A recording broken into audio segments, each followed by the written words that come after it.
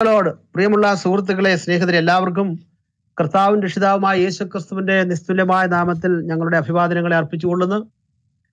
ഖുറാന്റെ ദൈവം ആരാണ് എന്ന വിഷയമാണ് ഞങ്ങൾ ഇവിടെ ഒരുമിച്ച് ചർച്ച ചെയ്യാൻ പോകുന്നത്. ദീർഘകാലത്തെ ഞങ്ങളുടെ പഠന ഗവേഷണ പരമ്പരയിൽ നിന്നും ഞങ്ങൾക്ക് കിട്ടിയതായ യാഥാർത്ഥ്യങ്ങൾ വസ്തുതകൾ ഞങ്ങളിവിടെ ഖുറാൻ ഹദീസ് ഗ്രന്ഥങ്ങളിലെ റഫറൻസുകൾ സഹിതം അല്ലെങ്കിൽ ആയത്തുകൾ സഹിതം കൃത്യമായി നിരത്തി ഖുറാനിലൂടെ വെളിപ്പെടുന്നത് വാസ്തവത്തിൽ ഒരു ദൈവമല്ല എന്ന് മറിച്ച് സമ്പൂർണമായ സാത്താന്യക പ്രവർത്തനങ്ങളാകുന്നു എന്നുള്ളതായ വസ്തുത ഞങ്ങൾ ഇവിടെ അക്കമിട്ട് നിരത്താൻ പോവുകയാണ്. തീർച്ചയായിട്ടും ഞങ്ങളുടെ സുഹൃത്തുക്കൾക്ക് അതിനോട് പ്രതികരിക്കാം.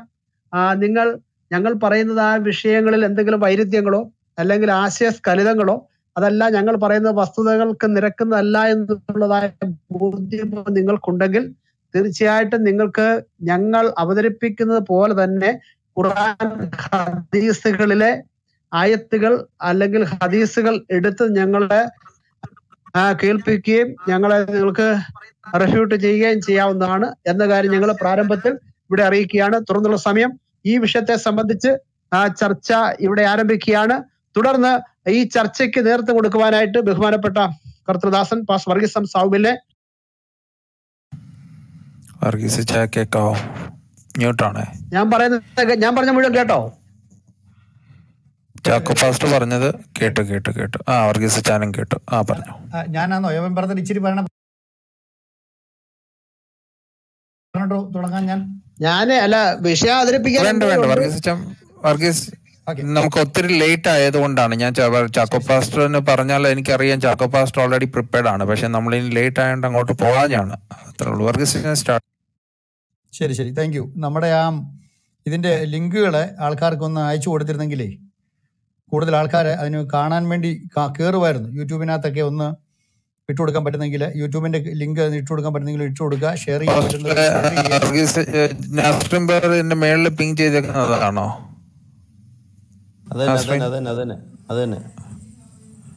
ഓക്കെ അത് പിങ് ചെയ്തിട്ടുണ്ടോ ചായ?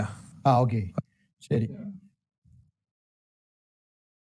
കേട്ടു കേട്ടു. താങ്ക് യു എല്ലാവർക്കും ഞാൻ പറയുന്നു. അല്പം എന്താ പറയുക ചർച്ചാ വിഷയമാകേണ്ട ഒരു ഒരു വിഷയമാണ് ഞങ്ങൾ ഇന്ന് നിങ്ങൾക്ക് വേണ്ടി ചർച്ച ചെയ്യുന്നത്. ഇത് ഒരു ഒരു ഒരു ഒരു വിശദീകരണമാണ്. നിങ്ങൾക്ക് അത് തിരഞ്ഞെടുക്കാം. നിങ്ങൾക്ക് അതിനെക്കുറിച്ച് പഠനം നടത്താം. നിങ്ങൾക്ക് അതിനെക്കുറിച്ച് വിശദീകരണങ്ങൾ എടുക്കാം. അല്ലെങ്കിൽ വിശദീകരണങ്ങൾ നൽകാം. എന്ത് വേണമെങ്കിലും ചെയ്യാം. അത്തരത്തിലുള്ള ഞങ്ങളുടെ ഒരു അറിവ് ഞങ്ങൾ മനസ്സിലാക്കിയ ചില കാര്യങ്ങളാണ് മുമ്പോട്ട് വെക്കുന്നത്. ഞാൻ ഖുറാൻ പല പ്രാവശ്യം വായിച്ചു. അതുപോലെ നമ്മുടെ സഹോദരന്മാർ ഇവിടെ അനവധി പ്രാവശ്യം വിശദീകരിച്ചിട്ടുള്ളൊരു കാര്യമാണ് ഈ ഹദീസുകളെ സംബന്ധിച്ചുള്ളത്. അപ്പോൾ ഇതെല്ലാം കൂടെ കൂട്ടി വായിക്കുകയും ബൈബിൾ ആയിട്ട് നമ്മൾ ഇതൊന്ന് പഠനവിധിയമാക്കുകയും ചെയ്യുമ്പോൾ ഖുറാന്റെ സോഴ്സ് ഖുറാ ഖുറാന്റെ ഉറവിടം അല്ലെങ്കിൽ മുഹമ്മദ് എന്ന് പറയുന്ന വ്യക്തിക്ക് പ്രത്യക്ഷപ്പെട്ടത് ഒരു ദൈവീകമായ ഒരു ദൂതനാണോ ഒരു ദൈവിക അരുളപ്പാടാണോ തനിക്ക് കിട്ടിയത് എന്നുള്ളത് ഒരു ചോദ്യചിഹ്നമായിട്ട് നമ്മുടെ മുമ്പിൽ നിൽക്കുകയാണ്. അതിന് ഒത്തിരി കാരണങ്ങളുണ്ട്. അതിന് ധാരാളം കാരണങ്ങൾ ഞങ്ങളുടെ മുമ്പിൽ നിർത്തി വെക്കാൻ വേണ്ടിയുണ്ട്. ഇത് പറയുമ്പോൾ നിങ്ങൾക്ക് അതിനെക്കുറിച്ച് മറുപടി പറയാനുള്ള അവകാശമുണ്ട്. അതല്ല ദൈവികമാണ്. അതിനുള്ള കാരണങ്ങൾ. എന്തായാലും എന്റെ പഠിക്കലിൽ ഞാൻ മനസ്സിലാക്കിയ ഒരു കാര്യം ഖുറാൻ വായിച്ചതുകൊണ്ടും ഈ ഈ- കാലങ്ങളിലുള്ള സഹോദരന്മാരോടൊപ്പമുള്ള എന്റെ പഠനത്തിൽ നിന്ന് ഞാൻ മനസ്സിലാക്കിയ ഒരു കാര്യം പറയാം. ഖുറാൻ മാനുഷികമായി എഴുതപ്പെട്ട ഒരു ഗ്രന്ഥമല്ല. ഇത്തരം സ്വാധീനങ്ങൾ ഉണ്ടാക്കാൻ. അത് പോസിറ്റീവ് സ്വാധീനത്തെക്കാൾ സാധകമായ സ്വാധീനത്തെക്കാൾ നെഗറ്റീവ് ഇമ്പാക്റ്റ് നിഷേധാത്മകമായ ഒരു ഇമ്പാക്റ്റ് ലോകത്തിൽ കൊണ്ടുവന്ന മറ്റൊരു മതം കാണത്തില്ല എന്നാണ് ഞാൻ വിശ്വസിക്കുന്നത്. ഇപ്പം മുജാഹിദ് ബാലിശ്ശേരിയോ എം എം അക്ബറോ ഇരുന്നുകൊണ്ട് ഞങ്ങളുടെ പ്രവാചകൻ കാരുണ്യമാണ് പുണ്യമാണ് ലോകത്തിന് ഉത്തമമായ മാതൃകയാണ് എന്തൊക്കെയോ ഞങ്ങൾക്ക് വേണ്ടി ചെയ്ത ആളാണ് അദ്ദേഹത്തിനെ അദ്ദേഹത്തെ പോലെ മറ്റൊരാൾ ലോകത്തില്ല എന്ന് പറയുമ്പോഴും അതിന് വിശദീകരണം ഞങ്ങൾ ചോദിക്കുമ്പോൾ അവർ ഇന്ന് വരെ വിശദീകരണം നൽകിയിട്ടില്ല. മുജാഹിദ് ബാലിശ്ശേരിയോട് ഞങ്ങൾ ചോദിച്ചിട്ടുണ്ട്. ഇസ്ലാമിക ദാവാക്കാരോട് ഞങ്ങൾ ചോദിച്ചിട്ടുണ്ട്. ഞങ്ങളുടെ ക്ലബ്ബ് ഹൗസുകളിൽ വന്നിരുന്നുകൊണ്ട് ഇസ്ലാമിനെ പ്രതിരോധിക്കാൻ വേണ്ടി വരുന്ന ഇസ്ലാമിക ഭദ്രസ പ്രോഡക്റ്റുകൾ പിള്ളേർ ഉസ്താദുമാരല്ല. പിള്ളേർ വന്നിട്ട് ഞങ്ങൾ അവരോട് പല പ്രാവശ്യം ആവർത്തിച്ച് ചോദിച്ചുള്ള ചോദ്യമാണ്. നിങ്ങൾക്ക് ഞങ്ങളുടെ മുമ്പിൽ വെക്കാൻ പറ്റുന്ന മാതൃകകൾ കുറേ പറയാമോ? ഇതൊന്നും അവർക്ക് പറയാനില്ല. അപ്പം അത് അവരുടെ ആശയപാപരത്വമാണ് അവരുടെ പ്രവാചകന്റെ വ്യക്തിവൈകല്യമാണ് എന്നേ നമുക്ക് മനസ്സിലാക്കാൻ പറ്റത്തുള്ളൂ. അപ്പോൾ ഇത് ഇത് മനസ്സിലാക്കി ഞാൻ വിചാരിക്കുന്നത് ഒരിക്കലും മാനുഷികമായ ഒരു സോഴ്സ് ഇതല്ല ഇതിന്റെ പിന്നിലുള്ളത്. അതാണ് നമ്മൾ അറിയേണ്ട ഒരു കാര്യം. അതുപോലെ ഈ പുസ്തകം ഇവർ പറയുന്നത് പ്രവാചകൻ മുഹമ്മദ് പ്രവാചകനാണോ എന്ന് നമ്മൾ ചോദിക്കുമ്പോൾ അദ്ദേഹം പ്രവചിച്ചിട്ടില്ല. പിന്നെന്താണ് ആകെ അവർ പറയുന്നൊരു കാര്യം ഈ പുസ്തകം അവർക്ക് ലഭിച്ചു എന്നുള്ളതാണ്. മുഹമ്മദിന്റെ പ്രവാചകത്വത്തിന് ഏറ്റവും വലിയ തെളിവ് അദ്ദേഹത്തിന് ലഭിച്ച അക്ഷരജ്ഞാനമില്ലാത്ത മുഹമ്മദിന് ലഭിച്ച അദ്ദേഹത്തിന്റെ പുസ്തകമാണ് എന്നാണ് അവർ അവകാശപ്പെടുന്നത്. ഓക്കെ ആ പുസ്തകം അതുകൊണ്ട് തന്നെ ഒരു പക്ഷേ അക്ഷരജ്ഞാനമില്ലാത്ത മറ്റ് പല കാര്യങ്ങളോടും വിവരമില്ലാത്ത ഒരു മനുഷ്യൻ ഇങ്ങനെയുള്ള കുറേ കാര്യങ്ങൾ എഴുതി വെക്കണമെങ്കിൽ അതിന്റെ പിന്നിൽ ഒരു മാനുഷികമായ ബുദ്ധിക്ക് അപ്പുറത്തുള്ള എന്തോ ഒരു ശക്തിയുടെ സ്വാധീനം ഉണ്ടെന്ന് നമുക്ക് കോമൺ സെൻസ് സാമാന്യ ബുദ്ധിയിൽ നിന്ന് നമുക്ക് മനസ്സിലാക്കാം. ഞാൻ അങ്ങനെ ചിന്തിക്കുന്നത്. എന്നോടൊപ്പമുള്ള സഹോദരന്മാർ അതിനോട് വിയോജിപ്പുണ്ടാവാം യോജിപ്പുണ്ടാകാം. എന്റെ ഒരു അഭിപ്രായം പറയുകയാണ്. രണ്ടാമത്തെ ഒരു ഒരു ഉറവിടം ആവാൻ സാധ്യതയുള്ളത് ദൈവീകമാണ്. ദൈവീകമാണ്. അപ്പം ദൈവീകമായ ഒരു സ്വാധീനമാണ് ഈ പുസ്തകത്തിന്റെ പിന്നിലുണ്ടെങ്കിൽ പഴയ നിയമം തൗറാത്ത് അതുപോലെ തന്നെ സബൂറ് ഇഞ്ചിയിൽ ഇത്യാദി പുസ്തകങ്ങളിൽ നമുക്ക് വെളിപ്പെടുന്ന ഒരു ദൈവത്തെക്കുറിച്ച് അല്ല. ആ തരത്തിലുള്ളൊരു ധാർമ്മികതയോ മനുഷ്യത്വമോ ദൈവീകതയോ ഇതൊന്നും ഇല്ലാത്ത ഒരു വ്യക്തിയായിട്ടാണ് ഖുറാനിൽ വെളിപ്പെടുന്ന ഒരു ദൈവം. അത് ഞാൻ വിശദീകരിക്കുന്നതായിരിക്കും. അപ്പോൾ ദൈവികമാണെന്ന് ഒരിക്കലും നമുക്ക് പറ്റാൻ കണ്ടുപിടിക്കാൻ പറ്റുന്നത് ദൈവികമാണ് ഇതിന്റെ ഉറവിടം. കാര്യം ഇതിന്റെ ഇമ്പാക്റ്റ് ഉണ്ടാക്കി വെച്ചിരിക്കുന്ന മെനകൾ സമൂഹം ഇന്നും അനുഭവിച്ചുകൊണ്ടിരിക്കുകയാണ്. അപ്പോൾ ഒരു ദൈവികമാകത്തില്ല എന്നാണ് വിശ്വസിക്കുന്നത്. ഞാൻ വിശ്വസിക്കുന്നത് മൂന്നാമത്തെ എന്റെ നിഗമനം ഇതൊരു പൈശാചിക ശക്തിയിൽ നിന്ന് മുഹമ്മദിന് ലഭിച്ചതാണെന്നുള്ളതാണ് എന്റെ ഒരു മൂന്നാമത്തെ കണക്കുകൂടൽ അപ്പോൾ ആൾക്കാർ വിയോജിപ്പുണ്ടാകാം. മുസ്ലിങ്ങൾ വേണമെങ്കിൽ എന്റെ തലയെടുക്കാൻ വേണ്ടി വേണമെങ്കിൽ എന്നെ പത്തുവക്കാരക്കാൻ സാധ്യതയുണ്ട്. പക്ഷേ എന്റെ പഠനം പറയുകയാണ് നിങ്ങൾക്കതല്ല എങ്കിൽ നിങ്ങൾക്ക് നിങ്ങളുടെ പുസ്തകത്തിന്റെയോ ഇതര പുസ്തകങ്ങളുടെ തെളിവുകളുടെ അടിസ്ഥാനത്തിൽ അക്കമിട്ടി കാര്യങ്ങൾ നിരത്തണം. ഇത് വേറൊരു റൂമിൽ ചെയ്യാൻ വേണ്ടി ആഗ്രഹിച്ചതാണ്. പക്ഷേ സാഹചര്യം കൊണ്ട് കഴിഞ്ഞില്ല. ഇത് പെട്ടെന്ന് ചെയ്യേണ്ടി വന്ന അതുകൊണ്ട് അല്പം തിരക്ക് കൂടിപ്പോയി ആൾക്കാർക്ക് എത്ര പേർക്ക് ഇത് കാണാൻ പറ്റുമോ അറിയാൻ പറ്റുമോ എന്ന് അറിയത്തില്ല. എന്നിരുന്നാലും വരുന്ന ദിവസങ്ങളിൽ ഇത് യൂട്യൂബിനകത്ത് നിങ്ങൾക്ക് കാണാൻ പറ്റും. നിങ്ങൾ കാണുക. എന്നോട് പ്രതികരിക്കുക. അപ്പം മൂന്നാമത്തെ ഒരു അവസ്ഥയിലാണ് ഞാൻ എത്തി നിൽക്കുന്നത്. കാരണം ഇതിന്റെ പല കാര്യങ്ങളും ഇതിന്റെ ഇമ്പാക്റ്റ് ഇതിനകത്ത് എഴുതി വെച്ചിരിക്കുന്ന വിവരക്കേടുകൾ ഇതിന്റെ ചരിത്ര അബദ്ധങ്ങൾ ശാസ്ത്രീയ അബദ്ധങ്ങൾ കോൺട്രാഡിക്ഷൻസ് സാമൂഹിക വ്യവസ്ഥിതിയോടുള്ള ഇതിന്റെ നിലപാടുകൾ സ്ത്രീകളോടുള്ള നിലപാടുകൾ അതുപോലെ തന്നെ സഹജീവികളോടുള്ള സഹജീവി എന്ന് പറഞ്ഞാൽ പട്ടിയുടെയും പഴുതാരുടെയും കാര്യമല്ല പല്ലിയെ കൊല്ലുന്ന കാര്യമല്ല മനുഷ്യനോട് മജ്ജിയും മാംസവുമുള്ള വികാര വിചാരങ്ങളുള്ള മനുഷ്യനോടുള്ള ഇസ്ലാമിന്റെ പ്രതികരണങ്ങൾ ഇതെല്ലാം കൂടെ മൊത്തത്തിൽ ഞാൻ മനസ്സിലാക്കിയപ്പോൾ ദൈവികമായ ഒരു ഉറവിടത്തിൽ നിന്ന് ഇങ്ങനെ ഒരു പുസ്തകം ഒരിക്കലും വരികയില്ലെന്നുള്ളതാണ് അപ്പോൾ പിന്നെ മൂന്നാമത്തെ എന്റെ ചിന്ത ചെന്ന് നിൽക്കുന്നത് പൈശാചിക ശക്തിയാണ് എന്നുള്ളതാണ്. അതിനെനിക്ക് സപ്പോർട്ട് നൽകുന്ന ധാരാളം കാര്യങ്ങൾ ഖുറാൻ നൽകുന്നുണ്ട്. ധാരാളം കാര്യങ്ങൾ ബൈബിൾ നൽകുന്നുണ്ട്. ധാരാളം കാര്യങ്ങൾ ഹദീസുകൾ നൽകുന്നുണ്ട്. അത് ഞാൻ അക്കമിട്ട് പറയാം. ഏ- ഇനി എന്റെ കൂടെയുള്ള ഏ, ദയവായി നിങ്ങൾ ഇതിന്റെ ബാക്കി കൂട്ടിച്ചേർക്കാനുള്ള കാര്യങ്ങളൊന്ന് എഴുതി വെക്കണം എന്ന് തന്നെയാണ് എന്റെ ഒരു ആഗ്രഹം. നമുക്ക് ആദ്യം ഖുറാൻ നോക്കണോ ബൈബിൾ നോക്കണോ എന്നുള്ളതിന് ഞാൻ ആദ്യം ബൈബിളിൽ നിന്നുകൊണ്ട് നമുക്ക് പറയാം. ബൈബിളിൽ നിന്നുകൊണ്ട് പറയാം. ബൈബിളിൽ നിന്നുകൊണ്ട് നമ്മൾ പരിശോധിക്കുമ്പോൾ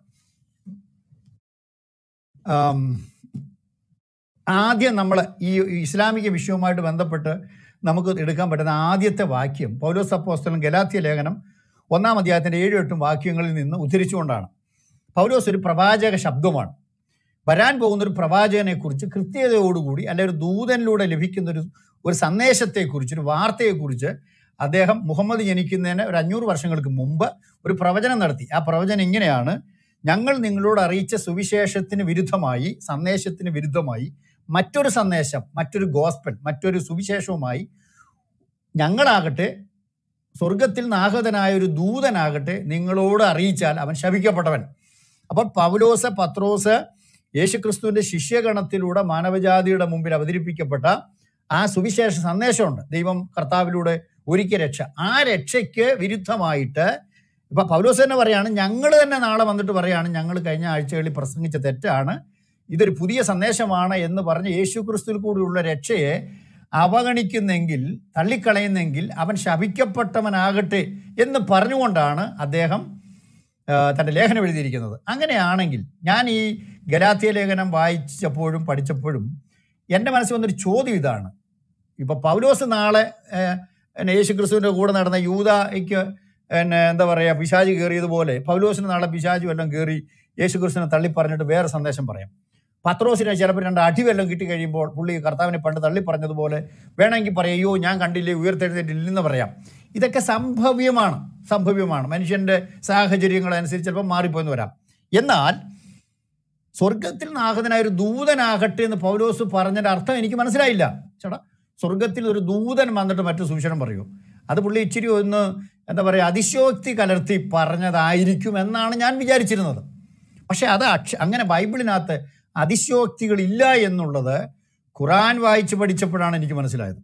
കാരണം പൗലോസ് അന്ന് പ്ര പ്രവചിച്ച പ്രവചന അക്ഷരാർത്ഥത്തിൽ നിറവേറിക്കൊണ്ട് ലോകത്തിൽ അവതരിച്ച ഒരു ദൂതനിലൂടെ അത് നിങ്ങളെല്ലാവരും അറിയുക ഒരു ദൂതനിലൂടെ അവതരിപ്പിക്കപ്പെട്ടതാണ് ഇസ്ലാം ഖുറാൻ എന്നുള്ളത് പറയുമ്പോൾ. ഇനിയും പൗലോസ് പറഞ്ഞ ആ സന്ദേശം പ്രവചനം അക്ഷരാർത്ഥത്തിൽ നടക്കുകയായിരുന്നു. ഇനി അതിനകത്ത് ഒരു കാര്യം കൂടെ നിങ്ങൾ അറിയണം. പൗലോസ് പറഞ്ഞൊരു ദൂതൻ വരുമെന്ന് മാത്രമല്ല ഇത് ദൂതനാണ്. ഈ ദൂതൻ ആരാന്ന് ഇന്ന് വരെ മുസ്ലിങ്ങൾക്ക് അറിയത്തില്ല. ഒരു ക്രിസ്ത്യാനിയുടെ പേര് നാമധാരിയായ ഒരു ക്രിസ്ത്യാനി വറക്കത്തുൽ ലൗഫൽ എന്ന് പറഞ്ഞ ഒരാളാണ് ഇത് ജിബ്രിയലാണെന്ന് പറഞ്ഞു കൊടുക്കുന്നത്. മുഹമ്മദിന് അറിയില്ലായിരുന്നു. ഖദീജയ്ക്ക് അറിയില്ലായിരുന്നു. ഈ വന്ന പുള്ളി ഇട്ട് പറഞ്ഞുമില്ല പേര്. ആരാണെന്ന് ചോദിച്ചപ്പോൾ പുള്ളി പേരും പറഞ്ഞിട്ടില്ല. അപ്പോൾ അങ്ങനെയുള്ളൊരവസ്ഥയിൽ മറ്റൊരാളിൽ നിന്ന് കേട്ടെഴുതിയതാണ് ഖുറാനകത്ത് ജിബ്രിയൽ എന്ന് പറയുന്നത്. അല്ലെങ്കിൽ നമുക്ക് ആ പേര് മാറ്റിക്കളഞ്ഞാൽ വളരെ എളുപ്പത്തിൽ പറയാൻ പറ്റുന്നത് ഒരു ദൂതനെന്നാണ്. അങ്ങനെ വരുമ്പോൾ പൗലോസ് പറഞ്ഞ അത്ര കറക്റ്റാണ് സ്വർഗത്തിൽ നിന്നാഗതനായ ഒരു ദൂതൻ. ഇയാൾ പറഞ്ഞ ഞാൻ ദൂതനാണെന്നാണ് പറയുന്നത്. എന്ന് പറഞ്ഞിട്ടാണ് മുഹമ്മദിനെ പിടിച്ച് ഞെക്കുകയൊക്കെ ചെയ്യുന്നത്. അപ്പം നിങ്ങൾക്ക് കുറെ കൂടെ വ്യക്തമാണ് ദൂതനാണ് സ്വർഗത്തിൽ നാഗതനായി എന്ന് അവകാശപ്പെടുന്ന ഒരാളാണ്. അപ്പം രണ്ടാമത്തെ പ്രവചനം. മൂന്നാമത്തെ കാര്യം എന്ന് പറഞ്ഞത് പൗലോസ് പറഞ്ഞ കാര്യം വളരെ വ്യക്തമായ ഒരു കാര്യമാണ്. ഞങ്ങൾ പ്രസംഗിച്ച സുവിശേഷത്തിന് വിരുദ്ധമായ ഒരു സുവിശേഷം പറയുക എന്നുള്ളതാണ്. വിപരീതമായ സുവിശേഷം. അക്ഷരാർത്ഥത്തിൽ ഇസ്ലാം അതാണ്. യേശുക്രിസ്തുവിൽ കൂടിയുള്ള തൊട്ട് മുമ്പുള്ള ആ ക്ലബിനകത്ത് നമ്മൾ പറഞ്ഞതാണ് യേശുക്രിസ്തുവും ഈസായും ഒന്നല്ലെന്ന് പറഞ്ഞു. അതിന്റെ കാരണം ബൈബിളിൽ അടിവരയിട്ട് അക്കമിട്ട് നിരത്തുന്ന ഒരു സന്ദേശം ആത്യന്തികമായ സന്ദേശം എന്ന് പറയുന്നത് യേശുക്രിസ്തുവിൽ കൂടി മാനവജാതിക്ക് ലഭിച്ച രക്ഷയാണ്. അത് യേശു ക്രിസ്തുവിന്റെ മരണ പുനരുദ്ധാനത്തിലൂടെയാണ് ലഭിക്കുന്നത്. യേശു മരിച്ചു. യേശു ഉയർത്തെഴുന്നേറ്റു. അതാണ് സുവിശേഷത്തിന്റെ സന്ദേശം. പൗരോസ് ഇങ്ങനെ പറഞ്ഞു ഞങ്ങൾ ക്രൂശിക്കപ്പെട്ട ക്രിസ്തുവിനെ പ്രസംഗിക്കുന്നു. ഇസ്ലാമിൽ ക്രൂശിക്കപ്പെട്ട ക്രിസ്തു ഇല്ല എന്നിട്ട് പറഞ്ഞു യേശു ക്രിസ്തു മരിച്ചു തിരുവഴുത്തുകളിൽ പ്രകാരം. ഒന്ന് കുറിന്തി ലേഖനം പതിനഞ്ചാം അധ്യായം അതിന്റെ മൂന്ന് നാലഞ്ച് വാക്യങ്ങൾ. തിരുവഴുത്തുകളിൽ പ്രകാരം മരിച്ചു. ഇസ്ലാമിന്റെ ഈസ മരിച്ചിട്ടില്ല. അടുത്ത വാക്യം തിരുവഴുത്തുകളിൽ പ്രകാരം ഉയർത്തെഴുന്നേറ്റു. മരിക്കാത്ത ആളെ ഉയർത്തെഴുന്നേൽപ്പിക്കാൻ പറ്റത്തില്ലല്ലോ. അപ്പോൾ മരണ പുനരുദ്ധാനങ്ങളിൽ യേശു ക്രിസ്തുവിന്റെ മരണ പുനരുദ്ധാനങ്ങളിലാണ് സുവിശേഷം നിലനിൽക്കുന്നത്. അവർ പ്രസംഗിച്ച പ്രസംഗത്തിന്റെ ആത്യന്തിക സന്ദേശം അതായിരുന്നു. എവിടെ ചെന്നാൽ അവരതാ പ്രസംഗിക്കുന്നത്. എന്താണ് നിങ്ങൾക്ക് പറയാനുള്ളത്? ഉടനെ അവർ പറയും ഇങ്ങനെ മാനവജാതിയുടെ രക്ഷയ്ക്ക് നേർച്ചകളും കാഴ്ചകളും കർമ്മങ്ങളും തീർത്ഥാടനങ്ങളും പുണ്യകർമ്മങ്ങളും ഒന്നും ചെയ്യാൻ പറ്റാതിരുന്നപ്പോൾ ദൈവം തന്റെ പുത്രനെ ഭൂമിയിലേക്ക് അയച്ച് നമ്മുടെ പാപത്തിന്റെ പരിഹാരത്തിനു വേണ്ടി മരിച്ചടക്കപ്പെട്ട് ഉയർത്തെഴുന്നേറ്റ് ഇന്നും ജീവിക്കുന്നു. ആ യേശുവിൽ വിശ്വസിച്ചാൽ നിനക്ക് നിത്യജീവൻ പ്രാപിക്കാൻ കഴിയും. ഇതെല്ലാ കാലത്തുമുള്ള സുവിശേഷം എന്നും പ്രസംഗിക്കുന്ന സന്ദേശമാണ്. അതിന്റെ അപ്പുറത്ത് വേറെ സന്ദേശമില്ല. പക്ഷേ ഇസ് ഇസ്ലാം അതിനെ എതിർക്കുകയാണ്. കറക്റ്റായിട്ട് പൗലോസ് പറഞ്ഞത് ശരിയായില്ലേ? എന്താണ്? ഞങ്ങൾ പ്രസംഗിച്ച സുവിശേഷത്തിന് വിപരീതമായി സ്വർഗത്തിൽ നാഗതനായ ഒരു ദൂതനാകട്ടെ അവൻ ശപിക്കപ്പെട്ടവൻ. ഇത് പറയുമ്പോൾ ഞാൻ കേൾക്കുന്ന ക്രൈസ്തവ സഹോദരങ്ങളോട് നിങ്ങൾ കേൾക്കുക ഇതിന്റെ ഉറവിടം നിങ്ങൾക്ക് അല്പമെങ്കിലും ഒരു ഒരു മാനസികമായിട്ടൊരു എന്താ അതിന് പറയുന്ന ഒരു വാക്ക്? ഒരു അനുഭാവം അതിനോട് തോന്നുന്നുണ്ടെങ്കിൽ തോന്നാൻ പാടില്ല. കാരണം ഇത് പൗലൂസിന്റെ ഭാഷയിൽ ശപിക്കപ്പെട്ട ഒരു ദൂതനാൽ ഇറക്കപ്പെട്ട ഒരു ഉപദേശമാണ്. ഇത് പറയുമ്പോൾ ഒരു കാര്യം കൂടെ എടുത്തു പറയണം. ഖുറാനകത്ത് റഫറൻസ് ഒക്കെ വേണമെങ്കിൽ ഇച്ചിരി കഴിയുമ്പോൾ ഞാൻ പറയും. ഇത് സമയം മുമ്പോട്ട് പോയതുകൊണ്ട് ഓടിച്ചു വിട്ട് പറയാം ഞാൻ. പൗലോസ് പറയുന്നൊരു കാര്യം പിന്നെ അല്ല ഖുറാൻ പറയുന്നൊരു കാര്യം അനവധി പ്രാവശ്യം ആവർത്തിച്ച് പറയുന്നൊരു കാര്യമാണ് എന്താണെന്നറിയാമോ? ഇത് ശപിക്കപ്പെട്ടൊരു ദൂതന്റെ വാക്കല്ലെന്ന്. അതെന്തിനാ അങ്ങനെ പറയുന്നത് ശരി ഞാനിപ്പോൾ സത്യസന്ധനായ ഒരാൾ നിങ്ങളുടെ അടുത്ത് വന്നൊരു കാര്യം പറയുമ്പോൾ ഞാൻ ഞാൻ കള്ളം പറയല്ലോ കേട്ടോ. ഞാൻ കള്ളം പറയല്ലോ കേട്ടോ. ഞാൻ പിന്നെ കള്ളനായിട്ട് വന്നതല്ല കേട്ടോ. ഞാൻ ശരിക്കും വന്നതാ കേട്ടോ. എന്ന് പറയുമ്പോൾ തന്നെ കേൾക്കുന്ന ഒരു സംശയം തോന്നില്ലേ? എന്തിനാ നീ അങ്ങനെ പറയുന്നത് നീ ഇപ്പം നിന്നെ അവിടുന്ന് ആൾ കോർട്ടിൽ നിന്ന് നിന്നെ വിട്ടതാണെങ്കിൽ നീ അങ്ങ് പറഞ്ഞാൽ പോരെ? മെസ്സേജ് പറഞ്ഞോ നീ ഇപ്പം നിന്നെ തെളിയിക്കേണ്ട ആവശ്യമില്ലല്ലോ. അപ്പം ഞാൻ പറയണം ഇല്ല കേട്ടോ. നിങ്ങൾ വിശ്വസിക്കാൻ വേണ്ടി ഞാൻ പറയുകയാണ് സത്യമാണ് ഞാൻ പറയുന്നത്. സത്യമായിട്ട് ഞാൻ സത്യം തന്നെ പറയുന്നത്. ഞാനൊരു കള്ളനല്ല കേട്ടോ. ഇങ്ങനെ കള്ളനല്ല എന്ന് രണ്ട് പ്രാവശ്യം പറയുമ്പോൾ കേൾക്കുന്നതിന് മനസ്സിലായി ഇത് കള്ളനാണെന്നുള്ള കാര്യം. ഖുറാനത്ത് പല പ്രാവശ്യം പറയുന്നുണ്ട്. ഇത് ഒരു പിശാജിന്റെ വാക്കല്ല. ഇത് ഒരു ശപിക്കപ്പെട്ട ദൂതന്റെ വാക്കല്ല എന്ന് പറയുമ്പം തന്നെ ദൂതന് തന്നെ തന്നെ സംശയമുണ്ടെന്നുള്ള തെളിവല്ലേ? അത് തിരിച്ചറിയാനുള്ള ബോധം മുസ്ലിങ്ങൾക്കോ അല്ലെങ്കിൽ അഹം മുഹമ്മദിനോ ഇല്ലാതെ പോയി എന്നുള്ളതാണ് ഈ ലോകത്തിന് പറ്റിയ ഏറ്റവും വലിയ ശാപം എന്ന് പറയുന്നത്. അപ്പം ഞാൻ രണ്ട് ആ, ബൈബിൾ സംബന്ധമായിട്ട് പറഞ്ഞു. രണ്ടാമത്തെ ഒരു കാര്യം നിങ്ങൾക്കറിയാലോ ദൈവ ദൈവജനത്തിന് ദൈവം ലോകത്തിൽ തിരഞ്ഞെടുത്ത ദൈവത്തിന്റെ സ്വന്തം ജനമാണ് ഇസ്രായേൽ. അതുകൊണ്ട് എന്റെ മകൻ എന്നൊക്കെ ദൈവം ഇസ്രായേലിനെ വിളിച്ചിട്ടുണ്ട്. എന്റെ ആദിജാതൻ ഇസ്രായേൽ എന്നൊക്കെ ദൈവം പറഞ്ഞിട്ടുണ്ട്. അത് അബ്രഹാമിനോടുള്ള ദൈവത്തിന്റെ സ്നേഹവും തന്റെ ഉടമ്പടിയാണ്. ഒരു ഉടമ്പടി ദൈവം അബ്രഹാമോട് ചെയ്യുന്നുണ്ട്. നിന്റെ സന്താനത്തെ ഞാൻ അനുഗ്രഹിച്ചു വലുതാക്കും എന്നൊക്കെ പറഞ്ഞ് ദൈവം ഒരു അനുഗ്രഹം കൊടുക്കുന്നുണ്ട്. അപ്പം അബ്രഹാമിനെ ദൈവം വിളിച്ച് വേർതിരിച്ച ആ കാലയളവിൽ തന്നെ ദൈവം അബ്രഹാമിനോട് പറഞ്ഞൊരു വാക്കെന്താണെന്നറിയാമോ? അബ്രഹാമെ നീ ഞാൻ നിന്നെ കാണിപ്പാൻ ദേശത്തേക്ക് പോകണം. ഒരു ദേശം കാണിച്ചു കൊടുക്കുകയാണ്. പൂവാക്കോളം പറഞ്ഞു. എന്നിട്ട് കൊടുക്കുന്ന അനുഗ്രഹങ്ങളിൽ പറയുന്നത് നിന്നിൽ ലോകത്തിലെ സകല ജനങ്ങളും അനുഗ്രഹിക്കപ്പെടും. സകല ജനതകളും അനുഗ്രഹിക്കപ്പെടണം. നിന്നെ അനുഗ്രഹിക്കുന്നവനെ ഞാൻ അനുഗ്രഹിക്കും. നിന്നെ ശപിക്കുന്നവനെ ഞാൻ ശപിക്കും. അപ്പോൾ ദൈവത്തിന്റെ മക്കൾ എന്നുള്ള നിലയിൽ ദൈവത്തിന്റെ സ്വന്തം ജനം എന്നുള്ള നിലയിൽ അബ്രഹാമിന്റെ സന്താന പരമ്പരകളെ ശപിക്കുന്നവൻ ആരാണ്? നിങ്ങളത് കണക്കൂടി നോക്കി ദൈവം പറയാണ് ഞാൻ നിന്നെ ആരെങ്കിലും ശപിച്ചാൽ ഞാൻ അവനെ ശപിക്കുമെന്ന് പറയുന്നു നിന്നെ അനുഗ്രഹിക്കുന്നവൻ അനുഗ്രഹിക്കപ്പെടും. നിന്നെ ശപിക്കുന്നവനെ ഞാൻ ശപിക്കും. ഇത് നിങ്ങൾ വെക്കുമ്പോൾ ഇന്ന് നമ്മുടെ സഹോ സബാസ്റ്റ്യൻ ബ്രദറിനോടൊക്കെ ചോദിച്ചാൽ മതി കൃത്യമായിട്ട് കണക്കൊക്കെ പറയും. ഒരു ദിവസം അഞ്ച് നേരത്തിൽ പതിനേഴ് പ്രാവശ്യം അങ്ങണ്ട് ഇവർ ഇവർ പ്രാർത്ഥിക്കുന്ന പ്രാർത്ഥനകളിൽ ഇവർ ശപിക്കപ്പെട്ടവരെന്ന് വിളിക്കുന്ന യഹൂദനെയാണ്. അപ്പൊ തന്നെ ഇത് രണ്ട് രണ്ട് ധ്രുവങ്ങൾ നിൽക്കുന്ന രണ്ട് ആശയങ്ങളും ഒന്നിനൊന്ന് എതിരാ ഒരുമിച്ച് പോകുന്നതല്ലെന്ന് മനസ്സിലായില്ലേ? ഇസ്രായേലിനെ ശപിച്ചുകൊണ്ടാണ് ശപിക്കപ്പെട്ടവർ. എന്ന് പറഞ്ഞുകൊണ്ടാണ് ഇവർ ദൈനംദിനം പ്രാർത്ഥിക്കുന്നത്. അത് കേൾക്കുമ്പോൾ തന്നെ അറിയാമല്ലോ ഇതിന്റെ ഉറവിടം എന്താണെന്ന്. ഞാൻ മനസ്സിലാക്കുന്നത് ദൈവജനത്തെ ശപിച്ചുകൊണ്ട് ഇന്ന് ലോകത്തിൽ നിലനിൽക്കുന്ന മതം എന്നുള്ള നിലയിൽ ഇത് ഒരിക്കലും ദൈവത്തിൽ നിന്ന് വരത്തില്ല. കാര്യം ദൈവം പറഞ്ഞതാണ് നിന്നെ ശപിക്കുന്നതിനെ ഞാൻ ശപിക്കുന്നു. അപ്പം ദൈവത്തിന്റെ മകനെ ശപിക്കണമെങ്കിൽ ആ ശാപം പറയുന്ന ജാതി ഏതായിരിക്കണം? തീർച്ചയായിട്ടും ദൈവത്തിന് എതിരായി വരുന്ന ഒരു സാധാന്യ ശക്തിയിൽ നിന്ന് മാത്രമേ അത് കഴിയത്തുള്ളൂ. കാര്യം പുതിയ നിയമത്തിൽ അപ്പോസ്തലനായ പൗലോസ് ഇങ്ങനെ എഴുതി വെച്ചു നിങ്ങൾ ശപിക്കാതെ അനുഗ്രഹിക്കുന്നവരാകുവിൻ നിങ്ങൾ അനുഗ്രഹിക്കപ്പെടേണ്ടത് നിങ്ങൾ അനുഗ്രഹിക്കും. അപ്പം പുതിയ നിയമത്തിലെ വിശ്വാസിക്കും ആരെ ശവിക്കാൻ അവകാശമില്ല. നമുക്കാരെ ശവിക്കാൻ അവകാശമില്ല. പക്ഷെ നിരന്തരം ക്രിസ്ത്യാനികളെയും ദൈവജനത്തെയും ദൈവജനം എന്ന് അവകാശപ്പെടുന്ന അല്ലെ ദൈവം തന്നെ വിളിച്ച് യഹൂദിനെയും നിരന്തരം ശപിക്കുന്ന ഈ ശക്തി ഏതാണ്? രണ്ടാമത്തെ എന്റെ കാരണം അതാണ്.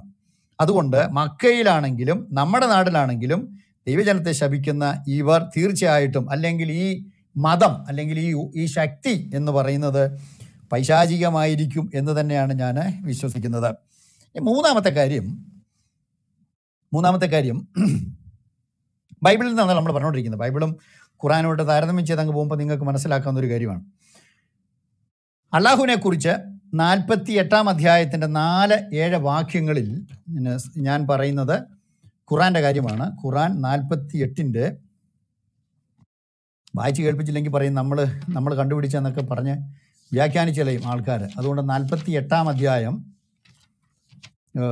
അതിന്റെ പേര് നോക്കട്ടെ. വിജയം എന്നാണ് ഫത്ത്ഹ് എന്നും പറഞ്ഞൊരു അധ്യായമാണ്. അതിന്റെ നാലാമത്തെ വാക്യം.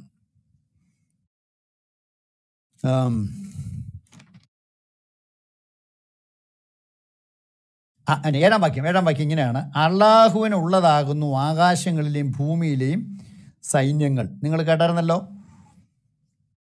അള്ളാഹുവിനുള്ളതാകുന്നു ആകാശങ്ങളിലെയും ഭൂമിയിലെ സൈന്യങ്ങൾ എന്ന് പറയുന്ന ഒരു വാചകം കിടപ്പുണ്ട് അപ്പോൾ അള്ളാഹു ആകാശങ്ങളിലെ സൈന്യത്തിന്റെ അധിപനാണെന്ന് പറയുന്നുണ്ട്. അതേസമയം എഫ് എ സി ലേഖനം ആറാം അധ്യായത്തിന്റെ പന്ത്രണ്ട് മുതലുള്ള വാക്യങ്ങൾ നമ്മൾ താഴോട്ട് വായിക്കുമ്പോൾ സ്വർലോകങ്ങളിലെ ആകാശങ്ങളിലെ ദുഷ്ടാത്മ സേന എന്ന് പറയുന്നത് പിശാചിനെ കുറിച്ചാണ് പിശാചിന്റെ ശക്തിയെക്കുറിച്ചാണ്. അള്ളാഹു ഇവിടെ അവകാശപ്പെടുകയാണ് ബൈബിളിലെ ദൈവം സൈന്യങ്ങളുടെ ദൈവം എന്ന് പറയുന്നുണ്ട്. ദൈവം ഒരിക്കലും ആകാശങ്ങളുടെ സൈന്യം എന്ന് പറയുന്നില്ല. ദൈവം എപ്പോഴും പറയുന്നത് സൈന്യങ്ങളുടെ ദൈവമായ ഹോവ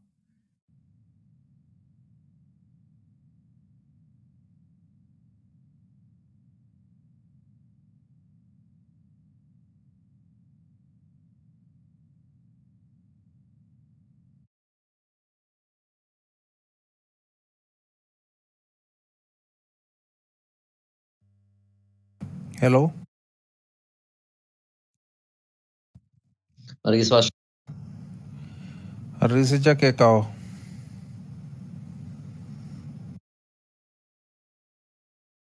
വർഗീസൻ വർഗീസൻ മൂട്ടിലാണല്ലോ മ്യൂട്ടാണ് മ്യൂട്ടാണ്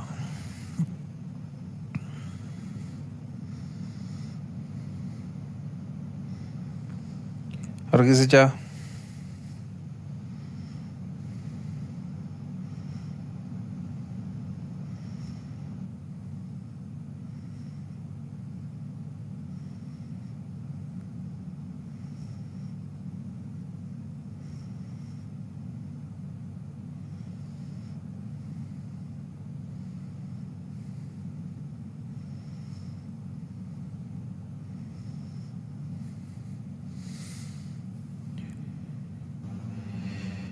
എവൻ ബ്രോ ശബ്ദം കേൾക്കാത്തതാണോ? എന്തെങ്കിലും? കേൾക്കുന്നില്ല. വർഗീസ് വർഗീസിച്ചനെ കേൾക്കണില്ല അച്ഛനെ കേൾക്കണില്ല ഒന്ന് കോണ്ടാക്ട് ചെയ്യോ? Okay okay. വർഗീസ് അച്ഛൻ പോയിട്ടുണ്ട്. ഇപ്പോൾ വരുമായിരിക്കും.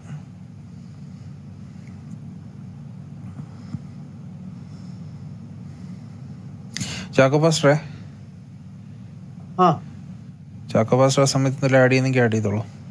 അല്ല ഞാൻ സംസാരിക്കുമ്പം അദ്ദേഹം വരികയാണെങ്കിൽ പിന്നെ അതും മുറി ഇതും മുറിയത്തില്ലേ? അല്ലെങ്കിൽ പുള്ളിയുടെ ഒരു ഇൻഫർമേഷൻ കിട്ടിയിട്ട് ഞാൻ വേണ്ട സംസാരിക്കാം. ശരി ശരി. ആയിക്കോട്ടെ ആയിക്കോട്ടെ. സാത്താൻ എന്നുള്ള സാധനം വന്നപ്പോഴേ ഓർഗനൈസേഷൻ വീണ്ടും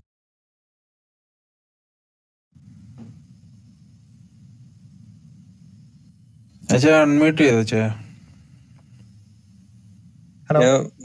വർഗീസ് ആ ഇപ്പൊ ക്ലിയർ ക്ലിയർ ആ എവിടം വരെ കേട്ടു? ആ നാൽപ്പത്തി എട്ടിന്റെ ആയത്ത് പറഞ്ഞില്ല. ആയത്ത് പറഞ്ഞൊന്ന് വ്യാഖ്യാനിച്ചല്ലോ. അത്രേ കേട്ടല്ലോ? ആ അത്രേ ഉള്ളൂ. ഷോ ആ അതിനുശേഷം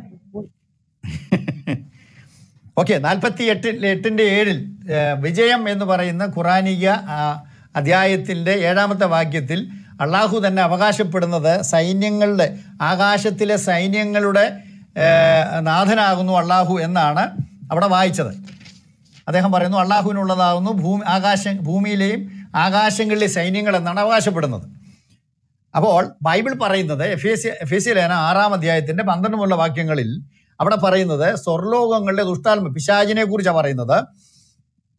നമുക്ക് പോരാട്ടമുള്ളത് ജഡരക്തങ്ങളോടല്ല വാഴ്ചകൾ അധികാരങ്ങൾ അവിടെ അടുത്ത വാക്ക് പറയുന്നത് സ്വർലോകങ്ങളുടെ ദുഷ്ടാത്മസേന എന്നാണ്. അപ്പൊ സ്വർലോകങ്ങൾ എന്ന് പറയുന്ന ഹെവൻലി പ്ലേസസ് സ്വർഗത്തിലെ എന്നല്ല പറയുന്നത് ആകാശങ്ങളിലെ. ആകാശങ്ങളിലെ ദുഷ്ടാത്മസേന എന്ന് പറയുന്നത് പൈശാചിക ശക്തിയുടെ സേനയെക്കുറിച്ചാണ്. അപ്പോൾ ദൈവത്തെക്കുറിച്ച് പറയുമ്പോൾ ദൈവം പറയുന്നത് സൈന്യങ്ങളുടെ ദൈവം യഹോവ എന്നാണ്. അതിന് ആകാശത്തിലെ സൈന്യമെന്നോ ഭൂമിയിലെ സൈന്യമെന്നോ ഗോളങ്ങളിലെ ദൈവം സൈന്യമൊന്നും പറയുന്നില്ല. കർത്താവ് പറയുന്നത് സൈന്യങ്ങളുടെ ദൈവം യഹോവ. അങ്ങനെയാണ് പ്രവാചകന്മാർ പറയുന്നത്. പക്ഷെ അള്ളാഹു പറയുമ്പോൾ ഞാൻ സൈന്യങ്ങളുടെ ദൈവം എന്നല്ല പറയുന്നത്. ആകാശങ്ങളിലെയും ആകാശത്തിലെയും ഭൂമിയിലെയും സൈന്യം പുള്ളിക്കുള്ളതാണെന്നാണ് പറയുന്നത്. അത് ബൈബിൾ പറയുന്നത് പിശാജാണ് അതിന്റെ ഉടമസ്ഥനെന്നാണ് എഫ് എ സി ലേഖനം ആറാം അധ്യായത്തിന്റെ പന്ത്രണ്ട് മുതലുള്ള വാക്യങ്ങളിൽ താഴോട്ട് നമ്മൾ വായിക്കുന്നത് സ്വർലോകങ്ങളുടെ ദുഷ്ടാത്മ സേന. അങ്ങനെയാണെങ്കിൽ അത് പൈശാചിക ശക്തിയുടെ നേതാവായിട്ട് അള്ളാഹു തന്നെ സ്വയം പ്രഖ്യാപിക്കുന്നതായിട്ട് നമ്മൾ കാണാൻ പറ്റും. മൂന്നാമത്തെ കാര്യം യോഹനാന്റെ സുവിശേഷം എട്ടാം അധ്യായത്തിന്റെ നാൽപ്പത്തിനാലിലുള്ള വാക്യങ്ങളിൽ കർത്താവ് പറഞ്ഞൊരു വാക്കാണ്. സാത്താന് പിശാചിനെ കുറിച്ച് പറയുമ്പോൾ അവൻ ഫോഷ്ക് പറയുന്നവനും ഫോഷ്ക് പറയുന്നവന്റെ അപ്പനുമാകുന്നു എന്നൊരു പദപ്രയോഗമുണ്ട്. അപ്പോൾ അതിന്റെ അർത്ഥം അതിന്റെ അർത്ഥം പിശാചിനെ വിളിച്ചിരിക്കുന്ന ഫോഷ്ക് പറയുന്നവനാണ്. ബൈബിളിനകത്ത് പത്ത് കൽപ്പനയ്ക്കകത്ത് ഒന്ന് ഫോഷ്കു പറയരുത് കള്ളം പറയരുന്നതാണ്. കർത്താവ് പഠിപ്പിച്ചു കള്ളം പറയരുന്നതാണ്. അപ്പോസ്തന്മാർ പഠിപ്പിച്ചു ഫോഷ്കു പറയരുന്നതാണ്. വെളിപ്പാട് പുസ്തകത്തിൽ പറയുന്നത് ഫോഷ്കു പറയുന്നവന് തീയും ഗന്ധവും കത്തുന്ന തീപ്പൊയ്യിലേക്ക് അവൻ പോകേണ്ടി വരുമെന്ന് പറയുന്നുണ്ട്. അപ്പോൾ കള്ളം ഒരു കണക്കിലും പറയരുന്ന് പഠിപ്പിക്കുന്ന വിശുദ്ധ വേദപുസ്തകത്തിലെ ദൈവവും കള്ളം പറയാൻ അനുവാദം കൊടുക്കുന്ന അള്ളാഹു ഒരു ഒരിക്കലും ഒന്നാവുകയില്ല. നിങ്ങൾക്കറിയാം ഇസ്ലാമിലെ തക്കിയ എന്ന് പറയുന്നത്. അത്യാവശ്യം വന്നാൽ കള്ളം പറഞ്ഞ് രക്ഷപ്പെടാനും അള്ളാഹു അവർക്ക് അനുവാദം കൊടുക്കുന്നുണ്ട്. അപ്പോൾ അതുകൂടെ നമ്മൾ കൂട്ടി വായിക്കുമ്പോൾ ഖുറാനിലെ ദൈവം കള്ളം പറയാൻ അനുവാദം കൊടുക്കുകയും ബൈബിളിലെ ദൈവം കള്ളം ഒരു കാരണവശാലും പറയരുന്ന് പറയുകയും ചെയ്യുമ്പോൾ ദൈവത്തിൽ നിന്ന് വന്നതല്ല ഖുറാൻ എന്നും ആ ആശയമെന്നും നമുക്ക് മനസ്സിലാക്കാൻ പറ്റും. അപ്പോൾ അത് വെച്ച് നമുക്ക് കണക്ക് കൂട്ടുമ്പോൾ ചെല്ലേണ്ടത് എവിടെയാണ് പിശാചിലേക്കാണ് നമ്മൾ ചെല്ലേണ്ടത്. ഖുറാനകത്ത് ഒരു വാക്യം ഇങ്ങനെയുണ്ട്. രണ്ടും കൂടെ താരതമ്യം ചെയ്തങ്ങ് പോകാം. ഖുറാനകത്തൊരു വാക്യം ഇങ്ങനെയുണ്ട്. അവർ സത്യം തിരിച്ചറിയാതിരിക്കാൻ വേണ്ടി ഞാൻ അവരുടെ ഹൃദയം മൂടി വെച്ചിരിക്കുന്നു പറയുന്നുണ്ട്. ഞാൻ അവരുടെ ഹൃദയത്തിനകത്ത് ഒരു അടപ്പിട്ട് വെച്ചിരിക്കുന്നതൊക്കെ പറയുന്നുണ്ട്. എന്ന് പറഞ്ഞാൽ അവർ സത്യത്തിലേക്ക് തിരിയാതിരിപ്പാൻ എന്നൊക്കെ അള്ളാഹു അവകാശപ്പെടുന്ന ഖുറാനിക വചനം. ഞാൻ അവരെ ചതിക്കുന്നു അവർക്ക് അവരെ വഞ്ചിക്കുന്നു അള്ളാഹു ഒന്നാം ഒന്നാം തരം വഞ്ചകനാണ് എന്നൊക്കെ പറയുന്നുണ്ട്. അതേസമയം ബൈബിളിൽ പറയുന്നത് പിശാജാണ് മനുഷ്യന്റെ മനസ്സുകൾ മൂടി വെച്ചിരിക്കുന്നു എന്നാണ്. കുരുന്തി ലേഖനം നാലാം അധ്യായത്തിന്റെ രണ്ട് ലേഖനം നാലാം അധ്യായത്തിന്റെ നാലാം വാക്യത്തിൽ ഇങ്ങനെയാണ്.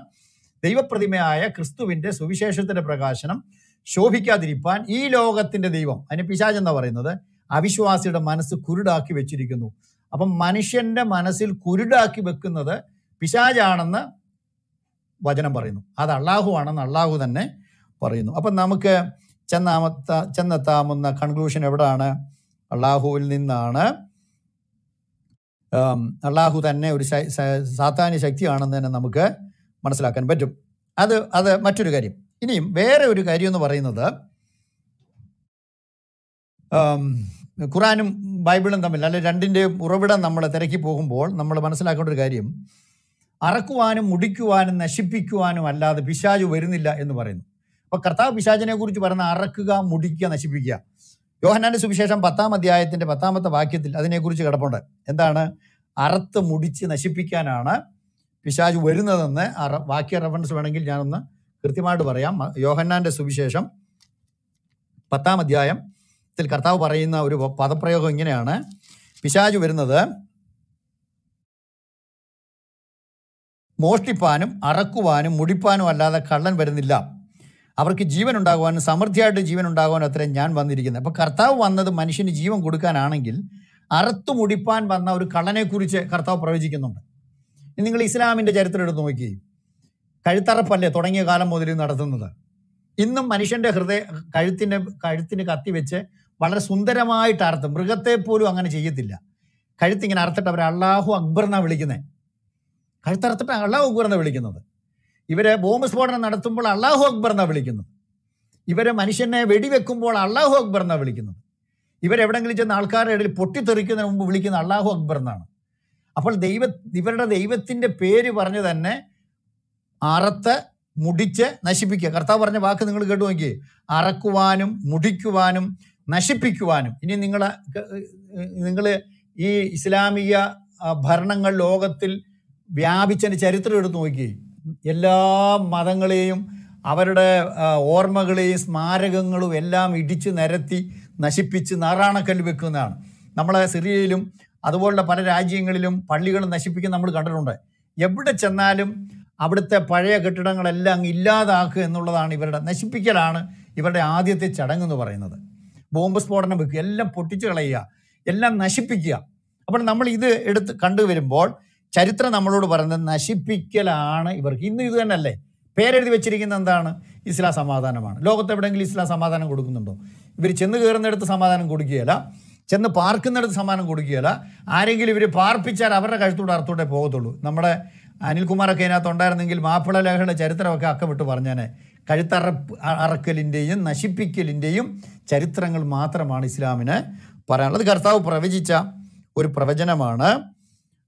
ഇസ്ലാം അങ്ങനെ വരുമ്പോൾ ഇത് ബൈബിൾ പ്രകാരം നമുക്ക് എങ്ങനെ കണക്കെടുക്കേണ്ടി വരും? കള്ളം ആണ് എന്ന് നമുക്ക് പറയേണ്ടി വരും. അതുപോലെ തന്നെ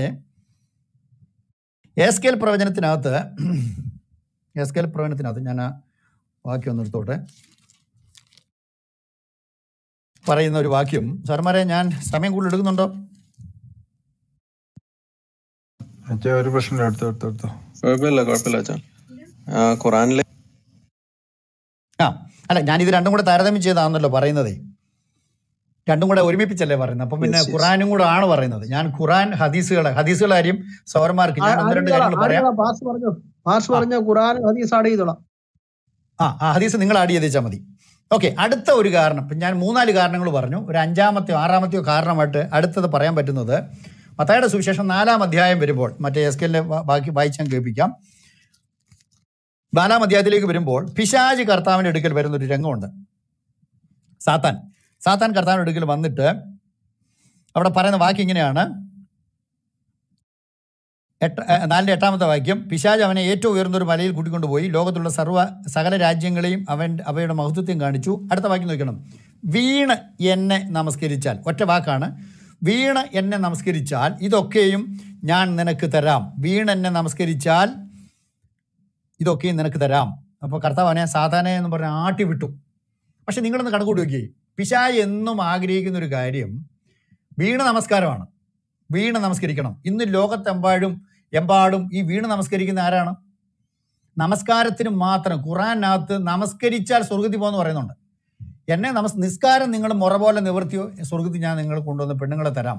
അള്ളാഹു പറയുന്നുണ്ട്. അപ്പം മനുഷ്യന്റെ രതിവികാരങ്ങളെ അല്ലെങ്കിൽ മനുഷ്യന്റെ ലൈംഗിക വിധ വികാരങ്ങളെ ചൂഷണം ചെയ്തുകൊണ്ട് അത് കൊടുത്ത് മോഹിപ്പിച്ചാണെങ്കിലും എന്നെ നിസ്കരിച്ചാൽ നിനക്കിവിടെ വരുമ്പോൾ മാംസളങ്ങളായ ശരീരമുള്ള സ്ത്രീകൾ ഞാൻ എന്നോട് സതേ ക്ഷമിക്കുക ഇത് മുജാഹിദ് ബാലിശ്ശേരിയുടെ വാക്കാണ്.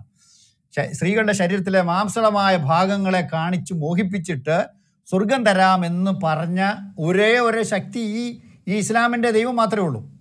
അദ്ദേഹം ഇന്ന് പറഞ്ഞ് എന്നെ വീണ് നമസ്കരിക്കുക. ഇന്ന് ലോകത്തെമ്പാടും മുസ്ലിങ്ങൾ നട റോഡിൽ വീണ് നമസ്കരിക്കുന്നു. കടത്തിണ്ണെ വീണ് നമസ്കരിക്കുന്നു. ഫ്ലൈറ്റ് കയറി അവിടുത്തെ ഫ്ലൈറ്റ് യാത്ര ചെയ്യുന്നവർക്ക് പോലും സമാധാനം കൊടുക്കാതെ അവിടെ വീണ് നമസ്കരിക്കുന്നു. മരത്തെ കയറിയ മരത്തെ കയറി നിന്നുകൊണ്ട് കഴുതപ്പുറത്ത് കയറി നിന്നുകൊണ്ട് നമസ്കരിക്കുന്നു. ഇതെല്ലാം വീണ് നമസ്കാരങ്ങളാണ്. അപ്പോൾ ഈ വീട് നമസ്കാരങ്ങൾ കാണുമ്പോൾ നമ്മുടെ ചിന്ത എങ്ങോട്ടാണ് പോകേണ്ടത്? അന്ന് കർത്താവിന്റെ അടുക്കൽ ചെന്നിട്ട് ഒരു പ്രാവശ്യം എന്നെ ഒന്ന് വീണ് നമസ്കരിച്ചാൽ ഈ സർവ പ്രതാപങ്ങളും നിനക്ക് തരാമെന്ന് പറഞ്ഞ് കർത്താവിന്റെ അടുക്കൽ ചെന്നൊരു നമസ്കാരത്തിന് ആഗ്രഹിച്ചപ്പോൾ ആട്ടി പുറത്താക്കിയില്ലേ കർത്താവ്? ആ ശക്തിയാണ് ഇന്ന് ഇരുപത്തിനാല് മണിക്കൂറും ഇവരിൽ നിന്ന് ഈ പറയുന്ന വീണ് നമസ്കാരം സ്വീകരിച്ചുകൊണ്ട് നിൽക്കുന്നതെന്നും പഠിക്കുമ്പോൾ ഇതൊരു പൈശാചിക ശക്തി അല്ലേ എന്നൊരു ചോദ്യം കൂടി നമ്മുടെ മനസ്സിലേക്ക് വരും. അപ്പോൾ തന്നെ പിശാജിന്റെ ഈ അള്ളാഹുവിന്റെ സിംഹാസനം വെള്ളത്തിലാണെന്ന് പറയുന്നുണ്ട്. അത് വേദപുസ്തകത്തിനകത്ത് പിശാജിനെ കുറിച്ച് തന്നെ ആ ഭാഗം പറയുന്നുണ്ട്. പിശാജ് ആണ് പിന്നെ വെള്ളത്തിലിരിക്കുന്ന എന്നൊരു വാക്യമുണ്ട്. അത് ഞാൻ റെഫറൻസ് എടുത്തു തരാം. മറ്റേതിന്റെ റെഫറൻസ് ഞാൻ എടുത്തു തരാം. ഇച്ചിരി ഞാൻ മുമ്പോട്ട് പെട്ടെന്ന് പൊക്കോട്ടെ എന്ന് വിചാരിക്കുകയാണ്. അടുത്ത ഒരു കാര്യം എന്ന് പറയുന്നത് പിശാചും വെള്ളത്തിൽ സിംഹാസനം ഇടുന്നെന്നും അള്ളാഹും വെള്ളത്തിൽ ഇരിക്കുന്നു എന്നൊരു വാക്യമുണ്ട്. അത് എടുത്തുതരാം. എടുത്തുതരാം. അപ്പൊ അതുകൂടെ കൂട്ടി വായിക്കുമ്പോൾ നമുക്ക് വായിക്കാം. എന്താണ്? ഇസ്ലാമിന്റെ മുഹമ്മദിനെ സ്വാധീനിച്ച ശക്തി എന്ന് പറയുന്ന ഒരു ദൈവീക ശക്തി അല്ല ഒരു പൈശാചിക ശക്തിയാണെന്ന് നമുക്ക് പറയാം. ഇനി മറ്റൊരു കാര്യം. നിങ്ങൾക്കറിയാമല്ലോ വചനപ്രകാരം നമ്മൾ കർത്താവ് പറഞ്ഞൊരു വാക്കെടുത്തുകൊണ്ട് പറയാം വൃക്ഷത്തെ നാം എങ്ങനെ അറിയാം? കർത്താവ് പറഞ്ഞ ഫലം കൊണ്ട് വൃക്ഷത്തെ തിരിച്ചറിയാം. സാർമാരെ കേൾക്കുന്നുണ്ടോ?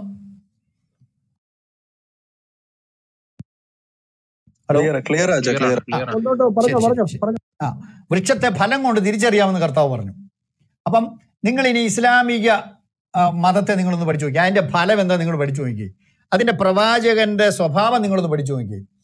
ഒരു പ്രവാചകന് വേണ്ട എന്ത് ഗുണങ്ങളാണ് മുഹമ്മദിൽ കണ്ടത്? ആറ് വയസ്സുകാരിയെ മുതൽ അറുപത് വയസ്സുകാരിയെ കെട്ടി അടിമകളെ ഭോഗിച്ച് ശരീരം ദാനം ചെയ്തവരെ ഭോഗിച്ച് യാതൊരു മാതൃകയില്ലാത്തൊരു വ്യക്തിയായിട്ടാണ് മുഹമ്മദ് നിൽക്കുന്നത്. ശരിക്കും ഒരു അതിന് ദൈവികമെന്ന് ഒരിക്കലും പറയാൻ പറ്റില്ല. അതിനൊരു പൈശാചിക ശക്തിയുടെ ഒരു നേതാവെന്ന് മാത്രമേ അല്ലെങ്കിൽ അതിനാൽ നിയന്ത്രിക്കപ്പെടുന്ന ഒരു വ്യക്തി എന്ന് മാത്രമേ നമുക്ക് പറയാൻ പറ്റുള്ളൂ ജഡത്തിൽ ജീവിച്ച ഒരു പ്രവാചകൻ എന്ന് വേണം നമുക്ക് പറയാൻ പറ്റത്തുള്ളൂ. വേദപുസ്തകത്തിൽ പറഞ്ഞ ജഡത്തിന്റെ പ്രവൃത്തികളോ എന്ന് പറയുന്ന കുറേ കാര്യങ്ങൾ എടുക്കുമ്പോൾ അതെല്ലാം ഈ ഈ മുഹമ്മദിൽ ഉണ്ടായിരുന്നു എന്ന അക്ഷരാർത്ഥത്തിൽ നമുക്ക് മനസ്സിലാക്കാൻ പറ്റും. അപ്പോൾ അതുകൊണ്ട് തന്നെ അതിനെ ദൈവി അതിന്റെ ഫലം കൊണ്ടാണ്. ഇനി അത് ഇന്ന് ലോകത്തിൽ ചെയ്യുന്ന പ്രവൃത്തി എന്താണ്? സമാധാനം എന്ന് എഴുതി വെച്ചിട്ട് മനുഷ്യന്റെ തല സമാധാനം അങ്ങ് നഷ്ടപ്പെടുത്തുകയാണ്. ചെല്ലുന്നിടത്ത് ബോംബ് സ്ഫോടനം. അത് ഞാൻ മുമ്പേ പറഞ്ഞാണ്. അപ്പോൾ ഇതിന്റെ ഫലം. അതുപോലെ ഇന്നലെ ബാലുശ്ശേരി ഒരു കമന്റ് പറഞ്ഞൊരു തമിഴ് തലയെടുപ്പുള്ള മതം എന്നുള്ള അർത്ഥത്തിൽ ഇസ്ലാം നിൽക്കുന്നതുകൊണ്ടാണ് വിമർശിക്കുന്നതെന്ന്. അപ്പോൾ എനിക്ക് ബാക്ക് ചാനലിൽ ഒരു സഹോദരൻ ഞാൻ ഇത് ചെയ്തുകൊണ്ടിരിക്കുമ്പോൾ അത് കാണാൻ പറ്റാത്തതുകൊണ്ട് പിന്നീടാണ് വായിച്ചത് വർഗീസ് മാസ്റ്റർക്ക് മനസ്സിലായില്ലേ? തലയെടുക്കും എന്ന് പറഞ്ഞാൽ തലയെടുപ്പ് എന്ന് പറഞ്ഞാൽ തലയെടുക്കുക എന്നുള്ളതാണ്. സാർ എന്താ ഇത് മനസ്സിലാ? അദ്ദേഹം പറഞ്ഞു ശരിയാണ്. ലോകത്തിൽ മനുഷ്യന്റെ തലയെടുക്കുന്ന ആകെ ഉള്ളൊരു മതം ഇസ്ലാമാണ്. അതുകൊണ്ട് തലയെടുപ്പ് എടുക്കുന്ന മതം എന്നാ പുള്ളി ഉദ്ദേശിച്ചത്. സാറിന് മനസ്സിലാവാത്തതാണെന്ന് പറഞ്ഞ് എനിക്കൊരു സഹോദരൻ കമന്റ് അയച്ചു. അതൊരു സത്യമാണെന്ന് എനിക്ക് തോന്നുന്നു. അങ്ങനെ വൃക്ഷത്തെ ഫലം കൊണ്ട് തിരിച്ചറിയാം. ഇന്ന് ഇസ്ലാം ലോകത്തിൽ ചെയ്യുന്ന പ്രവൃത്തികൾ കൊണ്ട് തന്നെ ഇസ്ലാമിനെ ഇസ്ലാം എന്താണ് ലോകത്തിന് നൽകിയതെന്നുള്ളത് നമുക്ക് മനസ്സിലാക്കുമ്പോൾ അത് തീർച്ചയായിട്ടും ഒരു പൈശാചികമായ ഉറവിടമാണെന്ന് നമുക്ക് വളരെ കൃത്യമായിട്ട് മനസ്സിലാക്കാൻ പറ്റുന്നൊരു കാര്യമാണ്. ഇനിയും ഇനി മറ്റൊരു കാര്യം നിങ്ങൾക്കറിയാലോ പഴയ നിയമ പ്രവാചകന്മാർ പഠിപ്പിച്ച ഒരു ഉപദേശങ്ങളും ഇസ്ലാമിന്റെ പ്രവാചകം പഠിപ്പിക്കുന്നില്ല. പഴയ നിയമ പ്രവാചകന്മാർ ജീവിതത്തിൽ തെറ്റ് വന്നപ്പോൾ ആ തെറ്റിനെ ഏറ്റു പറഞ്ഞ ഒരാളാണ്. മുഹമ്മദ് തെറ്റ് വന്നപ്പോൾ ആ തെറ്റുകളെല്ലാം പുള്ളിയുടെ പുണ്യമാണെന്ന് പറയുന്നതാണ് പുള്ളിയുടെ ആൾക്കാർ ഇന്നത്തെ ഒരവസ്ഥ പക്ഷേ നിങ്ങൾ ഓർക്കേണ്ട ഒരു പ്രധാനപ്പെട്ട കാര്യം ഞാൻ പറയാം.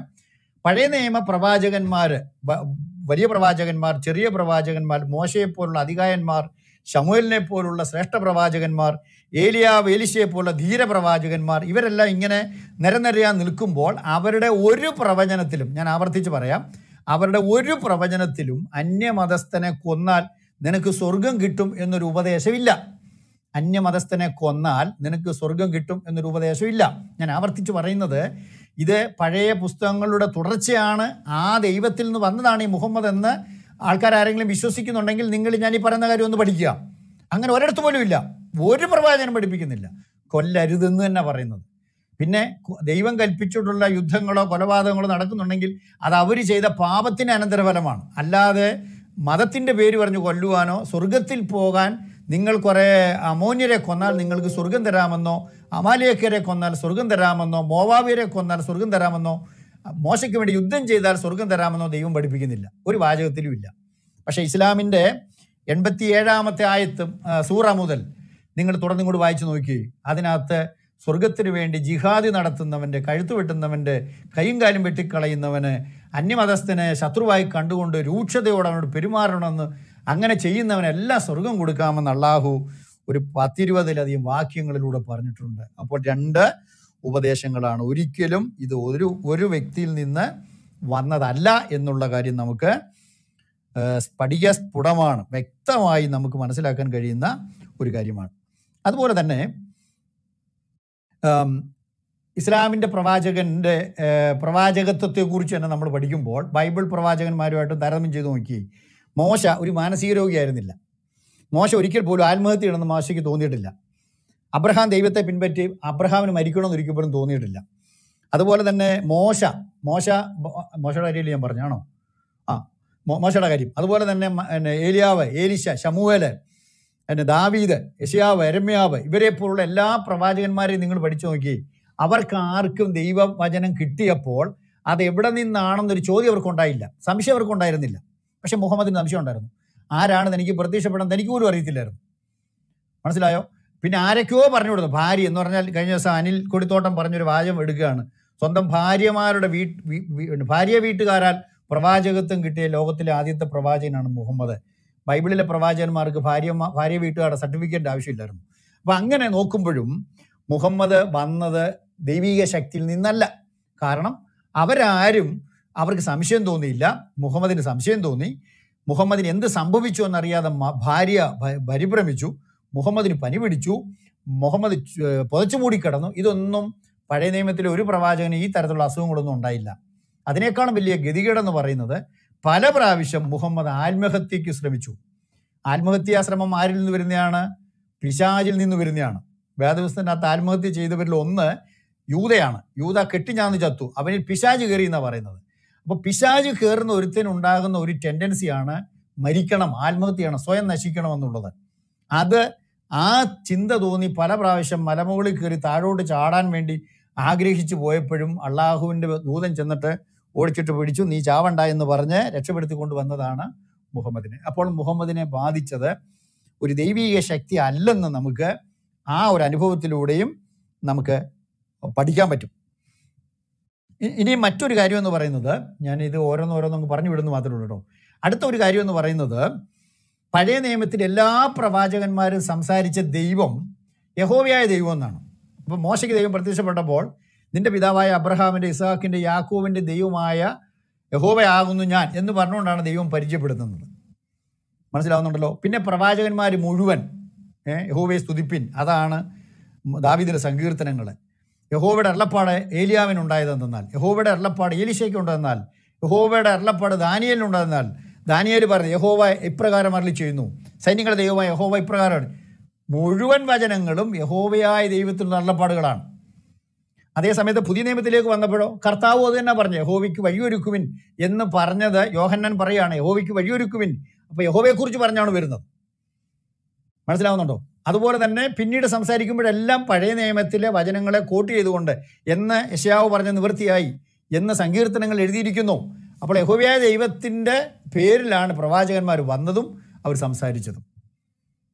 അവർ വെളി അവർക്ക് വെളിപ്പെട്ടതും അതുമാണ്. പക്ഷേ അതുകൊണ്ട് യാതൊരു ബന്ധവുമില്ലാതെ ഞാനാകുന്നവൻ ഞാനാകുന്നു എന്ന അർത്ഥമുള്ള യാഹുവേ എന്നുള്ള ദൈവം സംസാരിച്ചതും ആരാകുന്നു ഇല്ലാത്തത് അതാകുന്നു ഞാനെന്ന അർത്ഥമുള്ള അള്ളാഹു എന്നു പേരുള്ള ഒരാളാണ് മുഹമ്മദിന് പ്രത്യക്ഷപ്പെട്ടതെന്ന് പറയുമ്പോൾ നമുക്ക് മനസ്സിലാക്കാം ഇത് രണ്ടും ഒരു സോഴ്സ് അല്ല രണ്ടും രണ്ട് സോഴ്സുകളാണ് എന്നുള്ളത് വളരെ വ്യക്തമായിട്ട് നമുക്ക് മനസ്സിലാക്കാം. അപ്പോൾ ബൈ ദൈവമല്ല എന്ന് വ്യക്തമായിട്ട് പറയുമ്പോൾ പിശാജ് ആണ് എന്നുള്ളത് നമുക്ക് തിരിച്ചറിയാൻ പറ്റും. അതുപോലെ തന്നെ വേറെയും കുറേ കാര്യങ്ങൾ ഇനി ഞാൻ നമ്മുടെ സഹോദരന്മാരുടെ എന്റെ ഒരു ഒരാളുടെ ശബ്ദം മാത്രം ഇങ്ങനെ കേട്ടിരുന്നാൽ അതിനകത്തൊരു അരോചകത്വം ഉണ്ടാകുന്നത് കൊണ്ട് നമ്മുടെ സഹോദരന്മാരോട് സംസാരിച്ചതിന് ശേഷം ഞാൻ ബാക്കിയുള്ള ചില കാര്യങ്ങളൂടെ പറയാം. ഈ പറയുന്ന കാര്യങ്ങൾക്ക് ഒരു പിന്നെ നിങ്ങൾ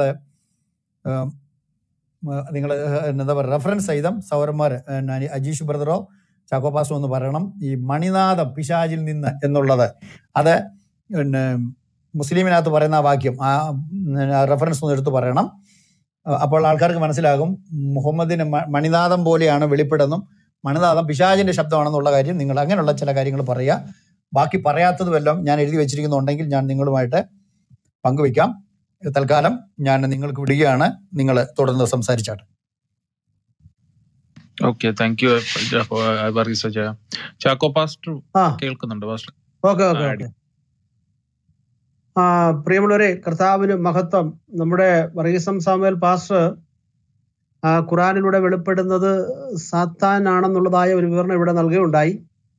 അതിനോടനുബന്ധിച്ച് ചില കാര്യങ്ങൾ കൂടി ഞാൻ ഇവിടെ ഓർപ്പിക്കുന്നു. ഇവർ അള്ളാഹു എന്ന ദൈവത്തെക്കുറിച്ചാണ് ഖുറാൻ പറയുന്നതെന്ന് ഇസ്ലാം മത പണ്ഡിതന്മാരും വിശ്വാസികളും പറയുന്നു ഖുറാൻ നമ്മൾ വായിച്ചാൽ പ്രാഥമിക വീക്ഷണത്തിൽ അങ്ങനെ കാണാം. എന്നാൽ ഈ അള്ളാഹുവിന്റെ ആസ്ഥാനം എവിടെയാകുന്നു എന്ന് ചിന്തിക്കുമ്പോൾ അതിന്റെ ആസ്ഥാനം കണ്ടെത്താനായിട്ട് കഴിയും. അപ്പോൾ തന്നെ ഈ ഖുറാനിലൂടെ വെളിപ്പെടുന്ന പിശാജിന്റെ ആസ്ഥാനവും നമുക്ക് കണ്ടെത്താനായിട്ട് കഴിയും. മാത്രമല്ല വിശുദ്ധ ബൈബിളിലൂടെ വെളിപ്പെടുന്ന പിശാജിന്റെയും ആസ്ഥാനം നമുക്ക് കണ്ടെത്താനായിട്ട് കഴിയും. അപ്പൊ ഇവർ മൂവരും ഏകദേശം ഒരു സ്ഥലത്തിരിക്കുന്നത് കൊണ്ട് ഖുറാനിലൂടെ വെളിപ്പെടുന്നത് പിശാജ് തന്നെയാണെന്നുള്ളതായ ഒരു തീരുമാനത്തിൽ നമുക്ക് എത്താനായിട്ട് കഴിയും. സൂറ പതിനൊന്നിന്റെ ഏഴിലാണ് പറയുന്നത് അള്ളാഹു വെള്ളത്തിന്മേലിരിക്കുന്നു അതായത് ആറ് നാളുകളിലായി ആകാശഭൂമിക സൃഷ്ടിച്ചത് അവനാണ്. അവന്റെ സിംഹാസനം ജലപ്പരപ്പിലായിരുന്നു എന്ന് അവിടെ പറയുന്നു. അപ്പോൾ തന്നെ ഖുറാനിലൂടെ വെളിപ്പെടുന്ന പിശാചും വെള്ളത്തിന്റെ മുകളിൽ ഇരിക്കുന്നുവെന്ന് സുനനു തിർമതി രണ്ടായിരത്തി ഇരുന്നൂറ്റി നാൽപ്പത്തി എട്ടിൽ പറയുന്നു. അബൂ സയ്യിദുൽ കുതിരി പറയുന്നു പ്രവാചകൻ മദീനയിലെ ഒരു വഴിയിൽ വെച്ച് ഇബ്നു സ്വാദിനെ കണ്ടുമുട്ടി. അപ്പോൾ അവനെ തടഞ്ഞു നിർത്തി. അവനൊരു ജൂതബാലനായിരുന്നു. പ്രവാചകന്റെ കൂടെ അബുബക്കറും ഉമറുമുണ്ട്. പ്രവാചകൻ അവനോട് ചോദിച്ചു ഞാൻ ദൈവദൂതനാണെന്ന് നീ സാക്ഷ്യം വഹിക്കുമോ?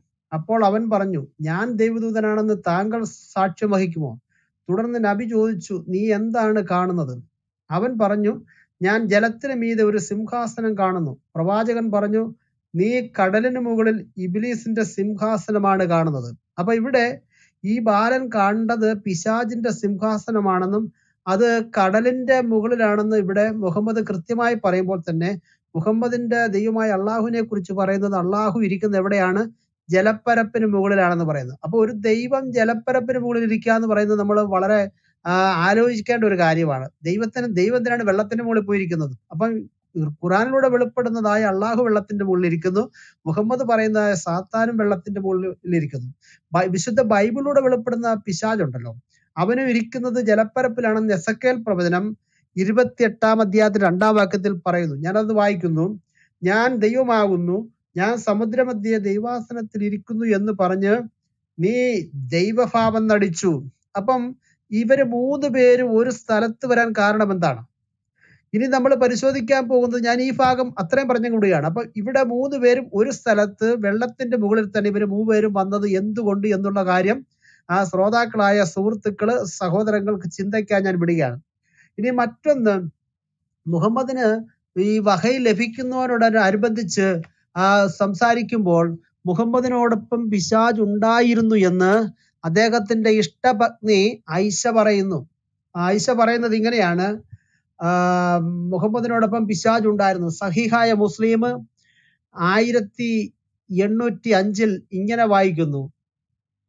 പ്രവാചക പത്നി ഐശയിൽ നിന്ന് ഞാൻ ചോദിച്ചു പ്രവാചകരെ താങ്കൾക്കൊപ്പമുണ്ട പിശാജ്? അവിടുന്ന് പറഞ്ഞ അതെ. അപ്പൊ ഇവിടെ ഐശയാണ് പറയുന്നത്. ഐശയിൽ നിന്ന് വന്ന നിവേദനമാണ് മുഹമ്മദിനോടൊപ്പം പിശാജ് ഉണ്ടെന്ന് ഇവിടെ കൃത്യമായി പറയുന്നു. ഇനി പിശാജിന്റെ പ്രത്യേകത എന്താണ്? പിശാജിന്റെ പ്രത്യേകത പിശാജ് മണിമുഴക്കും. അല്ലെങ്കിൽ മണി എന്നത് പിശാജിന്റെ പുല്ലാങ്കുഴലാണെന്ന് മുഹമ്മദ് പറഞ്ഞതായ ഒരു ഹദീസ് ഉണ്ട് ആ ഹദീസ് ഞാൻ ഇവിടെ വായിക്കുന്നു. സഹിഹോ മുസ്ലിം ആയിരത്തി മുന്നൂറ്റി തൊണ്ണൂറ്റി ഒന്നിൽ ഇങ്ങനെ പറയുന്നു അബു ഹുറൈറയിൽ നിന്ന് നബി പറഞ്ഞു മണി പിശാജിന്റെ പുല്ലാങ്കുഴലാണ്. അപ്പൊ മണി ശബ്ദം എവിടെ കേൾക്കുന്നു? അത് പിശാജിന്റെ പ്രവൃത്തിയാണെന്നാണ് മുഹമ്മദ് പറയുന്നത്. അങ്ങനെയാണെന്നുണ്ടെങ്കിൽ മറ്റൊരു ഹദീസും കൂടി ഉണ്ട് ആ ഹദീസിൽ പറയുന്നത് മണി ശബ്ദമുള്ളയിടത്ത് മലക്കുകൾ വരത്തില്ലെന്നാണ്. അപ്പോൾ ശ്രദ്ധിക്കണം ഈ മുഹമ്മദിനോട് സംസാരിച്ചത് മലക്കാണ്. അപ്പോൾ ഈ മലക്കിന്റെ പ്രത്യേകത മണിയടി ഉള്ളിടത്ത് മണിശബ്ദം ഉള്ളിടത്ത് മലക്ക് വരത്തില്ലെന്നാണ് മുഹമ്മദ് ഒരു ഹദീസിൽ പറയുന്നത്.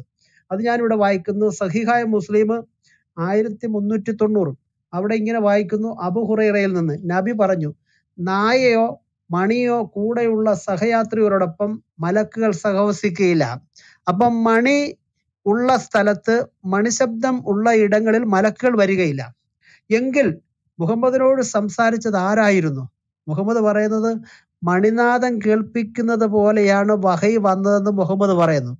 അപ്പോൾ നമുക്ക് ചിന്തിക്കാനായിട്ട് കഴിയും മുഹമ്മദിനോട് സംസാരിച്ച വ്യക്തി അല്ലെങ്കിൽ ആ സത്വം ആരാണെന്ന് കൃത്യമായി നമുക്ക് ബോധ്യപ്പെടും. ഞാൻ ഒരു ഹദീസും കൂടെ വായിക്കുന്നു. സഹിഹു ബുഖാരി രണ്ട്. ബുഖാരി രണ്ടാമത്തെ ഹദീസ്. ഇങ്ങനെ വായിക്കുന്നു. ഐഷ ബീബി പറയുന്നു ഹാരിസ് ബിനു ഹിസാം തിരുമേനിയോട് ചോദിച്ചു ദൈവദൂതരെ അങ്ങേക്ക് ദൈവിക സന്ദേശം വന്നു കിട്ടുന്നത് എങ്ങനെയാണ്? തിരുമേനി അരുളി ചിലപ്പോൾ മണിനാഥം മുഴങ്ങും മുഴങ്ങും പോലുള്ള ഒരു ശബ്ദത്തോടെ അതെനിക്ക് വന്നു കിട്ടും. എനിക്ക് താങ്ങാൻ ഏറ്റവും വിഷമമുള്ള അവസ്ഥയാണത്. എന്നിട്ട് അതങ്ങ് അവസാനിക്കും.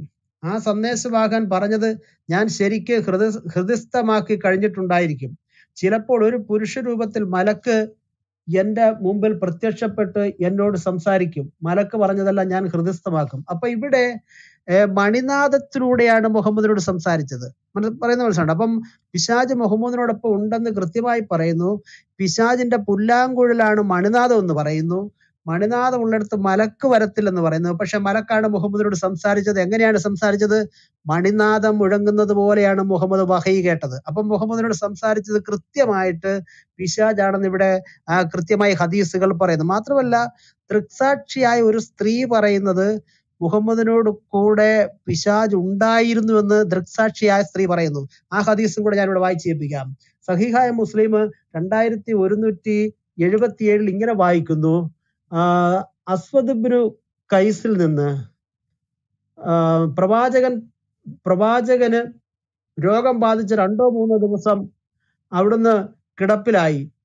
എഴുന്നേറ്റില്ല. അപ്പോൾ ഒരു സ്ത്രീ വന്ന് പറഞ്ഞു മുഹമ്മദ് നിന്റെ പിശാജ് നിന്നെ കൈവിടിഞ്ഞതായി എനിക്ക് തോന്നുന്നു. രണ്ടോ മൂന്നോ രാത്രികളായി അവൻ നിന്റെ അടുക്കൽ വന്നതായി ഞാൻ കണ്ടില്ലല്ലോ. അപ്പോഴാണ് ഈ ആയത്തുകൾ അവതീർണമായത്. പൂർവാഹനം തന്നെയാണ് സത്യം രാത്രി തന്നെയാണ് സത്യം നബിയെ നിന്റെ രക്ഷിതാവ് നിന്നെ കൈവിട്ടിട്ടില്ല വെറുത്തിട്ടുമില്ല. അപ്പോ ഈ സ്ത്രീ കൃത്യമായി പറയുകയാണ് കഴിഞ്ഞ രണ്ടോ മൂന്നോ രാത്രിയായിട്ട് നിന്റെ അടുത്തിൽ നിന്റെ അടുക്കൽ പിശാജ് വന്നില്ലല്ലോ എന്ന് ചോദിക്കുമ്പോൾ കൊടുക്കുന്നതായ മറുപടിയാ. അപ്പം അദ്ദേഹത്തെ പിശാജ് സന്ദർശിക്കാറുണ്ടായിരുന്നു എന്ന് കൃത്യമായി ഹദീസ് പറയുന്നു. മാത്രമല്ല ഇസ്ലാം മത പണ്ഡിതന്മാർ പറയുന്ന ഒരു കാര്യമുണ്ട്. മുഹമ്മദിന്റെ അതിരത്തിലൂടെ പിശാജ് സംസാരിച്ചു എന്നും ചില വഹൈ പിശാജ് മുഹമ്മദിന്റെ അതിരത്തിൽ കൊടുത്തുവെന്ന് നമ്മുടെ മലയാളക്കരയിലെ മഹാപണ്ഡിതന്മാര് അവരുടെ തഫ്സീറിൽ എഴുതി വെച്ചിരിക്കുന്നു. അതും കൂടെ ഞാനൊന്ന് വായിക്കാം. അമാനി മൗലവിയുടെ തഫ്സീർ. അദ്ദേഹത്തിന്റെ വിശുദ്ധ ഖുറാൻ വിവരണം വാള്യം അഞ്ച് പേജ് മൂവായിരത്തി ഒരുന്നൂറ്റി മുപ്പത്തി ഒന്നിൽ അമാനി മൗലവ് പറയുന്നത് ഇങ്ങനെയാണ്. നബി തിരുമേനി സൂറത്ത് നജിമ ഓതി കേൾപ്പിക്കുമ്പോൾ അതായത് അമ്പത്തിമൂന്നാം സൂറ അതിൽ ലാത്ത ഉസ എന്നീ വിഗ്രഹങ്ങളെ പറ്റി പ്രസ്താവിച്ച ശേഷം അവയെ പ്രശംസിച്ചുകൊണ്ട് ചില വാക്യങ്ങൾ തിരുമേനി അറിയാതെ പിശാജിന്റെ വകയായി കൂട്ടിപ്പറഞ്ഞു പോയി അത് കേട്ടപ്പോൾ അവിശ്വാസികൾ വളരെ സന്തോഷിച്ചു. അപ്പം ഈ സൂറത്ത് നജ്മ ഓതുമ്പോൾ അതിനകത്ത് ആ അധ്യായത്തിനകത്ത് ചില ആയത്തുകൾ പിശാജ് മുഹമ്മദിന് വായിലിട്ട് കൊടുത്ത് മുഹമ്മദ് പറഞ്ഞതാ പറയുന്നത്. ഇത് തന്നെ കൂറ്റനാട് എന്ന് പറയുന്നത്. അതായത് കെ വി മുഹമ്മദ് മുസ്ലിയാർ കൂറ്റനാട് അദ്ദേഹത്തിന്റെ തഫ്സീർ വോളിയം മൂന്ന് പേജ് അഞ്ഞൂറ്റി ഒൻപതിൽ അദ്ദേഹം പറയുന്നത് ഇങ്ങനെയാണ്. ഒരിക്കൽ മുസ്ലിങ്ങളും അമുസ്ലിങ്ങളുമുള്ള സദസ്സിൽ നബി സൂറത്ത് നജ്ം അതായത് അമ്പത്തിമൂന്ന് അധ്യായം ഓതുകയുണ്ടായി. ആ സൂറത്തിലെ ലാത്ത ഉസ എന്നിവയെ കുറിച്ചും മൂന്നാമത്തെ മനാത്തിനെ കുറിച്ചും നിങ്ങളൊന്ന് എന്നോട് പറഞ്ഞു തരൂ എന്നീ വാക്യങ്ങൾ ഓതി. നബി നിർത്തിയതക്കം നോക്കി ശപിക്കപ്പെട്ട പിശാജ് ആ ബിംബങ്ങൾ ഉന്നതരായ നേതാക്കളും അവരുടെ ശിപാർശ ആഗ്രഹിക്കപ്പെടുന്നതാണ് എന്ന വചനങ്ങൾ ചൊല്ലി. അപ്പൊ ഇവിടെ ഈ കെ വി മുഹമ്മദ് മുസ്ലിയാരും പറയുന്നത് ശപിക്കപ്പെട്ട പിശാജ് മുഹമ്മദിന്റെ അതിരത്തിൽ ആയത്തുകൾ കൊടുക്കുകയും മുഹമ്മദ് അത് ഓതുകയും ചെയ്തെന്നാണ്. ഇത് ഫക്രുദ്ദീൻ അൽ റാസി അദ്ദേഹത്തിന്റെ തഫ്സീറിലും രേഖപ്പെടുത്തിയിട്ടുണ്ട്. സൂറത്ത് നജും അതായത് അമ്പത്തി മൂന്നിന്റെ പത്തൊമ്പത് ഇരുപത് ആയത്തുകളെ ആസ്പദമാക്കിയാണ് ഇവർ പറയുന്നത്. ആ ആയത്തുകൾ ഓതുമ്പോഴത്തേന് പിശാജ് എക്സ്ട്രാ ആ പിശാജിന്റെ വഹൈ പിശാജിന്റെ വാക്കുകൾ മുഹമ്മദിന് കൊടുത്തെന്നാണ് പറയുന്നത്. അപ്പൊ ഇത്രയും കാര്യങ്ങൾ നമ്മൾ ചിന്തിക്കുമ്പോൾ കൂട്ടി വായിക്കുമ്പോഴത്തേന് ഈ ഖുറാനിലൂടെ വെളിപ്പെടുന്നത് സാധാന്യമാകുന്നു സാത്താന്റെ വചനങ്ങളാകുന്നു എന്നുള്ള കാര്യം കൃത്യമാണ്. കാരണം ഐഷ പറയുന്ന പ്രവാചകനോട് കൂടെ ആരുണ്ടായിരുന്നു? പിശാജ് ഉണ്ടെന്ന് കൃത്യം പറയുന്നു. മാത്രമല്ല പിശാജിന്റെ ഒരു ലക്ഷണം എന്ന് പറയുന്നത് മണിയാകുന്നു. മണി പുല്ലാ പിശാജിന്റെ പുല്ലാങ്കുഴലാണെന്ന് പറയുന്നു. പക്ഷേ മുഹമ്മദ് കേട്ടത് മണിയടി ശബ്ദത്തിലൂടെയാണ്. മാത്രമല്ല ഇനിയും നിരവധി കാര്യങ്ങൾ നമുക്ക് ചൂണ്ടിക്കാണിക്കുവാനായിട്ട് കഴിയും. അതിൽ പ്രധാനപ്പെട്ടത് ഈ ഖുറാനിലൂടെ വെളിപ്പെടുന്ന അള്ളാഹുവിന്റെയും ഖുറാനിലൂടെ വെളിപ്പെടുന്ന പിശാജിന്റെയും പ്രകൃതി. പേരുകളല്ല പ്രകൃതി സ്വഭാവം. ഒന്നായി വരുന്ന ഏകദേശം പന്ത്രണ്ടോളം ആയത്തുകളുണ്ട്. അള്ളാഹുവിന്റെയും ഖുറാനിലെ പിശാജിന്റെയും പ്രകൃതികൾ അവരുടെ സ്വഭാവങ്ങൾ ഒന്നായി തീരുന്നതായ പന്ത്രണ്ടോളം ആയത്തുകൾ ഒരുമിച്ച് വരുന്നു. എന്തുകൊണ്ട് അങ്ങനെ ഒരുമിച്ച് വന്നു? ഇതുകൊണ്ടാണ് ഞങ്ങൾ പറയുന്നത് ഞങ്ങളുടെ വായനയിൽ ഞങ്ങൾ കണ്ടെത്തിയതായ സത്യം. ഞങ്ങൾ പറയുന്നത് മുഹമ്മദിനോട് സംസാരിച്ച സത്വം തീർച്ചയായിട്ടും ദൈവീകമല്ല എന്ന് പറയുന്നത്. സൂറ മുപ്പത്തിയൊന്നിന്റെ ഇരുപത്തിയൊന്നിൽ പിശാജിനെ കുറിച്ച് പറയുന്നത് ഇങ്ങനെയാണ്. മുപ്പത്തിയൊന്നിന്റെ ഇരുപത്തിയൊന്നിൽ സൂറ മുപ്പത്തിയൊന്നിന്റെ ഇരുപത്തിയൊന്നിൽ പിശാജ് ജ്വലിക്കുന്ന നരകശിക്ഷയിലേക്കാണ് അവരെ ക്ഷണിക്കുന്നത്. അതായത് മനുഷ്യരെ നരകശിക്ഷയിലേക്ക് ക്ഷണിക്കുന്നത് പിശാജാണെന്ന് സൂറ മുപ്പത്തിയൊന്നിന്റെ ഇരുപത്തിയൊന്നിൽ പറയുന്നു. അപ്പോൾ തന്നെ അള്ളാഹുവും നരകത്തിലേക്ക് ക്ഷണിക്കുന്നു എന്ന് ഇരുപത്തിയെട്ടിന്റെ നാൽപ്പത്തി ഒന്നിൽ പറയുന്നു. അവിടെ ഇങ്ങനെ വായിക്കുന്നു അവരെ നാം നരകത്തിലേക്ക് ക്ഷണിക്കുന്ന നേതാക്കന്മാരാക്കി. കേട്ടോ അപ്പൊ ഈ രണ്ടായത്തുകളിലും രണ്ടുപേരും നരകത്തിലേക്ക് ക്ഷണിക്കുക. ഒരു ദൈവത്തിന് എങ്ങനെ മനുഷ്യനെ നരകത്തിലേക്ക് ക്ഷണിക്കാൻ കഴിയും? മാത്രമല്ല പിശാജിന്റെ പ്രകൃതിയോട് ദൈവത്തിന്റെ പ്രകൃതി അങ്ങനെ യോജിച്ചു വരും. അപ്പൊ ഇത് രണ്ടും ഒന്നാന്നുള്ള കാര്യം ഇവിടെ കൃത്യമായി. മാത്രമല്ല പിശാജ് ചില കാര്യങ്ങൾ മനുഷ്യർക്ക് ഭംഗിയായി തോന്നിപ്പിക്കുമെന്ന് സൂറ ഇരുപത്തിയൊമ്പതിന് മുപ്പത്തിയെട്ടിൽ പറയുന്നു. അവിടെ ഇങ്ങനെ വായിക്കുന്നു പിശാജ് അവർക്ക് അവരുടെ പ്രവർത്തനങ്ങൾ ഭംഗിയായി തോന്നിപ്പിച്ചു. ഇത് തന്നെ അള്ളാഹും ചെയ്യുന്നതായിട്ട് കൃത്യമായി സൂറ ഇരുപത്തിയേഴ് നാലിൽ പറയുന്നു.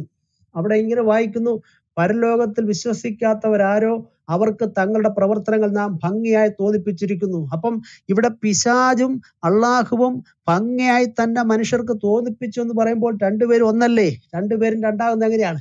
അടുത്തത് പിശാജ് പിശാജിനെ കുറിച്ച് പറഞ്ഞ സൂറ ഇരുപത്തിരണ്ടിന് നാലിലാണ്. അവിടെ ഇങ്ങനെ വായിക്കുന്നു പിശാജിനെ വല്ലവരും മിത്രമായി സ്വീകരിക്കുന്ന പക്ഷം അവൻ തീർച്ചയായും അവനെ പിഴപ്പിക്കും. അപ്പൊ ഇവിടെ പിശാജ് മനുഷ്യരെ പിഴപ്പിക്കുന്ന കൃത്യമായി ഇരുപത്തിരണ്ടിന് നാലിൽ പറയുമ്പോൾ ആ മുപ്പത്തിയഞ്ചിന്റെ എട്ടിൽ അള്ളാഹു മനുഷ്യരെ വഴി പിഴപ്പിക്കുന്നത് കൃത്യമായി പറയുന്നു. അവിടെ ഇങ്ങനെ വായിക്കുന്നു അള്ളാഹു താൻ ഉദ്ദേശിക്കുന്നവരെ വഴി പിഴപ്പിക്കുന്നു ഇനിയും സൂറ ഏഴിന്റെ പതിനേഴിൽ പിശാജ് മനുഷ്യരുടെ പിന്നിലൂടെ വന്ന് മനുഷ്യനെ വലയം ചെയ്യുമെന്ന് പറയുന്നു. അവിടെ ഇങ്ങനെ വായിക്കുന്നു പിശാജ് അവരുടെ പിന്നിലൂടെ അവരുടെ അടുത്ത് ചെല്ലുക തന്നെ ചെയ്യും.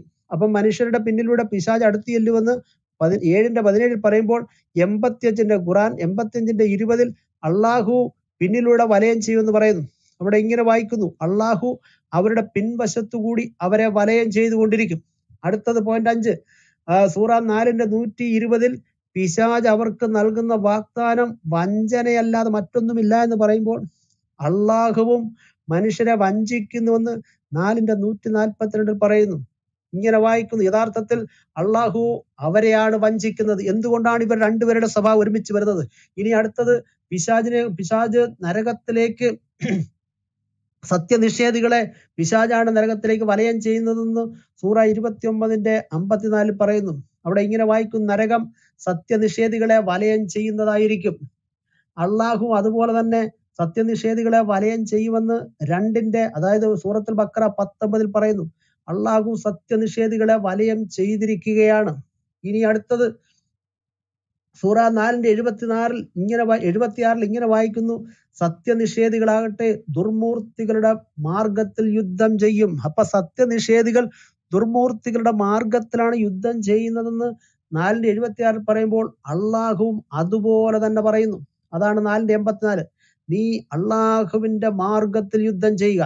അടുത്തത് പിശാജ് അനേക സംഘങ്ങളെ നശിപ്പിച്ചു എന്ന് മുപ്പത്തിയാറിന്റെ അറുപത്തിരണ്ടിൽ പറയുന്നു. ഇങ്ങനെ വായിക്കുന്നു. അനേകം സംഘങ്ങളെ പിശാജ് നശിപ്പിച്ചു. സൂറ എഴുപത്തിയേഴിന്റെ പതിനാറിൽ അള്ളാഹുവും നിരവധി പേരെ നശിപ്പിച്ചു പൂർവികന്മാരെ നാം നശിപ്പിച്ചു എന്ന് അവിടെ രേഖപ്പെടുത്തിയിരിക്കുന്നു. ഇനിയും സൂറ ആലു ഇമ്രാൻ നൂറ്റി എഴുപത്തി അഞ്ച് അതായത് മൂന്നിന്റെ നൂറ്റി എഴുപത്തി അഞ്ചിൽ നിങ്ങളെ പേടിപ്പിക്കാൻ ശ്രമിച്ചത് പിശാജ് മാത്രമാകുന്നു എന്ന് പറയുമ്പോൾ മൂന്നിന്റെ നൂറ്റി അൻപത്തി ഒന്നിൽ സത്യനിഷേധികളുടെ മനസ്സുകളിൽ നാം ഭയം ഇട്ടുകൊടുക്കുന്നതാണെന്ന് പറയുന്നു. അപ്പൊ ഇവിടെ രണ്ടുപേരും മനുഷ്യരെ ഭയപ്പെടുത്തുന്നു ഭീതിപ്പെടുത്തുന്നു കൃത്യമായി പറയുന്നു. ഇനിയും അടുത്ത രണ്ട് പോയിന്റ് കൂടെ പറഞ്ഞ് ഞാനിവിടെ അവസാനിപ്പിക്കാം.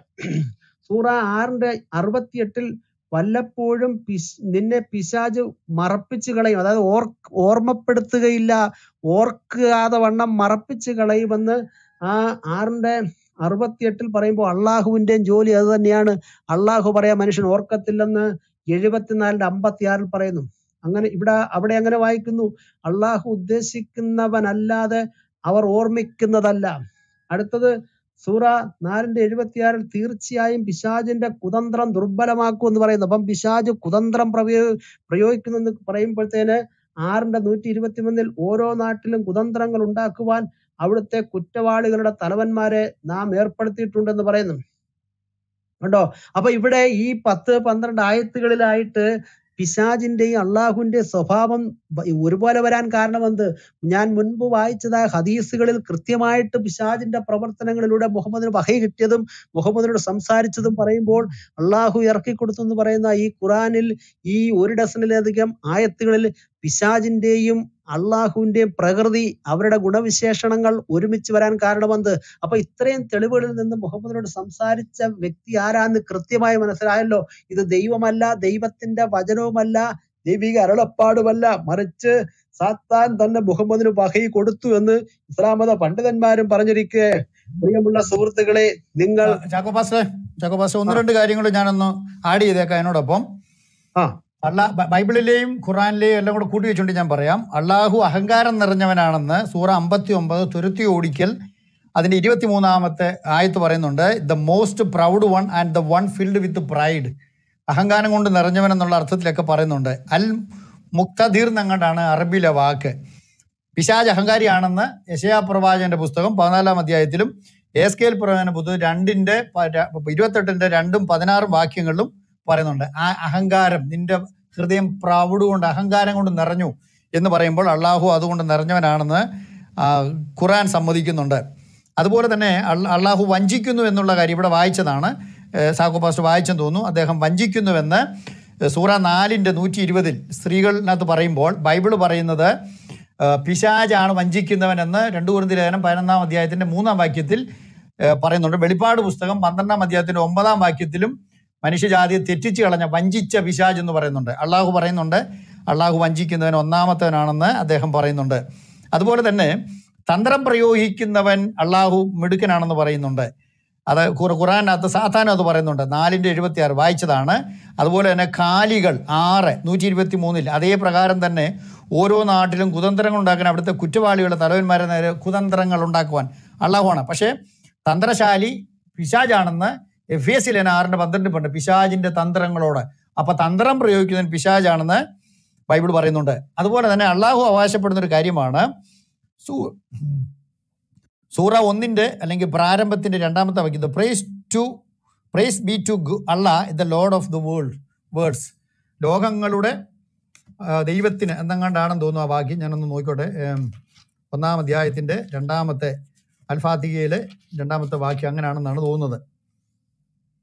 ആ അത് തന്നെ. സ്തുതി സർവലോക പരിപാലകൻ അള്ളാഹുവിനാകുന്നു എന്ന് പറയുന്നുണ്ട്. സർവലോകത്തിന്റെയും അള്ളാഹുവിനാണെന്ന് പറഞ്ഞു. ബൈബിളിനകത്ത് ഈ ലോകത്തിന്റെ ദൈവം എന്ന് പറയുന്നത് പിശാചിനെ കുറിച്ചാണെന്ന് രണ്ടു കുറിന്തിൽ അതിനെ നാലിന് നാലിൽ പറയുന്നുണ്ട്. അവിടെ പറയുന്നുണ്ട് ഈ ലോകത്തിന്റെ ദൈവം അവിശ്വാസിയുടെ മനസ്സ് കുരുടാക്കി വെച്ചു എന്ന് പറയുന്നുണ്ട്. അതുപോലെ തന്നെ പിശാജിന്റെ സംഖ്യയാണ് അറുപത്തിയാറെന്ന് ബൈബിൾ പറയുന്നുണ്ട്. ഖുറാൻ ഖുറാന്റെ എല്ലാ കണക്കുകളും എടുത്താൽ അത് ആറിനകത്ത് അവസാനിക്കുന്നത്. അറുന്നൂ ആറായിരത്തി അറുന്നൂറ്റി അറുപത്തി ആറ് വാക്യങ്ങളും ഒക്കെ ഉള്ളതാണ് ഖുറാൻ അതിന് വേറെ കണക്കുകളുണ്ട്. അത് ഞാൻ പിന്നെ വായിച്ച് കേൾപ്പിക്കാം. അത് അവർ തന്നെ പറയുന്നതാണ്. ഞാൻ കണ്ടുപിടിച്ചതല്ല. ഇനിയും ഒരു രസമുള്ളൊരു കാര്യം കൂടെ പറയാം. അന്ത്യകാലത്ത് പിശാജ് ഒരു മൃഗത്തെ എഴുന്നേൽപ്പിക്കുന്നു ബൈബിൾ പറയുന്നുണ്ട്. അത് വെളിപ്പാട് പുസ്തകം പതിമൂന്നാം അധ്യായത്തിന്റെ പതിനൊന്നാം വാക്യവും പത്തൊമ്പതാം അധ്യായത്തിന്റെ പത്തൊമ്പതാം വാക്യത്തിൽ മറ്റൊരു മൃഗം ഭൂമിയിൽ നിന്ന് കയറുന്ന ഞാൻ കണ്ടു. അത് മഹാസർപ്പം എന്ന പോലെ സംസാരിച്ചു. അത് പിശാജ് കൊണ്ടുവരുന്നതാണ്. എന്നാൽ സൂറ ഇരുപത്തിയേഴ് ഉറുമ്പിനകത്ത് ഇങ്ങനെ പറയുന്നുണ്ട് ആ വാക്ക് അവരുടെ മേൽ വന്നു ഭവിച്ചാൽ ഭൂമിയിൽ നിന്ന് ഒരു ജന്തുവെ നോക്കിക്കോണം. ബൈബിൾ പറഞ്ഞൊരു മൃഗമെന്നാ ഇവിടെ പറഞ്ഞ ജന്തുവെ നാം അവരെ നേരെ. പള്ളാഹുവാണ് പുറപ്പെടുവിക്കുന്നത് മനുഷ്യർ നമ്മുടെ ദൃഷ്ടാന്തങ്ങളിൽ ദൃഢവിശ്വാസം കൊള്ളാതിരിക്കുക എന്ന വിഷ എന്ന വിഷയം അത് അവരോട് സംസാരിക്കുന്നതാണ്. നോക്കിയോ ഒരു ജന്തുവെ എഴുന്നേൽപ്പിക്കുമെന്നും അള്ളാഹു പറയാണ് അള്ളാഹു ഒരു ജന്തു എഴുന്നേൽപ്പിക്കുമെന്നും ആ ജന്തു സംസാരിക്കുമെന്നും പറയുന്നുണ്ട്. പക്ഷെ ബൈബിളിൽ പറയുന്നത് മൃഗത്തെ എഴുന്നേൽപ്പിക്കുന്നത് പിശാജാണെന്നും ആ പിശാജ് സംസാരിക്കാൻ പിന്നെ മൃഗത്തിന് ശക്തി കൊടുക്കുമെന്നും വെളിപ്പാട് ഉസ്തുതി പറയുന്നുണ്ട്. അപ്പോൾ ഇത് രണ്ടും കൂടെ കൂട്ടി വായിക്കുമ്പോഴും നമുക്ക് ചെന്നെത്താവുന്ന പ്രധാനപ്പെട്ട ആ കൺക്ലൂഷൻ എന്ന് പറയുന്നത് ഇസ്ലാമിന്റെ വെളിപ്പാട് കൊടുത്ത ദൈവം ഒരു സാത്താന്യ ശക്തി അല്ലാതെ മറ്റൊന്നല്ല എന്ന് നമുക്ക് പറയേണ്ടി വരും. അതിനകത്ത് അഡീഷനായിട്ട് ചേർക്കേണ്ട വളരെ പ്രധാനപ്പെട്ട ഒരു പോയിന്റും കൂടിയുണ്ട്. അത് ഞാൻ വിട്ടുപോയതാണ്. അതുകൂടെ പറഞ്ഞ് ഞാൻ അവസാനിപ്പിക്കാം. മറ്റു സൗരന്മാർക്ക് കൂട്ടിച്ചേർക്കാവുന്നതാണ്. മുസ്ലിങ്ങൾക്ക് വേണമെങ്കിൽ അതിനോട് പ്രതികരിക്കാവുന്നതാണ്. ഏറ്റവും പ്രധാനമായ ഒരു കാര്യമാണ് ഇസ്ലാമിന്റെ സ്വർഗം എന്ന് പറയുന്നത്. കർത്താവ് പറഞ്ഞു കർത്താവിന്റെ അടുക്കൽ വന്ന പരീക്ഷന്മാരും സദൂക്യരും എല്ലാം കൂടെ പരീക്ഷിച്ച് കർത്താവിനോട് ചോദിച്ചൊരു ചോദ്യത്തിന് ഉത്തരവായിട്ട് കർത്താവ് പറഞ്ഞു സ്വർഗത്തിൽ വിവാഹത്തിന് കൊടുക്കുന്നില്ല വിവാഹത്തിന് എടുക്കുന്നില്ല. അവർ ദൂതന്മാരെ പോലെ അത്രയാകുന്നു എന്ന് കർത്താവ് പറഞ്ഞു. അപ്പം വേദോസ്തം പഠിപ്പിക്കുന്ന സ്വർഗം വിവാഹത്തിന് കൊടു വിവാഹത്തിന് എടുപ്പും ഇല്ല എന്നാണ് വചനം പഠിപ്പിക്കുന്നത്. പക്ഷേ ഇസ്ലാമിന്റെ സ്വർഗം എന്ന് പറഞ്ഞാൽ ഒരു ഇന്റർനാഷണൽ വ്യ- വ്യഭിചാര ശാലയാണ്. എന്ന് പറഞ്ഞാൽ ഇവിടുത്തെ മുജാഹിദ് ബാലിശ്ശേരിയെ പോലെ ഉഷാന്തടിയും വളർത്തി ഈ നാഴിക്ക് നാൽപ്പത് വട്ടം ഹിന്ദുക്കളെയും ക്രിസ്ത്യാനികളെയും ഒക്കെ ചീത്തയും പറഞ്ഞുകൊണ്ടിരിക്കുന്നതിന്റെ കാരണം എന്നറിയാമോ? ആ ആവേശം അകത്തിങ്ങനെ പതിഞ്ഞും പൊതിഞ്ഞും വരുന്നതിന്റെ കാരണം സ്വർഗത്തിൽ ചെല്ലുമ്പോൾ അള്ളാഹു ഇവർക്ക് ഇണ കൂട്ടി കൊടുക്കുന്ന എഴുപത്തിരണ്ട് ഹൂറിമാരെ കുറിച്ചുള്ള സ്വപ്നങ്ങളാണ്. ഹൂറിമാരുടെ വിവരണങ്ങളൊക്കെ വേണമെങ്കിൽ പിന്നെ ഞങ്ങൾ വായിച്ചു കേൾപ്പിക്കാം. അപ്പോൾ ഇവിടുത്തെ ഇവരുടെ ഒരു ഉസ്താദ് തന്നെ പ്രസംഗിച്ച ഒരു വീഡിയോ ക്ലിപ്പ് എന്റെ കിടപ്പുണ്ട്. നിനക്ക് വ്യഭിചരിക്കണോ? അവിടെ നിനക്ക് വ്യഭിചരിക്കാം. ഇവിടെ പാടില്ല പക്ഷെ അവിടെ വ്യഭിചരിക്കാം എന്ന് പറഞ്ഞാൽ വ്യഭിചാരശാലയാണ് സ്വർഗമെന്ന് ഇവർ തന്നെ സമ്മതിക്കുന്നുണ്ട്. വേദപുസ്തകം അതൊരിക്കലും അംഗീകരിക്കുന്ന ഒരു കാര്യമല്ല. വേദപുസ്തകത്തിൽ പറയുന്ന സ്വർഗമെന്ന് പറയുന്നത് ഇതുപോലെ ജഡ ശരീരവുമായിട്ട് അവിടെ ചെന്നിട്ട് ഭോഗം നടത്തുന്ന ഒരു ഭോഗ സ്ഥലമല്ല വ്യ- വ്യ- വ്യഭിചാരശാലയല്ല. അപ്പോൾ പിശാജ് പിശാജാണ് ഇതിന്റെ ഉപോ എന്താ പറയുക അതിന്റെ കാരണക്കാരൻ എന്ന് വേണമെങ്കിൽ നമുക്ക് പറയാം. അതുപോലെ തന്നെ മറ്റൊരു രസമുള്ളൊരു കാര്യം. വേദോസം പഠിപ്പിക്കുന്നുണ്ട് മദ്യപാനം. അത് സ്വർഗരാജ്യം അവകാശമാക്കില്ലെന്ന് പറയുന്നുണ്ട്. പക്ഷേ ഇസ്ലാമിന്റെ സ്വർഗം എന്ന് പറയുന്നത് മദ്യശാലയാണ്. മദ്യ നദികൾ ഇങ്ങനെ അരുവികളായിട്ട് ഒഴുകുന്ന മദ്യങ്ങളാണ്. അവിടെ പല പേരുകളും വേറെ ഉസ്താദ് ഒരിക്കൽ പ്രസംഗിച്ചപ്പോൾ സ്വർഗത്തിൽ കിട്ടുന്ന മദ്യങ്ങളും ഇവിടുത്തെ മദ്യത്തിന്റെ കുഴപ്പവും അവിടുത്തെ മദ്യത്തിന്റെ ഗുണവും ഒക്കെ പറഞ്ഞ് അദ്ദേഹം വർണിക്കുന്നു കേട്ടു. നിനക്ക് മദ്യപിക്കണോ?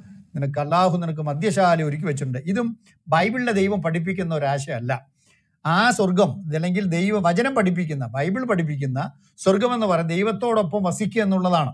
അതാണ് സ്വർഗം ഇതാ മനുഷ്യരോട് കൂടെ ദൈവത്തിന്റെ കൂടാരം അവൻ അവരോടുകൂടെ വസിച്ച് അവരുടെ കണ്ണിൽ നിന്നും കണ്ണുനീരെല്ലാം തുടച്ചു കളഞ്ഞ് നിത്യമായി അവർ സന്തോഷിക്കുമെന്ന് പറയുന്ന ഒരു സന്തോഷത്തിന്റെ ദൈവിക സാന്നിധ്യത്തിന്റെ സ്ഥലമാണ് സ്വർഗമെന്ന് പറയുമ്പോൾ ഇസ്ലാമിന്റെ സ്വർഗത്തിൽ അള്ളാഹുവിനുള്ള ഏറ്റവും വലിയ പണി എന്ന് പറയുന്നത് ഇവിടുന്ന് ബോംബ് സ്ഫോടനം നടത്തി കഴുത്തറപ്പ് നടത്തി സ്വർഗത്തിൽ ചെല്ലു കയറുന്ന മുസ്ലിങ്ങളെ പോലുള്ള ഇസ്ലാ എം എം അക്ബറിനെ പോലുള്ള എം എം അക്ബർ സ്ഫോടനം നടത്തി കാണത്തില്ല. പക്ഷെ പരിചയത്തിലുള്ളവർ ചെയ്തെന്ന് ചരിത്രം പറയുന്നുണ്ട്. മുജാഹിദ് ബാലിശ്ശേരിയെ പോലുള്ള ആൾക്കാർക്ക് ഹാരിസ് മദിനെ പോലുള്ള നമ്മുടെ മതം മാറിയ ഈസാ മുഹമ്മദിനെ പോലുള്ളവർ ഉള്ളവരും ഒക്കെ സ്വർഗത്തിൽ ചെല്ലുമ്പോൾ അതുപോലെ തന്നെ സക്കീർ നായിക്ക് ആ ആ വലിയ വലിയ വലിയ ഇസ്ലാം ഭീകരവാദി. അതുപോലെ തന്നെ ഇപ്പൊ ജയിലിൽ കിടക്കുന്ന മദനി ഇവരെല്ലാം കൂടെ വാരിക്കെട്ടിക്കൊണ്ട് സ്വർഗത്തിൽ ചെല്ലുമ്പോൾ ഇവർക്ക് സ്ത്രീകളെ ഇണ ചേർത്ത് കൊടുക്കുന്ന പരിപാടിയാണ് അള്ളാഹുവിനുള്ളത്. അത് അള്ള ഖുറാനകത്ത് വളരെ കൃത്യമായിട്ട് എഴുതി വെച്ചിട്ടുണ്ട്. നാം അവർക്ക് ഇണകളെ ചേർത്ത് കൊടുക്കും. ഇണ ചേർത്ത് കൊടുക്കും. ഇണ ചേർത്ത് കൊടുക്കും. ആ വാക്ക് കേൾക്കുമ്പോൾ തന്നെ അറിയാലോ? അദ്ദേഹം ചെയ്യുന്ന പ്രവൃത്തി എന്തുവാന്നുള്ള കാര്യം. അതാണ് അവരുടെ സ്വർഗം അത് ബൈബിളിലെ സ്വർഗത്തിൽ പെടുന്നതല്ല. അത് പിശാജിന്റെ ലോകമാണ്. അതുപോലെ തന്നെയാണ് വ്യഭിചാരം ചെയ്യാനുള്ള അനുവാദം കൊടുക്കുന്നത്. വ്യഭിചാരം ചെയ്യാൻ. അനുവാദം കൊടുക്കുന്നത്. അതൊക്കെ പറയാൻ പോയാൽ പിന്നെയും സമയം നീണ്ടുപോകുന്നതുകൊണ്ട് ഞാൻ ഇങ്ങനെ അവസാനിപ്പിക്കാം. ആ സ്വർഗവും ഈ സ്വർഗവും രണ്ടാണ്. അതിന്റെ അധിപനും ഇതിന്റെ ഉടമസ്ഥനും രണ്ടും രണ്ടാണ്. രണ്ട് സ്ഥലത്തും ചെല്ലുന്നവർക്ക് കിട്ടുന്ന രണ്ട് വ്യത്യസ്ത കാര്യങ്ങളാണ്. അതുകൊണ്ട് തന്നെ അതിന്റെ വൃക്ഷത്തെ ഫലം കൊണ്ട് തിരിച്ചറിയാമെന്ന് ആദ്യം പറഞ്ഞ വാചകം ഞാൻ ആവർത്തിച്ച് പറയുകയാണ്. ഇസ്ലാമിന്റെ സ്വർഗം ഒരു പൈശാചിക വ്യഭിചാര മദ്യശാലയാണ്. അത് വിശുദ്ധ വേദപുസ്തം വെളിപ്പെടുന്ന വിശുദ്ധനായ ദൈവത്തിന്റെ സ്വർഗമല്ല അത് പിശാചിന്റെ സ്വർഗമാണ് അപ്പോൾ ഇത് രണ്ടും മുഹമ്മദിന് ലഭിച്ച വെളിപ്പാട് പൈശാചികമായ ഒരു ശക്തിയിൽ നിന്നാണെന്ന് ഈ ഖുറാനിക ഹദീസുകളുടെ ബൈബിൾ വാക്കുകൾ വാക്കുകളും പിന്നെ ഇതിന്റെ ഫലങ്ങളും പ്രവൃത്തികളും ഇന്ന് ലോകത്തിൽ അത് ചെയ്യുന്ന നെഗറ്റീവായ ഇമ്പാക്റ്റും കൊണ്ട് നമുക്ക് കൺക്ലൂഡ് ചെയ്യാൻ പറ്റും. Thank very much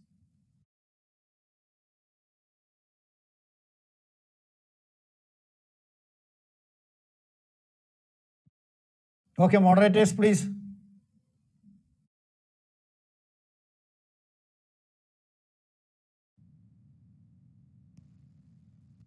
ജിമിച്ച hello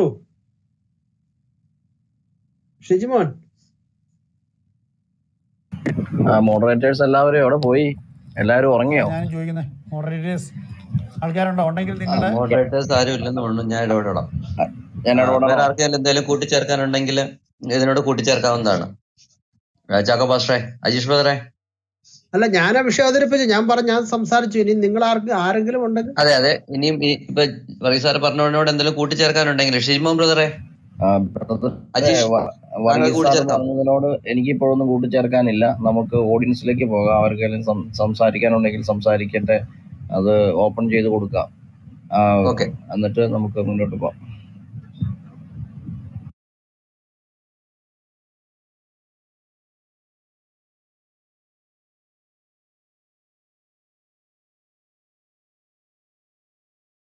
okay hand raise open ചെയ്തിട്ടുണ്ട്. താഴത്തുള്ള ആൾക്കാർക്ക് സംശയമുണ്ടെങ്കിൽ മുന്നോട്ട് വരാവുന്നതാണ്. ഓക്കെ ആദ്യം വന്നത് സജിത്. താങ്കൾക്ക് സംശയമുണ്ടെങ്കിൽ ചോദിക്കാം. സജിത് ഇവിടെ ലോകത്തുള്ള സജിത്ത് താങ്കളുടെ വോയിസ് ക്ലിയർ അല്ല. താങ്കൾ ഒന്ന് ഉറക്കെ സംസാരിക്കാവോ? ഓക്കെ അദ്ദേഹം പോയെന്ന് തോന്നുന്നു. റോണി സജിത്ത് വന്നോ? സജിത്ത് തങ്ങൾ ചോദിച്ചു. സജിത്ത് താങ്കൾ കേൾക്കാവോ? താങ്കൾ മ്യൂട്ടാണ്. സംസാരിച്ചോളൂ.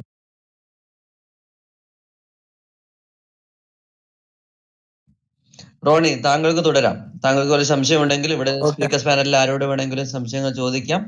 വിഷയദേശിതമായി സംസാരിക്കണമെന്ന ഒരു അപേക്ഷയുണ്ട്. ഓക്കെ ഇതുമായിട്ട് ബന്ധപ്പെട്ട് ഖുറാനിലെ ദൈവം സാത്താനാണ് ഖുറാനിൽ നിന്ന് നോക്കും അപ്പൊ അതുമായിട്ട് ബന്ധപ്പെട്ടാണ് ഞാൻ ഒരു സംശയം ചോദിക്കുന്നത്. ഇപ്പൊ അതായത് പിന്നെ ഇസ്ലാം സഹോദരന്മാർ ഏറ്റവും കൂടുതൽ ട്രൈ ചെയ്യുന്ന ഈ ബൈബിളിനോട് ചേർത്ത് വെക്കാനാണ് ശ്രമിക്കുന്നത് ഈ ഖുറാൻ പക്ഷെ ബൈബിളിൽ പാസ്റ്റർമാർക്ക് ആർക്കൊരു അഭിപ്രായം ഉണ്ടെങ്കിൽ പറയാം? ബൈബിളിൽ വ്യക്തമായിട്ട് പറയുന്നുണ്ടല്ലോ യേശുക്രിസ്തുവിന്റെ പദ്ധതി കുരിശുമരണമായിരുന്നെന്നും അങ്ങനെ അതിനെ തുടക്കത്തിൽ പിശാജ് നിരുത്സാഹപ്പെടുത്തുന്നതും പിന്നീട് പിന്നെ അന്ത്യത്താഴ സമയത്ത് പത്രോസ് ഇത് കർത്താവെ അങ്ങേക്ക് മാറ്റിക്കൊണ്ട് പോയിട്ട് അങ്ങേക്ക് ഇത് സംഭവിക്കാതിരുന്നെങ്കിൽ എന്ന് പറഞ്ഞപ്പോൾ യേശുക്രിസ്തു നിഷിദ്ധമായ ഭാഷയിൽ പിശാജ നീ ദൂരെ പോവുക എന്ന് പറയുന്നുണ്ടല്ലോ. അപ്പൊ ഇതേ സംഭവം തന്നെയല്ലേ ഈ ഖുറാനിൽ മുഹമ്മദും പറയുന്നത്. അതായത് പിന്നെ യേശുക്രിസ്തു കുരിശിൽ മരിച്ചിട്ടില്ല അതിന് പകരം വേറെ ആളെ വെച്ചു. അപ്പൊ യേശുക്രിസ്തു ഈ മുഹമ്മദിനെ കണ്ടിരുന്നെങ്കിൽ എന്തായിരിക്കും പറയുക? ഈ ആശയം കേൾക്കുമ്പോ. വർഗീസ് പാസ്റ്ററിന്റെ അഭിപ്രായം എന്താ? ഒന്ന് കേൾക്കാന്. താങ്കളോടാണ് ഈ പിന്നെ റോണി ബ്രദർ ചോദിച്ചത് നമ്മളെ ഇതിനകത്ത് എടുത്തു പറയാവുന്ന ഒറ്റൊരു കാര്യമുള്ളൂ സഹോദര. വിശുദ്ധ വേദപുസ്തകത്തിന്റെ കാതൽ സന്ദേശത്തിന് എതിരായിട്ട് പിശാജ് കണ്ടുപിടിച്ചൊരു മതമാണ് ഇസ്ലാം. മറ്റ് മാർഗങ്ങളിലൂടെ അടിച്ചമർത്തലിലൂടെ പീഡനങ്ങളിലൂടെ ആദ്യത്തെ മൂന്ന് നൂറ്റാണ്ടുകളിൽ ക്രൈസ്തവ സഭ അനുഭവിച്ച ക്രൂരമായ കൊടിയ പീഡനങ്ങളിലൂടെ ഒന്നും വിശ്വാസത്തെ ത്യജിക്കാനോ നശിപ്പിക്കാനോ ഇല്ലായ്മ ചെയ്യാനോ കഴിയത്തില്ലെന്ന് കണ്ട പിശാജ് കണ്ടെത്തിയ ഏറ്റവും വലിയ തന്ത്രങ്ങളിൽ ഒന്നാണ് ഇസ്ലാം എന്ന് പറയുന്നത്. ഏകദൈവ വിശ്വാസം എന്ന് പറയുന്ന ഒരു പദത്തിലൂടെ ക്രൂശു മരണത്തെ നിഷേധിക്കുക എന്നുള്ളതാണ്. അപ്പം പിന്നെ ഈ ഇദ്ദേഹം ചോദിച്ച ചോദ്യം എനിക്ക് തോന്നുന്നത് യേശുവിനെ കണ്ടാൽ എന്ത് പറ്റുമെന്ന്. അങ്ങനെയല്ലേ ചോദിച്ചത്? എന്നോട് ചോദിച്ചത് അല്ലേ? അല്ല അല്ല ഞാൻ ആ ഒരു അത് നമ്മുടെ ഒരു ഫണ്ടമെന്റൽ ആയ ഒരു കാര്യമാണല്ലോ ഈ ബൈബിളിൽ അതെ. അപ്പൊ പത്രോസ് യേശുക്രിസ്തുവിന്റെ ആ പദ്ധതിക്കെതിരെ അദ്ദേഹത്തിന് നല്ല മനസ്സുകൊണ്ടായിരിക്കാം. അതെ അതെ. ആ പത്രോസ് ആ ഓക്കെ ഓക്കെ. ആ ചോദ്യം അങ്ങനെ. അങ്ങനെയാണെങ്കിൽ ആ കർത്താവ് പിന്നെ ഈ പുള്ളിയെ കണ്ടാൽ എന്തായിരിക്കും ചെയ്യുന്നത് അല്ലേ? അതെ അതെ. മുഹമ്മദിനെ കണ്ടാൽ യേശുക്രിസ്തു എന്തായിരിക്കും പറയാം? അതെ. അല്ല പത്രോസ് ആ ആ ക്രൂശു മരണത്തിന്റെ മഹത്വം എന്തെന്ന് അറിയാതാണ് സംസാരിക്കുന്നത്. കർത്താവിന് അങ്ങനെ വരില്ലെന്ന് പറഞ്ഞു. പക്ഷേ കർത്താവ് പറഞ്ഞത് ദൈവികമല്ല ഒരു പൈശാചിക ശക്തിയിൽ നിന്ന് വന്നതാണ് അത്. അതുകൊണ്ടെന്ന് പറഞ്ഞ് കർത്താവിനെ ശാസിക്കുന്നുണ്ട്. ആ ചിന്ത തന്നെ. അങ്ങനെയാണെങ്കിൽ ആ ക്രൂശു മരണത്തെ അടിമുടി നിഷേധിച്ച മുഹമ്മദിനെ കണ്ടാൽ ഒറ്റ ആട്ടിന് കർത്താവ് വെളിയിൽ കളയും അല്ലെങ്കിൽ എന്താ പറയുക സാഹസിച്ച് എന്താ ചവിട്ടി പുറത്താക്കി കളയാൻ നമുക്ക് പറയാൻ പറ്റത്തുള്ളൂ. അത് വളരെ കറക്റ്റ് വളരെ പ്രധാനപ്പെട്ട ഒരു ചിന്തയാണത് ഇദ്ദേഹം ഇവിടെ പറഞ്ഞത്. ആ ഒരു ചിന്തയെ പോലും കർത്താവ് തള്ളിക്കളഞ്ഞെങ്കിൽ ക്രൂശ് മരണത്തെ നിഷേധിച്ച ഈ ശക്തിയെ ശരിക്കും പൈശാചികമാണ് എന്ന് തന്നെ നമുക്ക് അടുത്തൊരു പോയിന്റൂടെ കൂട്ടിച്ചേർക്കാവുന്ന ഒരു കാര്യമാണ്. താങ്ക് യു റോണി അപ്പൊ വർഗീസ് ഫാസ്റ്റ് അപ്പൊ നമ്മൾ ഫണ്ടമെന്റലി ഇത് കുറച്ച് ആളുകളുടെ പേര് കോമൺ ആയിട്ട് പറയുന്നുണ്ടെങ്കിൽ തന്നെയും ഫണ്ടമെന്റലി ഇത് ആന്റി ക്രോസും ഒരു ആന്റി ക്രൈസ്റ്റുമായിട്ട് നമുക്ക് വേണമെങ്കിൽ അവരെ ആണെന്നേ ആണ് ആണ്. നൂറ് ശതമാനം അങ്ങനെയാണ്. പൗലോസ് പറഞ്ഞ മറ്റൊരു സുവിശേഷമാണ്. മറ്റൊരു ദൂതനിൽ നിന്ന് വന്ന ഒരു അരുളപ്പാടാണ്. Okay thank you pastor thank you pastor okay Robert താങ്കൾക്ക് എന്തെങ്കിലും സംസാരിക്കാണ്ടെങ്കിൽ സംസാരിക്കാം. ആ ഞാൻ ഇത് ക്വസ്റ്റ്യൻ ഒന്നുമില്ല നിങ്ങളെ ഇതിൽ ഒന്ന് അപ്രീഷിയേറ്റ് ചെയ്യാനാണ് ഇങ്ങനെയുള്ള സബ്ജക്റ്റുകൾ സ്ട്രൈറ്റ് ആയിട്ട് തുറന്നു പറയാൻ കാണിക്കുന്ന നിങ്ങളുടെ ധൈര്യത്തെ അപ്രീഷിയേറ്റ് ചെയ്യുന്നു. ഇങ്ങനെയുള്ള സ്റ്റഡികളാണ് നമുക്ക് ഇനിയും വേണ്ടത്. കാരണം നമ്മുടെ ക്രിസ്ത്യൻ കമ്മ്യൂണിറ്റിയിൽ ഇതേവരെ വെള്ളം ചേർത്ത് ഇതെല്ലാം ഒന്നാണെന്നുള്ള ഒരു സ്റ്റഡി കിട്ടി. നമ്മുടെ പിള്ളേർക്ക് ഒന്നും അറിയാതെ പോയി. അപ്പൊ ഈവൻ ഞാൻ പറയുന്ന പ്രീസ്റ്റ്മാരും ബിഷപ്പുമാർക്ക് പോലും അറിയാൻ പാടില്ലെന്നുള്ള സത്യമാണ്. അപ്പൊ സെമിനാരികളിൽ ഒന്നും പഠിപ്പിക്കുന്നില്ല. അപ്പൊ ഇങ്ങനെ തുറന്നു പറയാൻ നിങ്ങൾക്കുള്ള ധൈര്യത്തെ അപ്രീഷിയേറ്റ് ചെയ്യുന്നു. ഇനിയും കണ്ടിന്യൂ ചെയ്യണം. ഈ ക്ലാസ്സുകൾ കൂടുതൽ ചെയ്യണം. കാരണം ഇപ്പൊ ഇവിടെ ഇപ്പൊ ഇരുന്നൂറ് പേരെ ഉണ്ടെങ്കിൽ അത് മാത്രം പോരാ. ഇനിയും ഇപ്പൊ ഇതിനു മുമ്പ് ചെയ്ത ക്ലാസ്സും ഇതും ഇങ്ങനെ ഇനിയും കണ്ടിന്യൂ ചെയ്യണമെന്നൊരു അഭ്യർത്ഥനയാണ് എല്ലാവർക്കും പ്രത്യേകം ഒരു പ്രത്യേക നന്ദി അറിയിക്കുന്നു. താങ്ക് യു ഒരു ഒരു ബ്രദറെ പറഞ്ഞോട്ടെ? ഒരു കാര്യം ഞാൻ പറഞ്ഞോട്ടെ? ആ റോബർട്ട് ബ്രദർ പറഞ്ഞപ്പോൾ തന്നെ ഒരു കാര്യം എനിക്ക് ഓർമ്മ വന്ന് ഞാൻ പറഞ്ഞോളാം. നമ്മുടെ ഒരു മീറ്റിങ്ങിനകത്ത് ഒരു നമ്മുടെ ഒരു അച്ഛൻ അച്ഛൻ വന്നായിരുന്നു. അപ്പം ആ അച്ഛൻ പറഞ്ഞത് ഈ എന്തുവാ അന്ന് അവർ പഠിച്ചുകൊണ്ടിരുന്ന കാലങ്ങളിൽ അവർ ഈ ഇസ്ലാം വിഷയങ്ങൾ പഠിപ്പിക്കാൻ വേണ്ടിയിട്ട് അല്ലെങ്കിൽ ഈ അറബിക്ക് പഠിപ്പിക്കാൻ വേണ്ടിയിട്ട് ഇസ്ലാം വിഷയമല്ല അറബിക്ക് പഠിപ്പിക്കാൻ വേണ്ടിയിട്ട് ഒരു അറബി പണ്ഡിതൻ വരുമായിരുന്നു ആ അറബി പണ്ഡിതൻ വന്നിട്ട് ഈ ക്ലാസ് റൂം തുടങ്ങുന്നതിന് മുൻപേ സൂറത്തുൽ ഫാത്തിഹ ആണെന്ന് എനിക്ക് തോന്നുന്നു. ആ സൂറ ബൈഹാർട്ട് ആക്കാൻ അവരോട് പറഞ്ഞു അച്ഛന്മാരോട്. അപ്പം ആം, മനസ്സിലാകാൻ വേണ്ടിയിട്ടോ ഏതോ ഒരു രീതിയിലാണ് പറഞ്ഞു കൊടുത്തത്. പക്ഷേ അച്ഛൻ അത് അന്ന് ബൈഹാർട്ട് ആക്കിയ കാരണവശാൽ അത് ഒരു അത് ഇന്നും അത് മനസ്സിൽ നിന്ന് വെളിയിൽ പോകാത്ത വിധം ആ, ഒരു ഒരു സാത്താന്യ ബന്ധനം പോലെ ഇരിക്കുന്ന ഒരു രീതിയിലാണ് ഇരിക്കുന്നതെന്ന് അച്ഛൻ പറഞ്ഞായിരുന്നു. പക്ഷെ അത് അത് കഴിഞ്ഞിട്ട് പിന്നെ പ്രാർത്ഥിച്ച് അതെല്ലാം മാറി. അപ്പം ഞാൻ പറയാൻ ഉദ്ദേശിക്കുന്ന ഇത്രയേ ഉള്ളൂ. നിങ്ങൾ ഇതിനെപ്പറ്റി ഖുറാനെ പറ്റിയൊക്കെ പഠിക്കുകയാണെങ്കിൽ ഒരിക്കലും ഇതിനെ ഓതരുത്. ഒരിക്കലും ഇതിനെ ഏനോ ബൈഹാർട്ട് ആക്കുകയോ അല്ലെങ്കിൽ ഇതിനെ അറബിക്കിൽ ഓതുകയോ കാര്യങ്ങളോ ഒന്നും ചെയ്യരുത് എന്നുള്ള കാര്യം. കാരണം തീർച്ചയായിട്ടും അർഗീസ് അച്ചായനും ചാക്കോ പാസ്റ്ററും ഇപ്പം പറഞ്ഞു തന്നതുപോലെ തികച്ചും പൈശാചികമായിട്ടുള്ള ഒരു പുസ്തകമാണിത്. ഇത് നമ്മൾ വായിക്കുമ്പോൾ പോലും നമ്മൾ അതിനെ പ്രാർത്ഥിച്ച് പരിശുദ്ധാത്മാവിലൂടെ മാത്രമേ ഇതിനെ കൈകാര്യം ചെയ്യാവൂ എന്നുള്ള കാര്യം ഓർമ്മ. ഒരു കാര്യം കൂടെ ഞാൻ ആഡ് ചെയ്തോട്ടെ. ഒരു കാര്യം കൂടെ ഞാൻ ഇപ്പൊ അച്ഛന്മാർക്ക് അറിയാൻ പാടുന്നതിന്റെ ഒരു ഉദാഹരണമാണ്. ഞാൻ പുറത്താണ് താമസിക്കുന്നത്. അപ്പൊ ഇവിടെ യൂറോപ്പിൽ ഒരു പള്ളിയിലെ ഒരു അച്ഛൻ പിള്ളേർക്ക് ക്ലാസ് എടുക്കാൻ വേണ്ടി നമ്മുടെ ആൾക്കാരെ കയറ്റി പുറത്തുനിന്ന് ഒരു പാകിസ്ഥാനി ഉസ്താദിനെ കൊണ്ടുവന്ന് അവിടെ ഓദിച്ച് പ്രാർത്ഥിച്ചു വെച്ചു. ഈ- ഖുറാ ഇസ്ലാം എന്നാന്ന് പഠിപ്പിക്കാൻ വേണ്ടി. അപ്പൊ ഒത്തിരി പേർക്ക് അറിവുകേടുണ്ട്. നിങ്ങൾ ചെയ്യുന്ന വലിയ കാര്യമാണ്. ഇനിയും ആ അച്ഛന്റെ നമ്പർ നിങ്ങൾക്ക് തന്നേക്കണം റോബർട്ട് ബ്രദർ ബാക്ക് ചാനലിൽ. ഓക്കെ അടുത്ത ആൾ മിസ്റ്റർ ദീപു താങ്കൾ സംസാരിക്കാം. ഹലോ കേൾക്കാമോ കേൾക്കാം ഓക്കെ കേൾക്കാമോ പറഞ്ഞോളൂ. ഓക്കെ ആ വർഗീസ് ഫാസ്റ്റിനോടൊക്കെയാണ് എനിക്ക് എന്തായാലും നല്ലൊരു സബ്ജക്റ്റാണ് ഞങ്ങൾ ഇത് അധികം ആരും എക്സ്പോസ് ചെയ്യാത്ത ഒരു സബ്ജക്റ്റാണ് ഞാൻ എനിക്ക് വളരെ ഇൻട്രസ്റ്റ് ഉള്ള ഞാൻ ഒരു നാലഞ്ച് വർഷമായിട്ട് ഇതിന്റെ സ്റ്റഡിയിൽ ഇതിന്റെ പുറകെ വേറെ ഒന്നുമില്ല ഞാൻ അന്ന് വർഗീസ് ബ്രദറിന്റെ ഒക്കെ ഒരു ആശയം അറിയാൻ വേണ്ടിയാണ്. ഈ ഇസ്ലാമിന്റെ ഫ്യൂച്ചറിലോട്ടുള്ള ഒരു എസ്കിറ്റോളജി ഉണ്ട്. അതായത് എന്താ പറയാ അവരുടെ ഒരു രണ്ടു മൂന്ന് കഥാപാത്രങ്ങൾ വരുന്നുണ്ട്. നമ്മുടെ ഇമാം മെഹദിയും അതുപോലെ തന്നെ ദാബത്തൽ അറബും ഈസാ നബിയും. നമ്മുടെ യേശു ക്രിസ്തു അല്ല കേട്ടോ ഞാൻ ക്ലിയർ ആയിട്ട് പറയട്ടെ.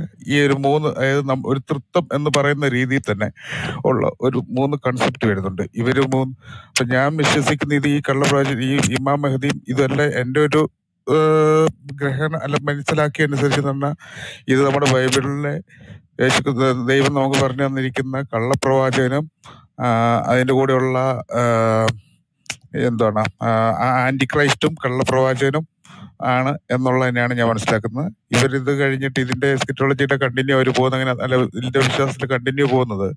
ഇവർ ദജാൽ എന്ന് പറയുന്ന ഒരു വലിയ ഫിത്തന വരുമെന്ന് അവരും വിശ്വസിക്കുന്നുണ്ട്. ഏഴ് വർഷം. നമ്മളെ മഹോപദ്രവം ഏഴ് വർഷം എന്ന് പറയുന്ന പോലെ തന്നെ വലിയൊരു ഏഴ് വർഷത്തെ ഏറ്റവും വലിയ ഫിത്തന എന്ന് അവർ മഹോദരവും ഇസ്ലാമിനുണ്ട്. അത് ദജാൽ മൂലമാണെന്നാണ് അവർ വിശ്വസിക്കുന്നത്. ഈ ദജാലിനെ ഞാൻ കാണുന്ന ഞാൻ മനസ്സിലാക്കുന്നത് അതാണ് നമ്മുടെ യേശുക്രിസ്തു രണ്ടാമത് എലു രണ്ടാമത് വരുന്ന ആ ഒരു ഇതിലാണ്. അതിൽ ബൈബിളിലും പറയുന്നുണ്ട് അവർ അതിന്റെ അകത്ത് ദജാലിന് ഒരുപാട് വിശേഷണങ്ങൾ കൊടുക്കുന്നുണ്ട്.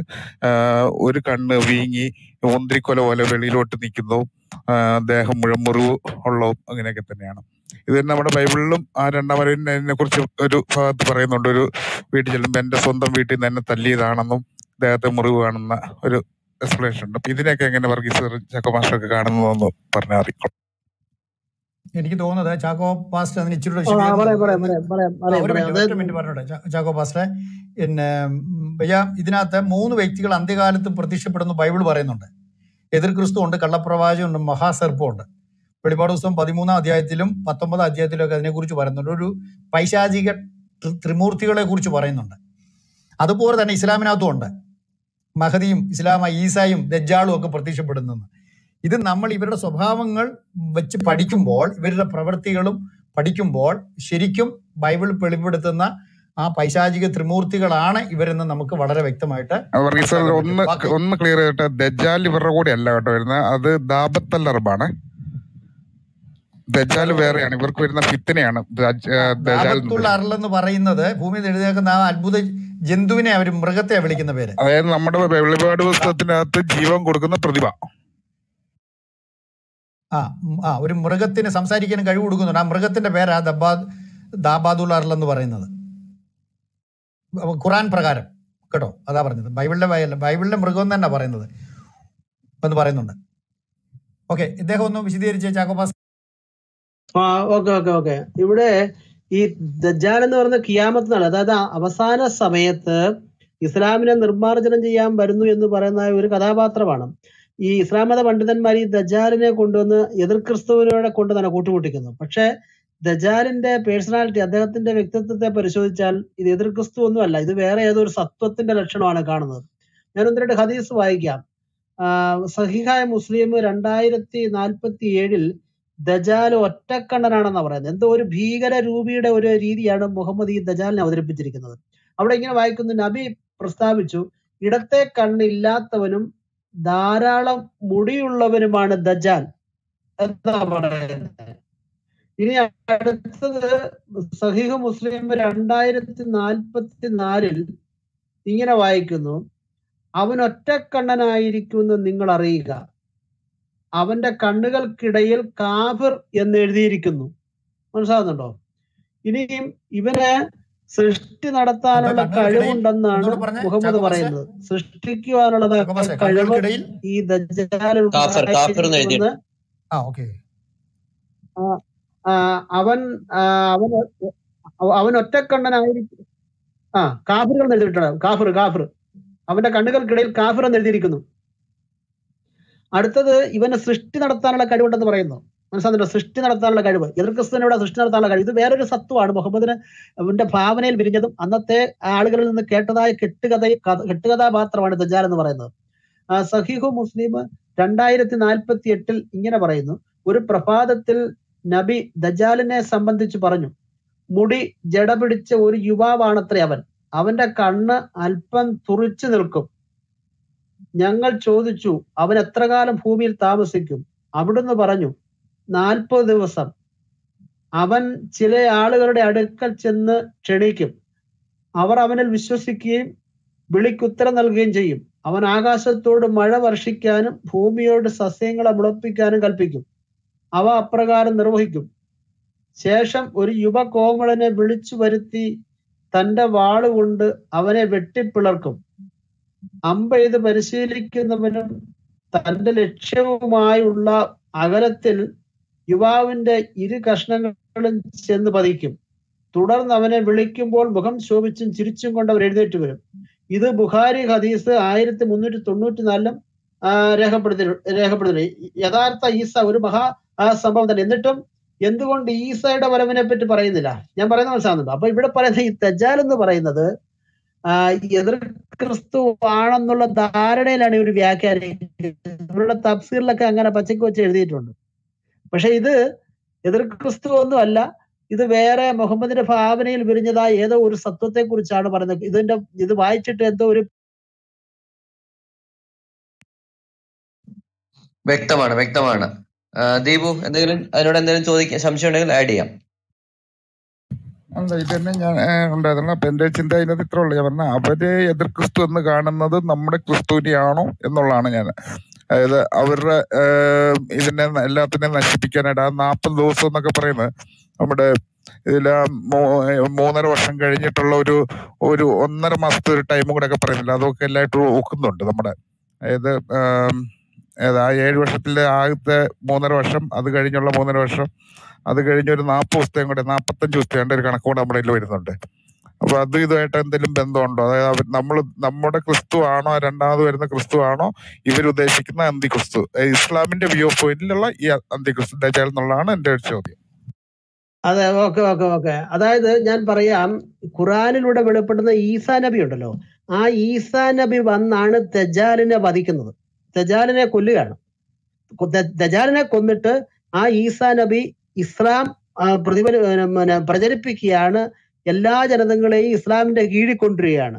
മനസ്സിലാകുന്നുണ്ടോ കർത്താവായ യേശു ക്രിസ്തു വന്ന് തന്റെ ശ്വാസത്താൽ ആരെ എതിർ ക്രിസ്തുവിനെ നശിപ്പിക്കുകയും പിന്നീട് സഹസ്രാബ്ദ വർഷം അല്ലെങ്കിൽ പിന്നെ ക്രിസ്തുവിന്റെ ഭരണ രാജ്യം സ്ഥാപിക്കുകയും ചെയ്യുന്നു എന്ന് പറയുന്നതിന്റെ വിപരീതമായിട്ട് ഖുറാനിലെ ഈസാ നബി വന്ന് ഈ ദജാലിനെ വധിച്ചിട്ട് ഇസ്ലാമിക ലോകത്തെ രക്ഷിക്കുകയും ലോകം ഇസ്ലാമിന്റെ പ്രകാശത്താൽ മുക്കുമെന്നാണ് ഹദീസിൽ പറയുന്നത്. അങ്ങനെ ഹദീസോട് ഞാൻ വേണം വായിച്ച് വേണമെങ്കിൽ കേൾപ്പിക്കാം.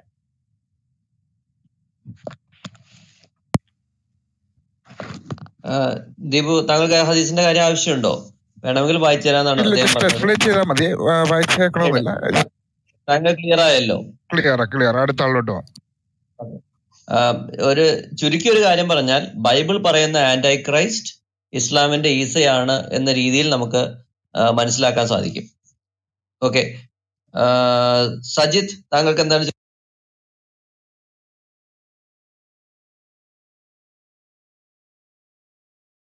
സജിത് താങ്കൾ അവിടെ ഉണ്ടോ താങ്കളുടെ മൈക്ക് മ്യൂട്ടാണ്. താങ്കൾ അൺമ്യൂട്ട് ചെയ്തിട്ട് സംസാരിക്കൂ.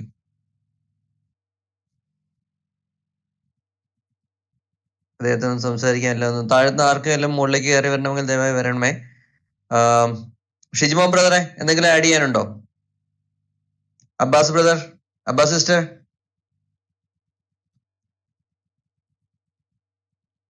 അജീഷ് ബ്രദറെ. ഓക്കെ സാർമാരെ കഴിഞ്ഞെങ്കിൽ മറ്റാർക്ക് സംസാരിക്കില്ലെങ്കിൽ നമുക്കിത് ക്ലോസ് ചെയ്യാം. ക്ലോസ് ചെയ്യാം. ജിമിജ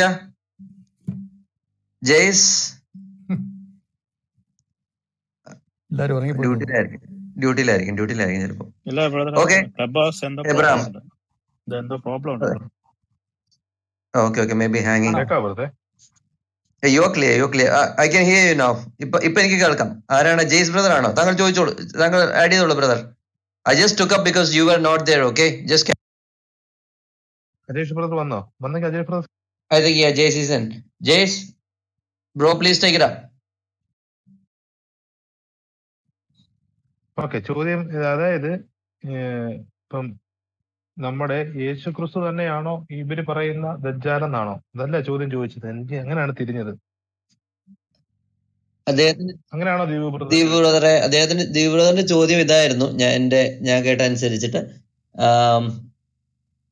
മൂന്നര വർഷത്തിന് ശേഷമുള്ള ഭരണത്തിൽ പറയുന്ന ആ വ്യക്തി ദജ്ജാളുമായിട്ട് ബന്ധപ്പെട്ടതോ ആന്റി ക്രൈസ്റ്റിന്റെ ഏതെങ്കിലും ഒരു ഇമേജ് ആണോ എന്ന രീതിയിലാണ് അദ്ദേഹം ചോദിച്ചത്. അല്ലെ അങ്ങനെയല്ല ചേട്ടാ ക്ലിയർ ആയിട്ട് പറയാം അതായത് ഇസ്ലാമിന്റെ വിശ്വാസപ്രകാരം ദജാൽ എന്ന് പറയുന്നത് നമ്മൾ രണ്ടാം വരവിൽ പ്രതീക്ഷിക്കുന്ന വിശ്വസിക്കുന്ന ക്രിസ്തുവിനെയാണോ അവർ ആ ഇമേജ് ആയിട്ട് കാണിക്കുന്നത്. അതായത് അവരുടെ വ്യൂ ഓഫ് പോയിന്റിൽ ആന്റി ക്രൈസ്റ്റ് അല്ലെങ്കിൽ ഒരു എതിർ ക്രിസ്തു എന്നുള്ള അവരുടെ അവർക്ക് വരുന്ന ഒരു ഫിത്തനയുടെ ഒരു ഒരു സത്വം അല്ല ഒരു രൂപം എന്നുള്ള രീതിയിൽ അവർ വിശ്വസിക്കുന്നത് നമ്മൾ പറയുന്ന ഈ രണ്ടാം വരവിൽ വരുന്ന ക്രിസ്തുവിനെയാണോ എന്ന് അതായത് ബ്രദറെ ഇതിനകത്ത് പഠിപ്പിക്കുന്നത് ഇവരുടെ ഒരു പഠനം അനുസരിച്ചിട്ട് ഈ നമ്മൾ ക്രിസ്തുവിനെ എതിർ ക്രിസ്തുവിനെ പറ്റി പഠിപ്പിക്കുന്നുണ്ട്.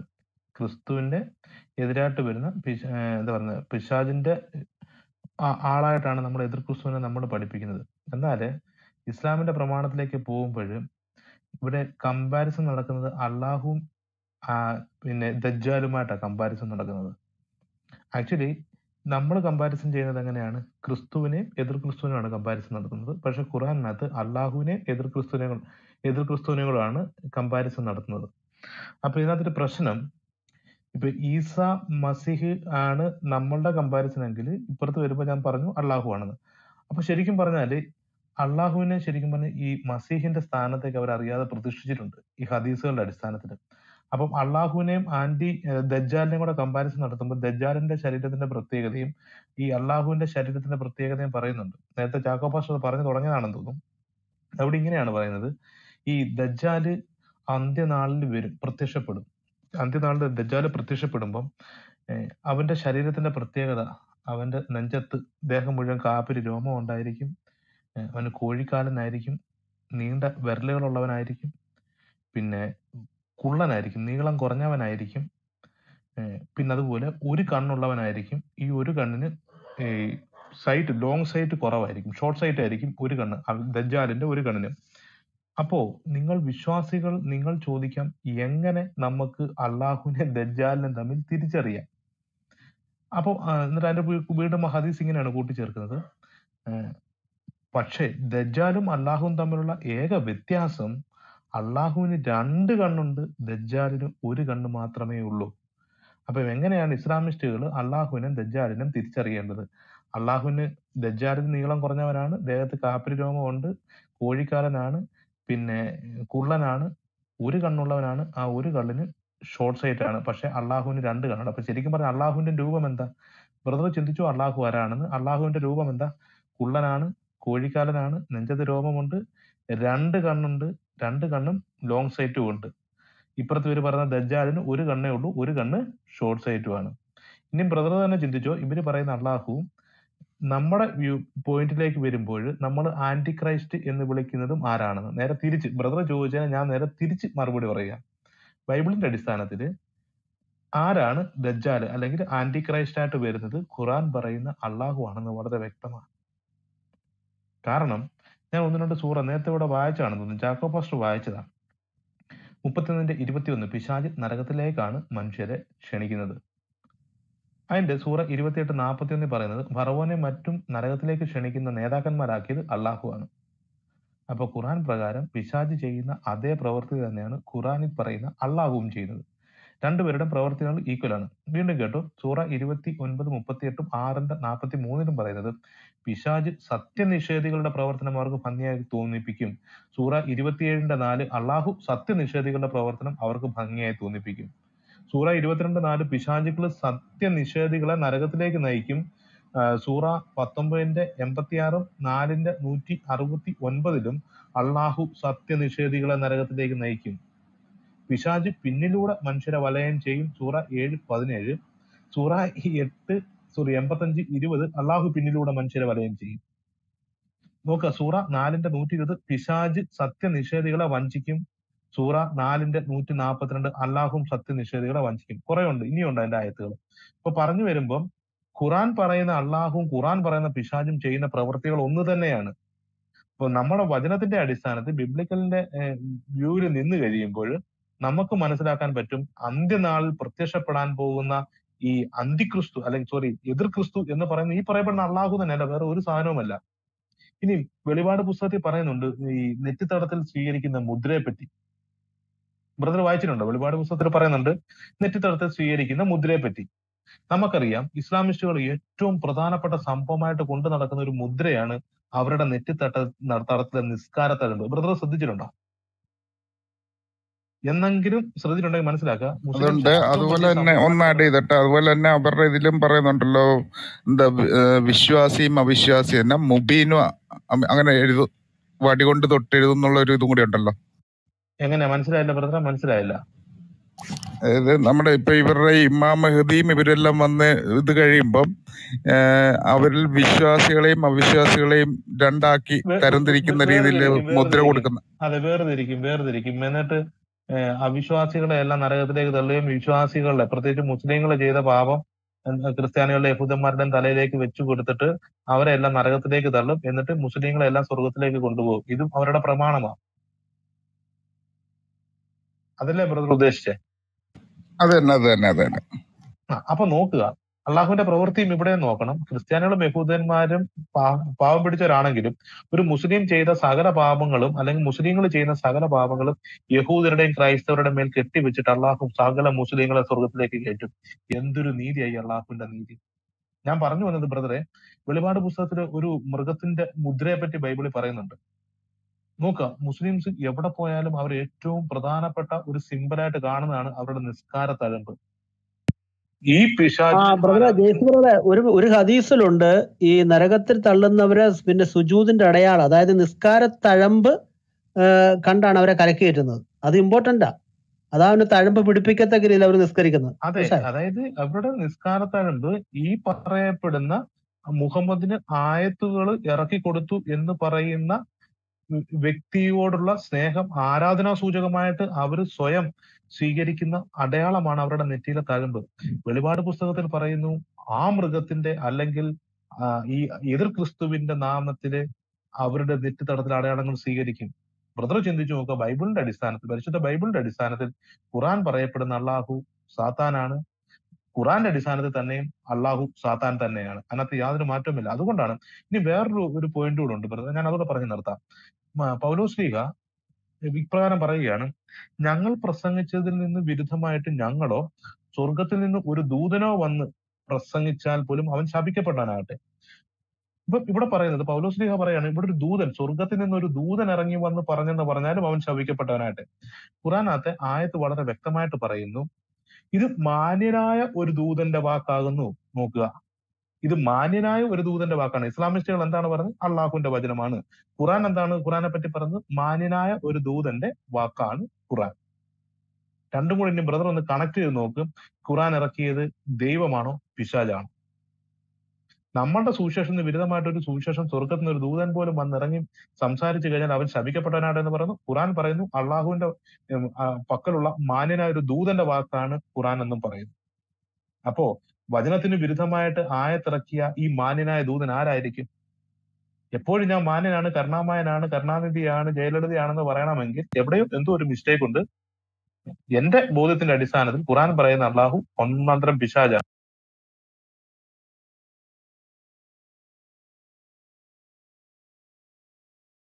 താങ്ക് യു ബ്രദറെ ദീപു താങ്കൾക്ക് ചോദ്യങ്ങൾ വല്ലതും ഉണ്ടോ? ഇല്ല അടുത്ത കണ്ടിന്യൂ ചെയ്യാം. Anyway thank you thank you Jas bro തന്നെ. ഒരു ഏഹ്, അതിന്റെ കൂടെ ജസ്റ്റ് ഒന്ന് ഞാൻ കൂട്ടിയാക്കി ഇതുപോലെ തന്നെ നമുക്കിത് വളരെ വെ- അതിനേക്കാളും ക്ലിയർ ആയിട്ട് തന്നെ നമുക്ക് അറിയാവുന്നുള്ളൂ. ആരാണ് പിതാവിനെയും പുത്രനെയും വിശുദ്ധനെയും നിഷേധിക്കുന്ന അല്ല തള്ളിപ്പറയുന്ന അവനാണ് അന്തിക്രിസ്തു എന്ന് വളരെ വ്യക്തമായിട്ട് എഴുതിയിട്ടുണ്ട്. അതെ അതെ. അത് വളരെ വ്യക്തമാണ്. താങ്ക് യു അഗപ്പേ താങ്കൾക്ക് എന്തെങ്കിലും സംശയം ഉണ്ടെങ്കിൽ ചോദിക്കാം. ഞാൻ അനിൽ കൊടുത്തോടെ പാസ്റ്ററേക്ക് നമുക്ക് ഹലോ. താങ്കൾ ചോദിച്ചു. ഹലോ. പറഞ്ഞോളൂ. ആകെ താങ്കൾ ഓഡിബിൾ ആണ്. ഈ അള്ളാഹു എന്ന് പറയുന്നത് ഒരു ഈജിപ്ഷ്യൻ ചന്ദ്ര ദേവനാണെന്ന് പറയുന്നുള്ളു. ഈ യാഹുവെ എന്ന് അതിന്റെ ഫുൾ അർത്ഥം എന്തായിരിക്കും? ഈ ഈ ഹീബ്രുവിൽ നാലക്ഷരം കൊണ്ട് സൂചിപ്പിക്കുന്നത് അത് യേശു ക്രിസ്തുവായിട്ട് ബന്ധമുണ്ടോ. ഓക്കെ അത് വിഷയാധിഷ്ഠിതമായ ചോദ്യമല്ല. എങ്കിൽ തന്നെയും നമ്മൾക്കത് അഡ്രസ് ചെയ്യാൻ പറ്റാവുന്നതേ ഉള്ളൂ. വർഗീസ് സാറേ ഇതായിട്ട് വല്ലതും സാർ അവിടെ ഉണ്ടോ? അല്ലെങ്കിൽ അനിൽ ആ പാസ്റ്റർക്ക് ആ, കൊടുക്കാം. അദ്ദേഹം ഇപ്പൊ വന്നതല്ലേ ഉള്ളൂ. ഒന്ന് കാര്യങ്ങൾ അറിയേണ്ടി വരും. ചാക്കോ പാസ്റ്റർ അതിന് ഉത്തരവുണ്ടോ അനിൽ കൊടിത്തോട്ടം പാസ്റ്റായി ഞാൻ കൊടുക്കാം. നമ്മുടെ വിഷയമായിട്ട് ബന്ധപ്പെട്ട് സംസാരിക്കുക പക്ഷെ അതിന് മുമ്പ് ഞാനൊരു കാര്യം പറയാം. പഴയ നിയമത്തിൽ ദൈവം വെളിപ്പെടുന്ന യഹോവ എന്ന വാക്കിന് ആ യാഹു എന്നുള്ള വാക്ക് അതും അൻപാസ്റ്റ് കുറെ കൂടെ ഭംഗിയായിട്ട് വിവരിക്കും. എന്നാലും വാക്കിന് ഞാനാകുന്നവൻ ഞാനാകുന്നു എന്ന് പറഞ്ഞാണ് ദൈവം മോശയ്ക്ക് വെളിപ്പെട്ടത്. ഇസ്ലാമിന്റെ അള്ളാഹുവിന്റെ വാക്കിന്റെ അള്ളാഹു എന്ന വാക്കിന്റെ അർത്ഥം അതല്ല. മലയാളത്തിൽ ഉള്ള ഒരു പുസ്തകത്തിനകത്ത് പറഞ്ഞത് ഏതൊരുവൻ ഇല്ലാതിരിക്കുന്നു അവനാകുന്നു ഞാനെന്ന് പറയുന്ന ഒരു അർത്ഥമാണ് അള്ളാഹു എന്നുള്ള പദം. അത് ചന്ദ്രദൈവമാണെന്ന് നിങ്ങൾ ഗൂഗിൾ അടിച്ചു നോക്കിയാൽ മതി. അപ്പം പിന്നെ അറബികൾ കുറേശികൾ സേവിച്ചിരുന്ന ചന്ദ്രദൈവത്തെയാണ് അള്ളാഹു എന്ന് വിളിക്കുന്നത്. യഹോവ എന്ന വാക്കിന്റെ അർത്ഥം ആ വാക്കും ആ ദൈവം വെളിപ്പെടുത്തി ഞാനാകുന്നവൻ ഞാനാകുന്നു എന്നുള്ള ദൈവാസ്തിത്വത്തിന്റെ നാമമായിട്ടാണ് വെളിപ്പെടുന്നത്. രണ്ടും ഒന്നല്ല രണ്ട് രണ്ട് രണ്ട് അർത്ഥങ്ങൾ തന്നെയാണ്. അല്ല ബ്രദർ കുറച്ചുകൂടെ ഇങ്ങനെ നമ്മൾ പറഞ്ഞു കഴിഞ്ഞാൽ ഇപ്പൊ ഇവർ പറയാറുണ്ട് ലാ ഇലാഹ ഇൻ അല്ലാഹു. ജറ്റിൽ ബ്രദർ ലാ എന്ന് പറഞ്ഞാൽ നോ എന്നല്ലേ അർത്ഥമില്ല അതെ. ലാ. ലാ ഇലാഹ് എന്ന് പറഞ്ഞാൽ ഇലാഹ് അല്ലാതെ ഇലാഹ് എന്ന് പറയുമ്പോ ഇലാഹ് ഇലാഹ് എന്ന് പറഞ്ഞാൽ ദൈവം അല്ലെങ്കിൽ ആരാധ്യൻ. അപ്പൊ ലാ ഇലാഹ എന്ന് പറയുമ്പോൾ നോ ഗോഡ് എന്നല്ല അല്ലെങ്കിൽ ഡയറ്റി ഒന്നും ഇല്ലെന്നല്ല നോ ഗോഡ്. അതെ നോ ഗോഡ് ബട്ട് ഗോഡ് എന്നാണ് എന്റെ എക്സാക്ട് ട്രാൻസ്ലേറ്റ് അല്ലാഹു നോ അല്ല God but Allah. No God but Allah. പക്ഷെ അല്ലാഹു ഉണ്ട്. ദൈവമില്ല പക്ഷെ അല്ലാഹു ഉണ്ട്. അല്ല അല്ല. അല്ലല്ല അങ്ങനെയല്ല. അള്ളാഹു അല്ലാതെ വേറെ ദൈവമില്ല എന്നാണ് അതിന്റെ ലിറ്ററൽ ട്രാൻസ്ലേഷൻ പക്ഷെ അവർ ചിലപ്പോൾ അതിന് അള്ളാഹ് എന്നുള്ള വാക്കിന് ദൈവം എന്ന വിവക്ഷ കൊണ്ടുവരാറുള്ളത് കൊണ്ട് ദൈവത്തിന്റെ പേരല്ല വെറും ഒരു അറബിയിലുള്ള ദൈവം എന്നതിനുള്ള വാക്കാണ് എന്ന് പറയുന്നത് കൊണ്ട് ട്രാൻസ്ലേറ്റ് ചെയ്യുമ്പോൾ ലാ ഇലാഹ ഇല്ലല്ലാഹ് എന്നുള്ളതിന്റെ ട്രാൻസ്ലേഷൻ ദൈവമല്ലാതെ ദൈവമില്ല എന്ന ഒരു ട്രാൻസ്ലേഷൻ വരാൻ സാധ്യതയുണ്ട്. പക്ഷെ സംഗതി ഇവിടെ അതല്ല. ഇവിടുത്തെ ആർഗ്യുമെന്റ് അതല്ലല്ലോ. അതുകൊണ്ട് വേദപുസ്തകത്തിലെ യഹോവയുടെ കാര്യമാണ് അദ്ദേഹം ചോദിച്ചത്. അങ്ങനെ തങ്ങൾക്ക് മറുപടി കിട്ടിയെന്ന് കരുതുന്നു. അകപ്പെ തങ്ങൾക്ക് ഇനിയും സംശയമുണ്ടെങ്കിൽ ചോദിക്കാം. അണിക്കൊടുത്തോട്ടം പാസ്റ്റോട്ടിലേക്ക് പോകുന്നതിന് മുമ്പ്. ഞാൻ യൂട്യൂബിലെ ഒരു വീഡിയോ കണ്ടാണ്. അതിനകത്ത് ഹീബ്രുവിലെ നാലക്ഷരം വരുന്നില്ലേ? അത് ഇംഗ്ലീഷിലേക്ക് വെക്കുമ്പോൾ അതിന്റെ അർത്ഥം വരുന്നത് behold the hand behold the nail അങ്ങനെയുള്ളൊരു ഇത്. അത് ശരിയാണോ? അങ്ങനെ അതിന്റെ അർത്ഥം അങ്ങനെ അല്ല വരുന്നത്. അതിനെപ്പറ്റി ആധികാരികമായിട്ട് അനിൽ കൊടുത്തോട്ടം പാസ്റ്റർ സംസാരിക്കും. അനിൽ കൊടുത്തോട്ടം പാസ്റ്ററെ? പറയാം. ഓക്കെ. വളരെ ക്ലാസിക്കലായ അല്ലെങ്കിൽ ഏറ്റവും തിയോളജിക്കലായ ഒരു പ്രശ്നമാണ് ആ വിധത്തിൽ കൈകാര്യം ചെയ്യേണ്ട ഒരു ചോദ്യമാണ്. അപ്പൊ ആദ്യം ചോദ്യം ചോദിച്ച ആളിന് കുറെ പ്രജുഡീസസ് ഒക്കെ മനസ്സിലുണ്ട്. അത് മാറേണ്ടതുണ്ട്. അള്ളാഹുവിനെ കുറിച്ച് ആദ്യം പറയാം. അറേബ്യൻ ഭൂപ്രദേശത്തിന് പുറത്ത് ആരാലും അറിയപ്പെടാത്ത ഒരു ദേവന്റെ പേരാണ് അള്ളാഹു. നമ്മൾ അനറബികൾ ഉച്ചരിക്കുമ്പോൾ അള്ളാഹു എന്ന് പറയാറുണ്ട്. പ്രൊണൗൺസിയേഷൻ അള്ളാഹു എന്നാണ്. അള്ളാ ലോദ് ഈ അക്ഷരം പറയണം അലിഫ് ലാം ലാം ഹ എന്ന നാലക്ഷരങ്ങളാണ് അള്ളാഹു എന്നെഴുതാൻ വേണ്ടത്. ഇതിൽ അൽ എന്നത് ഡെഫിനിറ്റ് ആർട്ടിക്കിളാണ്. ദ ഇലാഹ് എന്ന് വേണമെങ്കിൽ പറയാം. അങ്ങനെ അള്ളാഹു എന്ന ഈ ദേവൻ ആ ദേവനെക്കുറിച്ച് കുറേശികളുടെ ഇടയിൽ ഉണ്ടായിരുന്ന വിശ്വാസം. അയാൾക്ക് ജിന്നുകളുമായി ലൈംഗിക ബന്ധമുണ്ടെന്നും ആ ബന്ധത്തിൽ അൽ ലാത്തയും അൽ മനാത്തയും അൽ ഉസയും എന്നിങ്ങനെ മൂന്ന് പെൺമക്കൾ ഉണ്ടായിരുന്നു ആളുകൾ മുന്നൂറ്റി അറുപത് ദേവീ ദേവസങ്കല്പങ്ങളെ ആരാധിച്ചിരുന്നതുമാണ്. ഈ പ്രവാചക ലബ്ധി കിട്ടുമ്പോഴും മുഹമ്മദ് ഈ ദേവനെ തന്നെയാണ് ആരാധിച്ചത്. അതിനുശേഷം മുഹമ്മദിന്റെ ഭാര്യയായ ഖദീജയും മുഹമ്മദിനെ പ്രവാചകനാക്കുന്ന വറക്കത്തിബിനു നൗഫലും ഈ വിഷയങ്ങളിൽ കുറിച്ച് ഗ്രാഹ്യമുള്ളവർ തന്നെയാണ്. ഇങ്ങനെ കുറൈശികൾ ആരാധിച്ചിരുന്ന ബഹുദൈവം ബഹുദൈവങ്ങളുടെ കൂട്ടത്തിൽ ഒരു ദേവനാണ് ഈ ദേവം ബറക്കത്താകട്ടെ പേരുകൊണ്ട് അയാൾ ക്രിസ്ത്യാനിയാണ്. അയാൾക്ക് ഈ രണ്ട് ചരിത്രം അറിയാം. ഇവരാരും തന്നെ ഒരു പ്രപഞ്ചനാഥനായി സൃഷ്ടാവായി അള്ളാഹുവിനെ അതുവരെ കണ്ടിരുന്നില്ല. അള്ളാഹുവിന്റെ പരിമിതി അറേബ്യൻ പെനിൻസുലയുടെ പുറത്ത് അള്ളാഹുവിനെ ആർക്കും അറിയില്ല. കാരണം അറബി സംസാരിക്കുന്ന ആളുകൾ അവിടെ കുറവാണ്. അതിനപ്പുറത്തേക്കില്ല. അത് കാരണം നമ്മൾ കേൾക്കുന്ന പോലെയല്ല. ഈ ഭൂപ്രദേശം പലതരം സംസ്കാരങ്ങളുടെ ഒരു സംഗമ ഭൂമിയാണ് അവിടെ തന്നെ മറ്റ് സംസ്കാരങ്ങളുണ്ട്. സബായിയനുണ്ട് ഷെബായർ എന്ന് യോവിന്റെ പുസ്തകത്തിൽ പറയുന്ന കക്ഷികൾ. സബായിയൻ വലിയൊരു കൾച്ചറാണ് ഉണ്ട് ഉഗാരറ്റിക് ഉണ്ട് ഒത്തിരി കൾച്ചറുകളുടെ കുറഞ്ഞ പക്ഷെ ഒരു മുപ്പതോളം ദേശീയതകളുടെ ഒരു സമന്വയമാണ്. അതിലൊന്നാണ് അറബി. ആ അറബി സംസ്കാരം തന്നെ താരതമ്യേന ലേറ്റസ്റ്റ് ആണ് മറ്റ് സംസ്കാരങ്ങളെ അപേക്ഷിച്ച്. ഇനി ഇവ കൂടാതെ ക്രൈസ്തവർ പിന്തുണയ്ക്കുന്ന ഒരു സിറിയൻ കൾച്ചറുണ്ട് യഹൂദന്മാരുടെ എബ്രായ കൾച്ചറുണ്ട് ഹീബ്രു കൾച്ചറുണ്ട് ഇതെല്ലാം സന്നിവേശിക്കപ്പെട്ടിരിക്കുന്ന മണ്ണിലാണ് അള്ളാഹു എന്ന പേരുണ്ടാകുന്നത്. അള്ളാഹുവിനെ കുറിച്ച് പ്രപഞ്ചനാഥൻ എന്ന നിലയിൽ ആർക്കും അറിഞ്ഞുകൂടാ ഇതിനു മുമ്പ്. മുഹമ്മദിന് ശേഷമാണ് അള്ളാഹു പടച്ചവനാണെന്നൊക്കെ പറയുന്നത്. ഏതാണ്ട് തൊണ്ണൂറ്റി ഒൻപത് നാമങ്ങളാണ് അള്ളാഹുവിനുള്ളത് എന്താണ് നൂറോ അല്ലെങ്കിൽ അതിന് മുകളിലോട്ടോ പോകാഞ്ഞെന്ന് നമുക്കറിയില്ല. ഇത്രയും പേരുകളുണ്ട്. ഇതിലെല്ലാം നല്ല അർത്ഥമുള്ള പേരുകളാണ്. അള്ളാഹു അർ റഹ്മാൻ അർ റഹീം അൽ മലിക് അൽ ഖുദ്ദൂസ് അസലാം അൽ മുഅമീൻ അൽ മുഹൈമീൻ അൽ അസീസ് അൽ ജബ്ബാർ എന്നിങ്ങനെ തുടങ്ങും. അതൊക്കെ രസമുള്ള അർത്ഥങ്ങളാണ്. സർവരെയും കീഴടക്കുന്നവൻ അൽ കഹാർ അൽ വഹാബ് ഉദാര ശിരോമണി. നമ്മളിതിൽ ചില പേരുകളൊക്കെ അറിയാം. റസാഖെന്നും വഹാബെന്നും അസീസ് എന്നും ജബ്ബാർ എന്നും ഒക്കെ നമ്മൾ കേട്ടിട്ടുണ്ട്. ജബ്ബാർ മാഷിന്റെ ഒക്കെ പേര്. മുതക്കബീർ ഇതങ്ങനൊക്കെ ഉണ്ട് ഇത്രയും ഉണ്ടെങ്കിലും പേരിനോട് ഒരു നീതിയും പാലിക്കാത്ത ആളാണ് അള്ളാഹു പര ഉദാഹരണം അൽ റഹ്മാൻ പരമകാരുണികൻ. എന്തൊക്കെ ചെയ്തു നിങ്ങൾ? ഓർത്താൽ മതി. ഇനി അതുപോലെ അസലാം എന്നൊരു പേരുണ്ട്. സമാധാനം എന്നർത്ഥം എന്ത് സമാധാനമാണ് അള്ളാഹു കൊടുത്തതെന്ന് നിങ്ങൾ തന്നെ ചിന്തിച്ചാൽ മതി. ഇനി അള്ളാഹുവിന് ചേരുന്ന ഒരു പേരുണ്ട്. അൽ മുതിൽ അർത്ഥം നിന്ദിക്കുന്നവനാണ്. അത് അള്ളാഹു വൃത്തിയായിട്ട് ചെയ്യുന്നുണ്ട്. മുഹമ്മദിന്റെ മുത്താപ്പയ്ക്ക് വേണ്ടി എഴുതിയ ഒരു ആയ സൂറത്ത് തന്നെ ഉണ്ട് അവിടെ അദ്ദേഹത്തെയും ഭാര്യയും മുത്താപ്പയും ഭാര്യയും വിളിക്കുന്നുണ്ട്. നന്നായിട്ട് വിറക് വെട്ടുകാരി എന്നൊക്കെ കളിയാക്കുന്നുണ്ട്. അങ്ങനെ അള്ളാഹുവിന്റെ ആകത്തുക തൊണ്ണൂറ്റി ഒമ്പത് അപരനാമങ്ങളിൽ അള്ളാഹു അറിയപ്പെടുന്നു.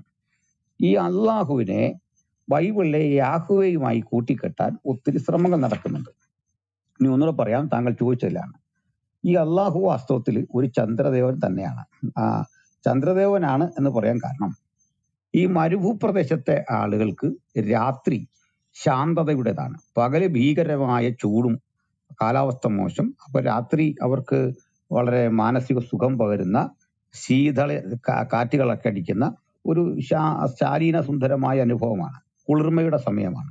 അതുകൊണ്ട് രാത്രിയുടെ നാഥനായി കണ്ട ചന്ദ്രനെ അവർ കൂടുതൽ വണങ്ങി. സൂര്യനും ഭയം കൊണ്ട് ദേവനായി സൂര്യനെയും വണങ്ങി.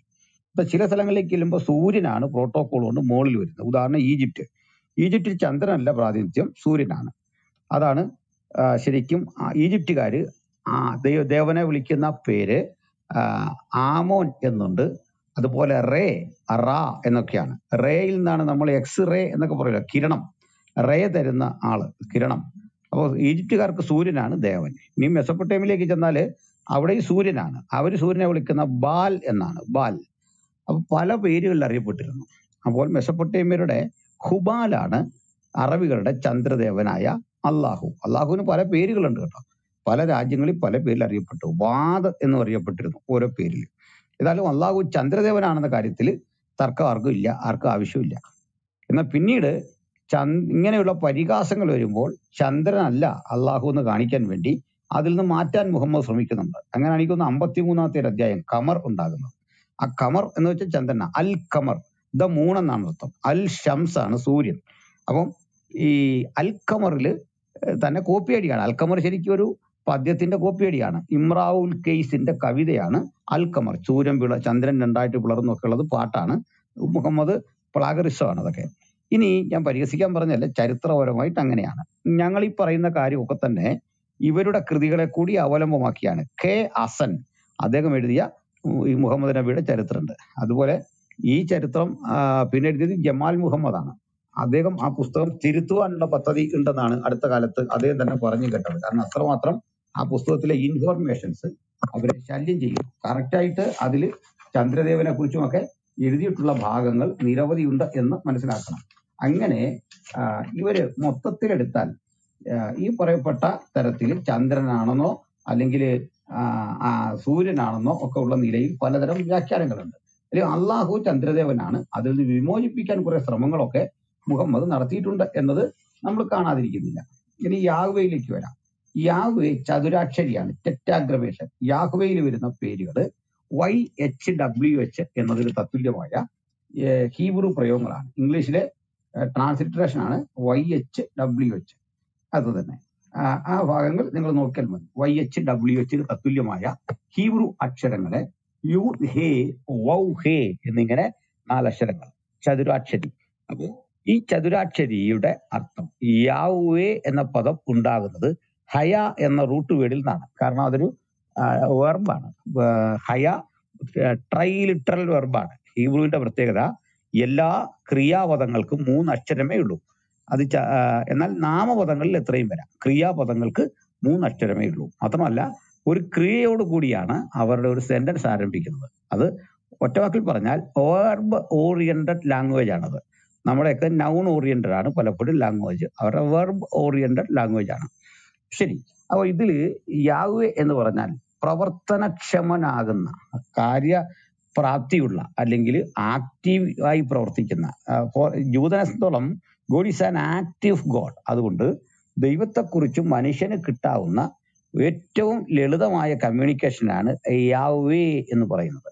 യാവേ എന്ന പേര് ശരിക്കും ഉപയോഗിക്കുന്ന മോശയുടെ ഞാനാകുന്നവൻ ഞാനാകുന്നു എന്ന് മോശയോട് ദൈവം ഇടപെടുന്നിടത്ത് ആ പേര് കൃത്യം വരുന്നുണ്ട്. എന്താണ് പറഞ്ഞതെന്ന് അറിയണ്ടേ? എഹൈ അക്ഷർ എഹൈ എ ഹൈ എന്ന് ഉണ്ടാകുന്നത് ഹയ്യ എന്ന റൂട്ട് വേർഡിൽ നിന്നാണ്. ഇംഗ്ലീഷിലെ ബി ഇ ബിക്ക് തുല്യമായ പ്രയോഗമാണ് ഹയ്യ. അതിന് ഭൂത ഭാവി വർത്തമാന കാലങ്ങളിലെ ഒരുപോലെയുള്ള അർത്ഥം നിഴലിക്കുന്നുണ്ട് അപ്പോൾ തന്നെ ഹീബ്രു ഭാഷയ്ക്ക് ഭൂത ഭാവി വർത്തമാനം എന്നിങ്ങനെ കാലങ്ങളില്ല. അവിടെ കൺസെപ്റ്റുകൾ മാത്രമേ ഉള്ളൂ. അപ്പൊ താങ്കൾ ചോദിച്ചതിനെ നേരെ അഡ്രസ് ചെയ്താൽ യാഹുവയും അതുപോലെ തന്നെ എന്താ പറയുക നമ്മുടെ അള്ളാഹുവും തമ്മിൽ ഒരു കണക്ഷനും ഉണ്ടാക്കാൻ പറ്റില്ല. രണ്ട് കൾച്ചറാണ് രണ്ട് ദേശമാണ് രണ്ട് മേഖലയാണ്. തികച്ചും വിഭിന്നമായ വ്യത്യാസമാണ്. ഇനി യേശു ക്രിസ്തുവിനെ കുറിച്ചാണ് പറയാൻ പോകുന്നത്. യേശു ക്രിസ്തുവിനെ കുറിച്ച് പറയുമ്പോൾ യേശുവൻ എന്ന പദം എന്താ? യഹോഷുവയാണ് യഹോഷുവ ആ യഹോഷുവയെ നമുക്ക് പഠിക്കാം. യാഹുവയും യാഷുവയും കൂടെ ചേരുന്നതാണ് യഹോഷുവ അതിന്റെ അർത്ഥം എന്താ? യാഹുവേ സേവ്സ് ഇനി ഹോളി സ്പിരിറ്റിനെ കുറിച്ച് പറയാം. യാഹുവേ റൂഹ. അതാണ് ഹോളി സ്പിരിറ്റ് അപ്പോൾ യാഹുവേ ഉണ്ട് യാഹുവേ യാഹുവേ യാഷുവേ ഉണ്ട് യാഹുവേ റൂഹയുണ്ട് അപ്പോൾ ഹോളി പിതാവ് പുത്രൻ പരിശുദ്ധാത്മാവെന്ന ക്രിസ്തീയ വിശ്വാസമായ പരിശുദ്ധ ത്രിയേകത്വത്തെക്കുറിച്ചുള്ള സൂചന പറയുമ്പോൾ ഇവ മൂന്നും ആദിയും അന്തവുമില്ലാത്ത വിധത്തിൽ ഒരിക്കലും ആരംഭവും പര്യവസാനമില്ലാത്ത വിധത്തിൽ എന്നേക്ക് നിലകൊള്ളുന്ന സത്യമാകുന്നു. ഈ പുത്രനെ യാഹുവെ എന്ന് വിളിച്ചിട്ടുണ്ട് പരിശുദ്ധാത്മാവിനെ യാഹു എന്ന് വിളിച്ചിട്ടുണ്ട് ദൈവപിതാവിനെ യാഹു എന്ന് വിളിച്ചിട്ടുണ്ട്. അത് സാന്ദർഭ്യമായിട്ടാണ് കാണേണ്ടത്. ഇവർ മൂന്ന് പേരിലും പിതാവിലും പുത്രനും പരിശുദ്ധാത്മാവിലും സത്താപരമായി നിൽക്കുന്ന ആ ഉസിയ അല്ലെങ്കിൽ ആ സാരാംശം ഒന്നാണ്. ദൈവിക സാരാംശം ഒന്നായിരിക്കുമ്പോഴും സർവജ്ഞാനിത്വം സർവവ്യാപിത്വം അങ്ങനെ ദൈവത്തിന്റെ ആട്രിബ്യൂട്ട്സ് മൂന്ന് പേരിലും നിൽക്കുന്നുണ്ട്. അത് തുല്യമായി നിൽക്കുന്നു എന്നല്ല പറയേണ്ടത്. എന്നാൽ എല്ലാവരിലും എന്ത് പിതാവിലുണ്ടോ അത് തന്നെ പുത്രനിൽ അത് തന്നെ പരിശുദ്ധന്മാവിൽ. തുല്യമായി എന്ന് പറയുന്നതിനേക്കാൾ പിതാവ് എന്തായിരിക്കുന്നുവോ അതൊക്കെ തന്നെ പുത്രനിലുണ്ട്. അതിന് തെളിവ് എബ്രാലേനം പറയാണ് അവൻ അവന്റെ തത്വത്തിന്റെ മുദ്ര ഒന്നിന്റെ ഒന്ന് രണ്ട് വേദഭാഗങ്ങൾ അവന്റെ തത്വത്തിന്റെ മുദ്ര തേജസിന്റെ പ്രഭ സകലത്തെയും തന്റെ ശക്തിയുള്ള വചനത്താൽ വഹിക്കുന്നവൻ. അപ്പോൾ മുദ്രയാണവൻ. മുദ്ര എന്ന് പറഞ്ഞാൽ എന്താണ്? നമ്മളിപ്പോൾ ഒരു ഓഫീസിൽ ചെല്ലുന്നു നിങ്ങൾക്കുള്ള ഒരു കത്തിൽ സീൽ വെക്കുന്നു. സീൽ എന്ന് പറഞ്ഞാൽ എന്താണ്? നമ്മൾ പറയും അവിടെ ഇരിക്കുന്ന സ്റ്റാമ്പാണ് സീൽ പക്ഷെ നിങ്ങൾ നിങ്ങൾക്കുള്ള കത്തിലേക്ക് ആ സീൽ മഷിമുക്കി ഇടിക്കുമ്പോൾ പറയും സീൽ ഉണ്ടോ? കാണിച്ചേ. അപ്പൊ നിങ്ങൾ കാണിക്കുന്നത് അവിടെ ഇരിക്കുന്ന സീലല്ല മറിച്ച് നിങ്ങളുടെ പേപ്പറിൽ കാണുന്ന സീൽ അപ്പോൾ എന്താകുന്നുവോ സീലിലുള്ളത് അതേ നിങ്ങൾക്കുള്ള പേപ്പറിൽ പതിയുള്ളൂ. പിതാവിൽ എന്തുണ്ടോ അതാണ് പുത്രനിലുള്ളത്. The very stamp or the very image of father ഇങ്ങനെയാണ് ഇംഗ്ലീഷിൽ കിടക്കുന്നത്. അപ്പോൾ ദൈവപുത്രന് ഒരു ദൈവപുത്ര നിലയിൽ വേറിട്ട അസ്തിത്വമുണ്ട് ഹോളി സ്പിരിറ്റിന് വേറിട്ട അസ്തിത്വമുണ്ട്. ആ മൂന്ന് പേർക്കും തങ്ങളുടേതായ വ്യത്യസ്തങ്ങളായ ജോലിയും ഉത്തരവാദിത്തങ്ങളും ഒക്കെ ഉണ്ട് ഇനി ഇവ മൂന്നും എന്നേക്കും നിലനിൽക്കുന്നവയാണ്. അവയ്ക്ക് ഒരിക്കലും അന്തമില്ല. പുത്രൻ പുത്രനായി എന്നേക്കും ഉണ്ടാകും. ഇറ്റേണൽ സൺഷിപ്പ് വിശുദ്ധ ബൈബിൾ പറയുന്നു. ഹോളി സ്പിരിറ്റിനും ഇറ്റേണൽ ആയിട്ടുള്ള എക്സിസ്റ്റൻസ് ഉണ്ട്. ഗോഡ് ദ ഫാദറിനുമുണ്ട് അപ്പോൾ ഇത് യാവേ എന്ന പദത്തിന് കൃത്യമായ അർത്ഥം ഹയ എന്ന അതേ റൂട്ട് വീഴുന്ന ഒന്നുണ്ട്. ബി ഇ ബി എന്നാണ്. ഒരു വാക്കൂടെ പറഞ്ഞ് ഞാൻ നിർത്താം. കാരണം ഇതല്പം ഇത്തരത്തിൽ പറയേണ്ട കാര്യം അതുകൊണ്ട് നമ്മുടെ കേൾവിക്കാർക്ക് അല്പം മുഷിയാനിടയുണ്ട്. അതുകൊണ്ട് ഞാൻ ഇതാ ഒരു വാക്കുകൊണ്ട് നിർത്താം. യേശു കർത്താവിനെ വിചാരണ വേദിയിലേക്ക് കൊണ്ടുവരുന്നുണ്ട്. അപ്പോ പിലാത്തോസ് ചോദിക്കുന്ന ചോദ്യമുണ്ട്. കോർട്ടിൽ നിർത്തിയിട്ട്. അയാൾ അയാളുടെ കോർട്ടിന്റെ പ്രത്യേകത അത് റോമൻ കോടതിയാണ്. യഹൂദന്മാരുടെ കോടതിയല്ല. അത് ലാറ്റിൻ സംസ്കാരമുള്ള റോമക്കാരന്റെ കോടതിയാണ്. പക്ഷെ അന്ന് ലാറ്റിൻ അല്ല സർവസാധാരണം. Greek was the lingua franca of that time. ആ ടൈമിലെ മുഖ്യ സമ്പർക്ക ഭാഷ ഗ്രീക്കാണ്. അതുകൊണ്ട് കോടതിയുടെ ഭാഷ ഗ്രീക്കാണ് അന്ന്. അപ്പോൾ ആ ഭാഷയിൽ അദ്ദേഹത്തോട് യേശുവിനോട് ചോദിക്കുകയാണ് അഹൈ മീ ബെസേലിയൂസ് ഈസോ നീ രാജാവ് തന്നെയോ ക്രിസ്തു? പറയുക. യേശുവിന്റെ മറുപടി ഐ മീ പീലാത്തോസ് ഞാൻ ആകുന്നു എന്നാണ്. ഇതേ പദപ്രയോഗമാണ് മോശയോട് സംസാരിക്കുമ്പോൾ കേൾക്കുന്നത്. എന്താ മോശയോട് സംസാരിക്കുന്നത്? ഞാനാകുന്നവൻ ഞാനാകുന്നു അവിടെ ഹീബ്രു പറഞ്ഞു അഹൈ അഷർ യേശു പറഞ്ഞു ഐ മീ ഞാൻ ആകുന്നു. ഞാൻ ആരാകുന്നു? അപ്പോൾ ഇവ തമ്മിലുള്ള ഒരു പഠനം വളരെ രസ രസാവഹമാണ്. ക്രിസ്തു യേശു തീർത്തും എന്തുകൊണ്ടും പിതാവിലും പുത്രനും പരിശുദ്ധാത്മാവിലും സന്നിവേശിക്കുന്ന അതേ ദൈവകൃപയുടെ പ്രകാശനമാണ്. ഒപ്പം തന്നെ എന്താണ് ക്രിസ്തു യേശു എന്ന മനുഷ്യനിൽ കാണുന്നത്? അതുകൂടി ഒന്ന് പറയേണ്ടത് ആവശ്യമാണ്. നമ്മളെ സംബന്ധിച്ചിടത്തോളം ഒരു മനുഷ്യനായിട്ടാണ് യേശു ക്രിസ്തുവിനെ മനസ്സിലാകുന്നത്. അങ്ങനെ മനസ്സിലാക്കണം.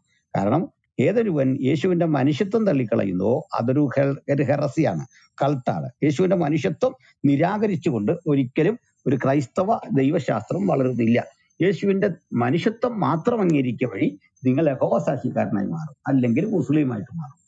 എന്നാൽ ഞങ്ങൾ യേശുവിന്റെ ദൈവത്വവും യേശുവിന്റെ മനുഷ്യത്വവും വിശ്വസിക്കുന്നു ഒരുപോലെ. ബിക്കോസ് അത് ബൈബിൾ വളരെ എക്സ്പ്ലെയിൻ ചെയ്യുന്നുണ്ടെന്നുള്ളതാണ്. അത് സംശയത്തിന് ഇടയില്ലാത്ത വിധം. യേശുവിൽ ഒരു രണ്ട് ഹൈപ്പോസ്റ്റാസിസ് സന്നിവേശിക്കുന്നത് നമുക്ക് കാണാനായിട്ട് സാധിക്കുന്നുണ്ട്.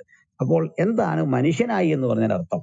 മനുഷ്യനാകുന്ന എപ്പോഴാണ് ദൈവരൂപത്തിൽ ഇരിക്കെ ദൈവത്തോടുള്ള സമത്വം മുറുകെ പിടിക്കണം എന്ന് വിചാരിക്കാതെ ദാസ്യരൂപമെടുത്തു വേഷത്തിൽ മനുഷ്യരായി വിളങ്ങി. അപ്പോൾ പുത്രനായ യേശു ക്രിസ്തു നിത്യനായ യേശു ക്രിസ്തു സർവശക്തനായ സർവജ്ഞാനിയായ കർത്താവായ യേശു ക്രിസ്തു കാലത്തിനും സ്ഥലത്തിനും വിധേയനാകുന്നതാണ് അവന്റെ മനുഷ്യത്വം എന്നതിന്റെ അർത്ഥം.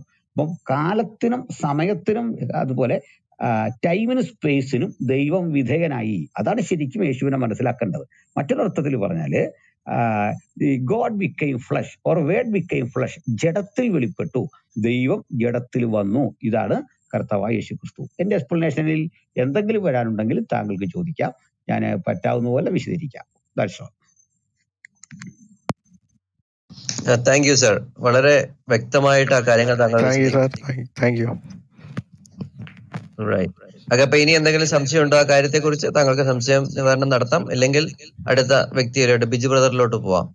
ഇല്ല ഇല്ല. താങ്ക് യു സാർ ഓക്കെ അതിനെ കൊടുത്തോളം മാസ്റ്റർ താങ്ക് യു ഞാൻ അടുത്ത ആളിലേക്ക് പോകുന്നതിന് മുമ്പ് ഞങ്ങളുടെ ലിസണേഴ്സിനോട് ഒരു റിക്വസ്റ്റ് ഉണ്ട്. ഞങ്ങളുടെ ഗ്രൂപ്പ് ദയവായി ഫോളോ ചെയ്യുക.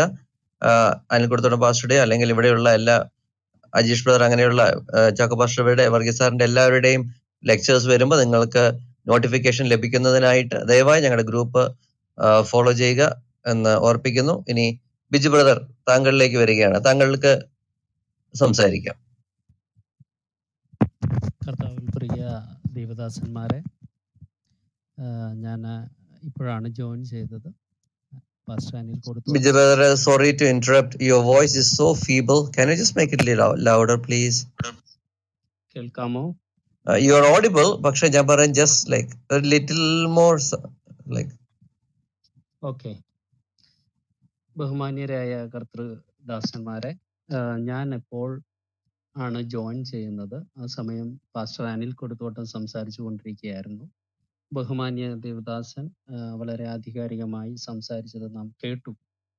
എനിക്ക് പറയാനുള്ള ചില കാര്യങ്ങൾ ഞാൻ സൂചിപ്പിക്കട്ടെ. ഇവിടെ ഇട്ട ടൈറ്റിലിന് അനുകൂലമായിട്ട് ഞാൻ സംസാരിക്കാൻ ആഗ്രഹിക്കുന്നു. രക്ഷയുടെ ദൈവ പദ്ധതിയെ തകിടം മറിക്കുന്ന ഒന്നാണ് ഇസ്ലാം എന്നുള്ളത്. ബാഹ്യമായി ഒറ്റനോട്ടത്തിൽ തന്നെ നമുക്ക് തിരിച്ചറിയാൻ കഴിയുന്നതാണ്. ക്രിസ്തുവിന്റെ ക്രൂശീകരണം അതിലൂടെ ക്രിസ്തു പറഞ്ഞ തന്റെ രക്തമുഖാന്തരമുള്ള പാപമോചനം ഇതെല്ലാം നിരാകരിക്കുന്ന ഒരു കോർ സിദ്ധാന്തമാണ് ഖുറാൻ മുന്നോട്ട് വെച്ചത്. അതുകൊണ്ട് തന്നെ ദൈവമൊരുക്കിയ രക്ഷയെ തകർക്കുക എന്നുള്ളത് പൈശാചികന്റെ ഒരു അനിവാര്യമായ കർത്തവ്യമാണ്. അപ്പോൾ അതിനു വേണ്ടിയിട്ടാണ് ഇസ്ലാമിൽ ഈ ആശയം മുന്നോട്ട് വെക്കപ്പെട്ടത്. രണ്ടാമത് യേശു ക്രിസ്തു ദൈവമാണ് അതേ സമയം ദൈവപുത്രനാണ് എന്നുള്ള വിശ്വാസത്തെ തകിടം മറിക്കുവാനുള്ള ശ്രമങ്ങളാണ് നടന്നിട്ടുള്ളത്. അതുകൊണ്ട് തന്നെ ദൈവികമായ പദ്ധതിക്ക് വിഭിന്നമായ ഒരു ശക്തിയാണ് ഖുറാനിൽ പ്രവർത്തിക്കുന്നതെന്ന് നമുക്ക് നിസ്സംശയം പറയുവാൻ സാധിക്കുന്നതാണ്. അങ്ങനെ വരുന്ന ഘട്ടത്തിൽ ഈ അള്ളാഹു ആരാണ് എന്നുള്ളത് നമ്മൾ പഠനങ്ങൾക്ക് വിധേയമാക്കേണ്ട ഒന്നാണ്. അള്ളാഹു എന്നത് ഇവിടെ പറഞ്ഞതുപോലെ തന്നെ മുന്നൂറ്ററുപത് ദൈവങ്ങളിൽ ഒരാൾ മാത്രമാണ്. പക്ഷേ ഇസ്ലാമിസ്റ്റുകൾ ഇന്ന് പറയുന്നത് വളരെ അധികം സത്യത്തെ കീഴ്മേൽ മറിക്കുന്ന തരത്തിലാണ്. അവർ പറയുന്നത് അള്ളാഹു ഒരു സുപ്രീം കോഡായിട്ട് അറേബ്യയിൽ ആരാധിക്കപ്പെട്ടിരുന്നു എന്നുള്ള രീതിയിലാണ്. മറ്റ് ദൈവങ്ങൾ ആയിട്ട് കണക്കാക്കപ്പെടുന്നവരൊക്കെ അള്ളാഹുവിനോട് സഹായം അഭ്യർത്ഥിക്കുന്നവർ അല്ലെങ്കിൽ മനുഷ്യരുടെ ഇടയിൽ നിൽക്കു മനുഷ്യർക്ക് വേണ്ടി ദൈവത്തിന്റെ ഇടയിൽ അള്ളാഹുവിന്റെ ഇടയിൽ നിൽക്കുന്നവരായിരുന്നു എന്നാണ് നുണ പ്രചരിപ്പിക്കുന്നത്. എന്നാൽ അത് വളരെയധികം തെറ്റാണെന്ന് നമ്മൾ ഈയിടെ കണ്ടു കഴിഞ്ഞു. അൽ ആലിഹത്ത് എന്നുള്ള പദപ്രയോഗം അൽ ഇലാഹിന്റെ ബഹുവചനമായ അൽ ആലിഹത്തിന്റെ പദപ്രയോഗം സൂചിപ്പിക്കുന്നത് അവർ എല്ലാവരും പ്രമുഖ ദൈവമായിട്ടാണ് അവരുടെ ഓരോ ദൈവങ്ങളെയും കണ്ടിരുന്നതെന്നാണ്. അതുകൂടാതെ ഇപ്പോൾ പറയാൻ പോകുന്ന ഒരു പ്രധാന പോയിന്റ് എന്നാൽ അല്ലാഹു അക്ബർ എന്നുള്ള ഒരു ധ്വനി ഇവരുടെ ഉണ്ട്. ഇവരുടെ ഒരു മുദ്രാവാക്യമുണ്ട്. അല്ലാഹു അക്ബർ എന്നുള്ളത്. ഈ അല്ലാഹു അക്ബർ എന്ന് പറയുന്ന പദപ്രയോഗം അല്ലാഹു ഗ്രേറ്റർ ദാൻ അതർ ഗാഡ്സ് എന്നാണ് ശരിക്കുമുള്ള അർത്ഥം. ഗ്രേറ്റർ എന്നാണ്. പക്ഷെ ഗ്രേറ്റസ്റ്റ് എന്നല്ല. അല്ലാഹു അൽ അക്ബർ എന്നുള്ളതാണ് ഗ്രേറ്റസ്റ്റ് എന്ന് പറയുക അപ്പോൾ ഈ അല്ലാഹു അക്ബർ എന്നത് മുസ്ലിങ്ങളുടെ മാത്രമായിട്ടുള്ള ഒരു മുദ്രാവാക്യമാണ് അറേബ്യയിൽ. അറേബ്യയിൽ ഒരിടത്തു പോലും അല്ലാഹു എന്ന് പറയുന്ന അല്ലാഹു അക്ബർ എന്നുള്ള ഒരു ധ്വനി ഏതെങ്കിലും ഒരു ഗോത്രം ജാഹിലിയ കാലത്ത് നടത്തിയതായിട്ട് തെളിവില്ല. അങ്ങനെ രേഖകളില്ല. അനേകം പോയംസ് ഉണ്ട്. കവിതകൾ കണ്ടെത്തിയിട്ടുണ്ട്. ഇൻസ്ക്രിപ്ഷൻസ് കണ്ടെത്തിയിട്ടുണ്ട്. പക്ഷേ അല്ലിലാഹ് എന്നുള്ള ക്രൈസ്തവരുടെ പ്രയോഗങ്ങൾ കണ്ടെത്തിയിട്ടുണ്ട് ഇൻസ്ക്രിപ്ഷൻസ് കണ്ടെത്തിയിട്ടുണ്ട്. എന്നാൽ ഒരിക്കൽ പോലും ഈ അല്ലാഹു അക്ബർ എന്ന് ആരും വിളിച്ചതായി കാണുന്നില്ല. മുസ്ലിങ്ങൾ ഒഴിച്ച്. അപ്പോൾ അത് സൂചിപ്പിക്കുന്നത് ഈ അല്ലാഹു എന്ന് പറയുന്നത് എല്ലാ ദൈവങ്ങളിലും പെട്ട ഒരു ദൈവം മാത്രമായിരുന്നു എന്നുള്ളതാണ് അത് സൂചിപ്പിക്കുന്ന പ്രധാന. ഇവരുടെ മുദ്രാവാക്യം തന്നെ ഇവർക്ക് ഏറ്റവും വലിയ വെട്ടായിട്ട് ഇപ്പോൾ മാറുന്ന ഒരു കാഴ്ചയാണ് നമുക്ക് കാണുവാൻ സാധിക്കുന്നത്. അല്ലാഹു അക്ബർ എന്നുള്ള പദപ്രയോഗം ഇവരെ കൊടുക്കുകയാണ് സത്യത്തിൽ ചെയ്യുന്നത്. അപ്പോൾ ഇങ്ങനെ സാഹചര്യങ്ങൾ ഇരിക്കെ പിന്നെ മറ്റൊരു കാര്യം ഈ അല്ലാഹുവിന്റെ സഹായം തേടുന്ന മറ്റു ദൈവങ്ങൾ എന്ന് പറയുന്നത് പച്ച നുണയാണ്. കാരണം ഈ അറേബ്യയിലെ ഈ ഖുറേഷി ഗോത്രത്തിന്റെ ഒരു വിശ്വാസമായിരുന്നു. അല്ലാഹുവിന്റെ ഇടയിൽ മനാത്ത ലാത്ത ഉസ എന്നീ ദൈവങ്ങൾ ഉണ്ടെന്നുള്ളത് ദേവതകൾ ഉണ്ടെന്നുള്ളത് അവരുടെ മക്ക അല്ലാഹുവിന്റെ മക്കളാണെന്നും അവരാണ് മനുഷ്യർക്ക് സഹായം തേടിത്തരുന്നതെന്നുള്ള ഒരു വിശ്വാസം ഈ പാഗൻ ഖുറേഷികൾക്കുണ്ടായിരുന്നു. ഈ ഖുറൈശി വിശ്വാസം വെച്ചിട്ട് ബഹുഭൂരിപക്ഷം മുസ്ലിങ്ങളും ക്രൈസ്തവരെ തെറ്റിക്കാൻ നോക്കുന്നത് ഈ അല്ലാഹുവിന് സഹായം തേടുന്നതായിരുന്നു മറ്റ് ദൈവങ്ങളെന്ന നെവർ ഒരിക്കലും അങ്ങനെയല്ല. ഒരു ചരിത്രത്തിലും ഒരു ഇസ്ലാമിക രേഖകളിലും അങ്ങനെ കാണുന്നില്ല. മറിച്ച് അത് ആരോപണം മാത്രമാണ്. പക്ഷെ ഖുറേഷികൾ ഇങ്ങനെ ഒരു കാര്യം പറയുന്നുണ്ട് സഹായം തേടിയിരുന്നെന്ന് ഖുറാനിൽ പറയുന്നതൊക്കെ എല്ലാം ഖുറേഷികളുടെ ആ വികലമായ വിശ്വാസത്തെ സംബന്ധിച്ചാണ്. പക്ഷെ അറേബ്യയിലുള്ള എല്ലാ ദൈവങ്ങളും അല്ലാഹുവിന്റെ അടുത്ത് തേടിയിരുന്നു എന്നുള്ളത് അതിന് ഒരു തെളിവും ഇല്ല. അപ്പോൾ ഇങ്ങനെ വരുമ്പോൾ അല്ലാഹു അനേകം ദൈവങ്ങളിൽ ഒരാളായ ഒരു ഒരു ദൈവം മാത്രമാണെന്നുള്ളത് കാണുവാൻ കഴിയുന്നു. നമ്മുടെ രക്ഷയെ തകിടം മറിക്കുന്ന വിശ്വാസങ്ങൾ അവർ പടുത്തുയർത്തിയത് കൊണ്ട് തന്നെ നമുക്ക് ഈ ഏറ്റവും നന്നായിട്ട് അനുമാനിക്കാം അത് സാത്താനികമാണെന്ന്. ഞാൻ നേരത്തെ ഈ ക്ലബ് ഹൗസിൽ സൂചിപ്പിച്ചതുപോലെ യഹൂദ വിരോധമായിട്ട് യഹൂദന്മാർക്ക് എതിരെ അവർ ഒരു സമുദായമല്ല എന്ന് പ്രഖ്യാപിച്ചതാണ് അള്ളാഹു എന്ന് പറയുന്ന ദൈവം. അവർ ഇനി ഒരു സമുദായമല്ല.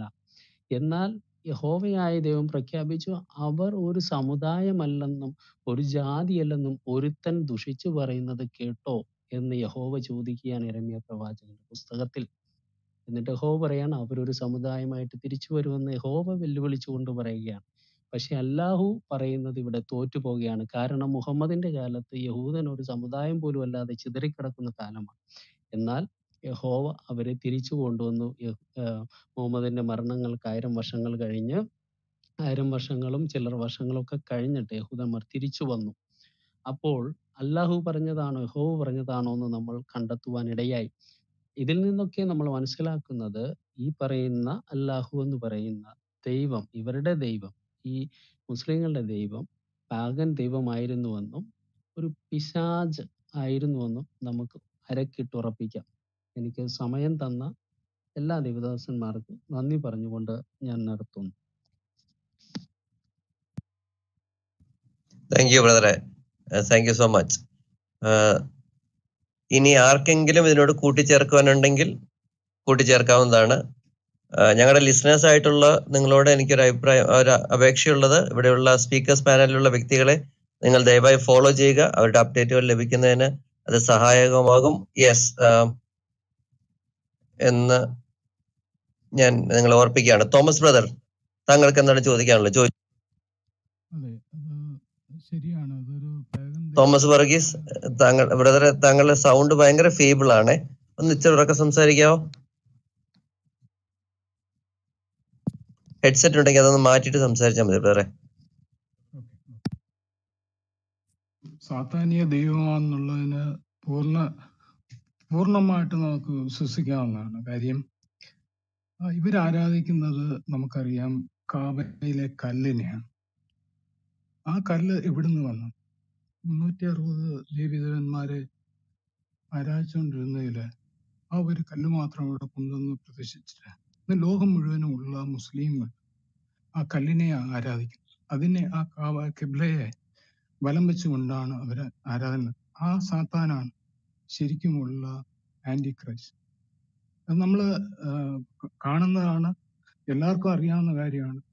ഇവർ മാടിന് ബലി കൊടുത്താൽ എന്തിനും ബലി കൊടുത്താൽ കിബ്ലയ്ക്ക് നേരെയാണ് തിരിഞ്ഞത് അവർ ശരിക്കും ആരാധിക്കുന്നതും അവരുടെ എന്ത് വാങ്ക് വിളിക്കുന്നതും അവരുടെ പള്ളി ആ കെബിലയെ നോക്കിയാണ് അവർ പണിതിട്ടുള്ളതും എല്ലാവരും ഈ കെബിലയെ നോക്കിയാണ് വണങ്ങുന്നത് അത് ഒരു സത്യമാണ്. അപ്പം ഇത് സാത്താന്യ ആരാധന എന്നുള്ളതിന്റെ നൂറ് ശതമാനം അടിയുറയ്ക്കുന്നു. ആർക്കെങ്കിലും കൂട്ടിച്ചേർക്കാമെങ്കിൽ ചേർക്കാം. പ്രധാന സത്യം. Thank you brother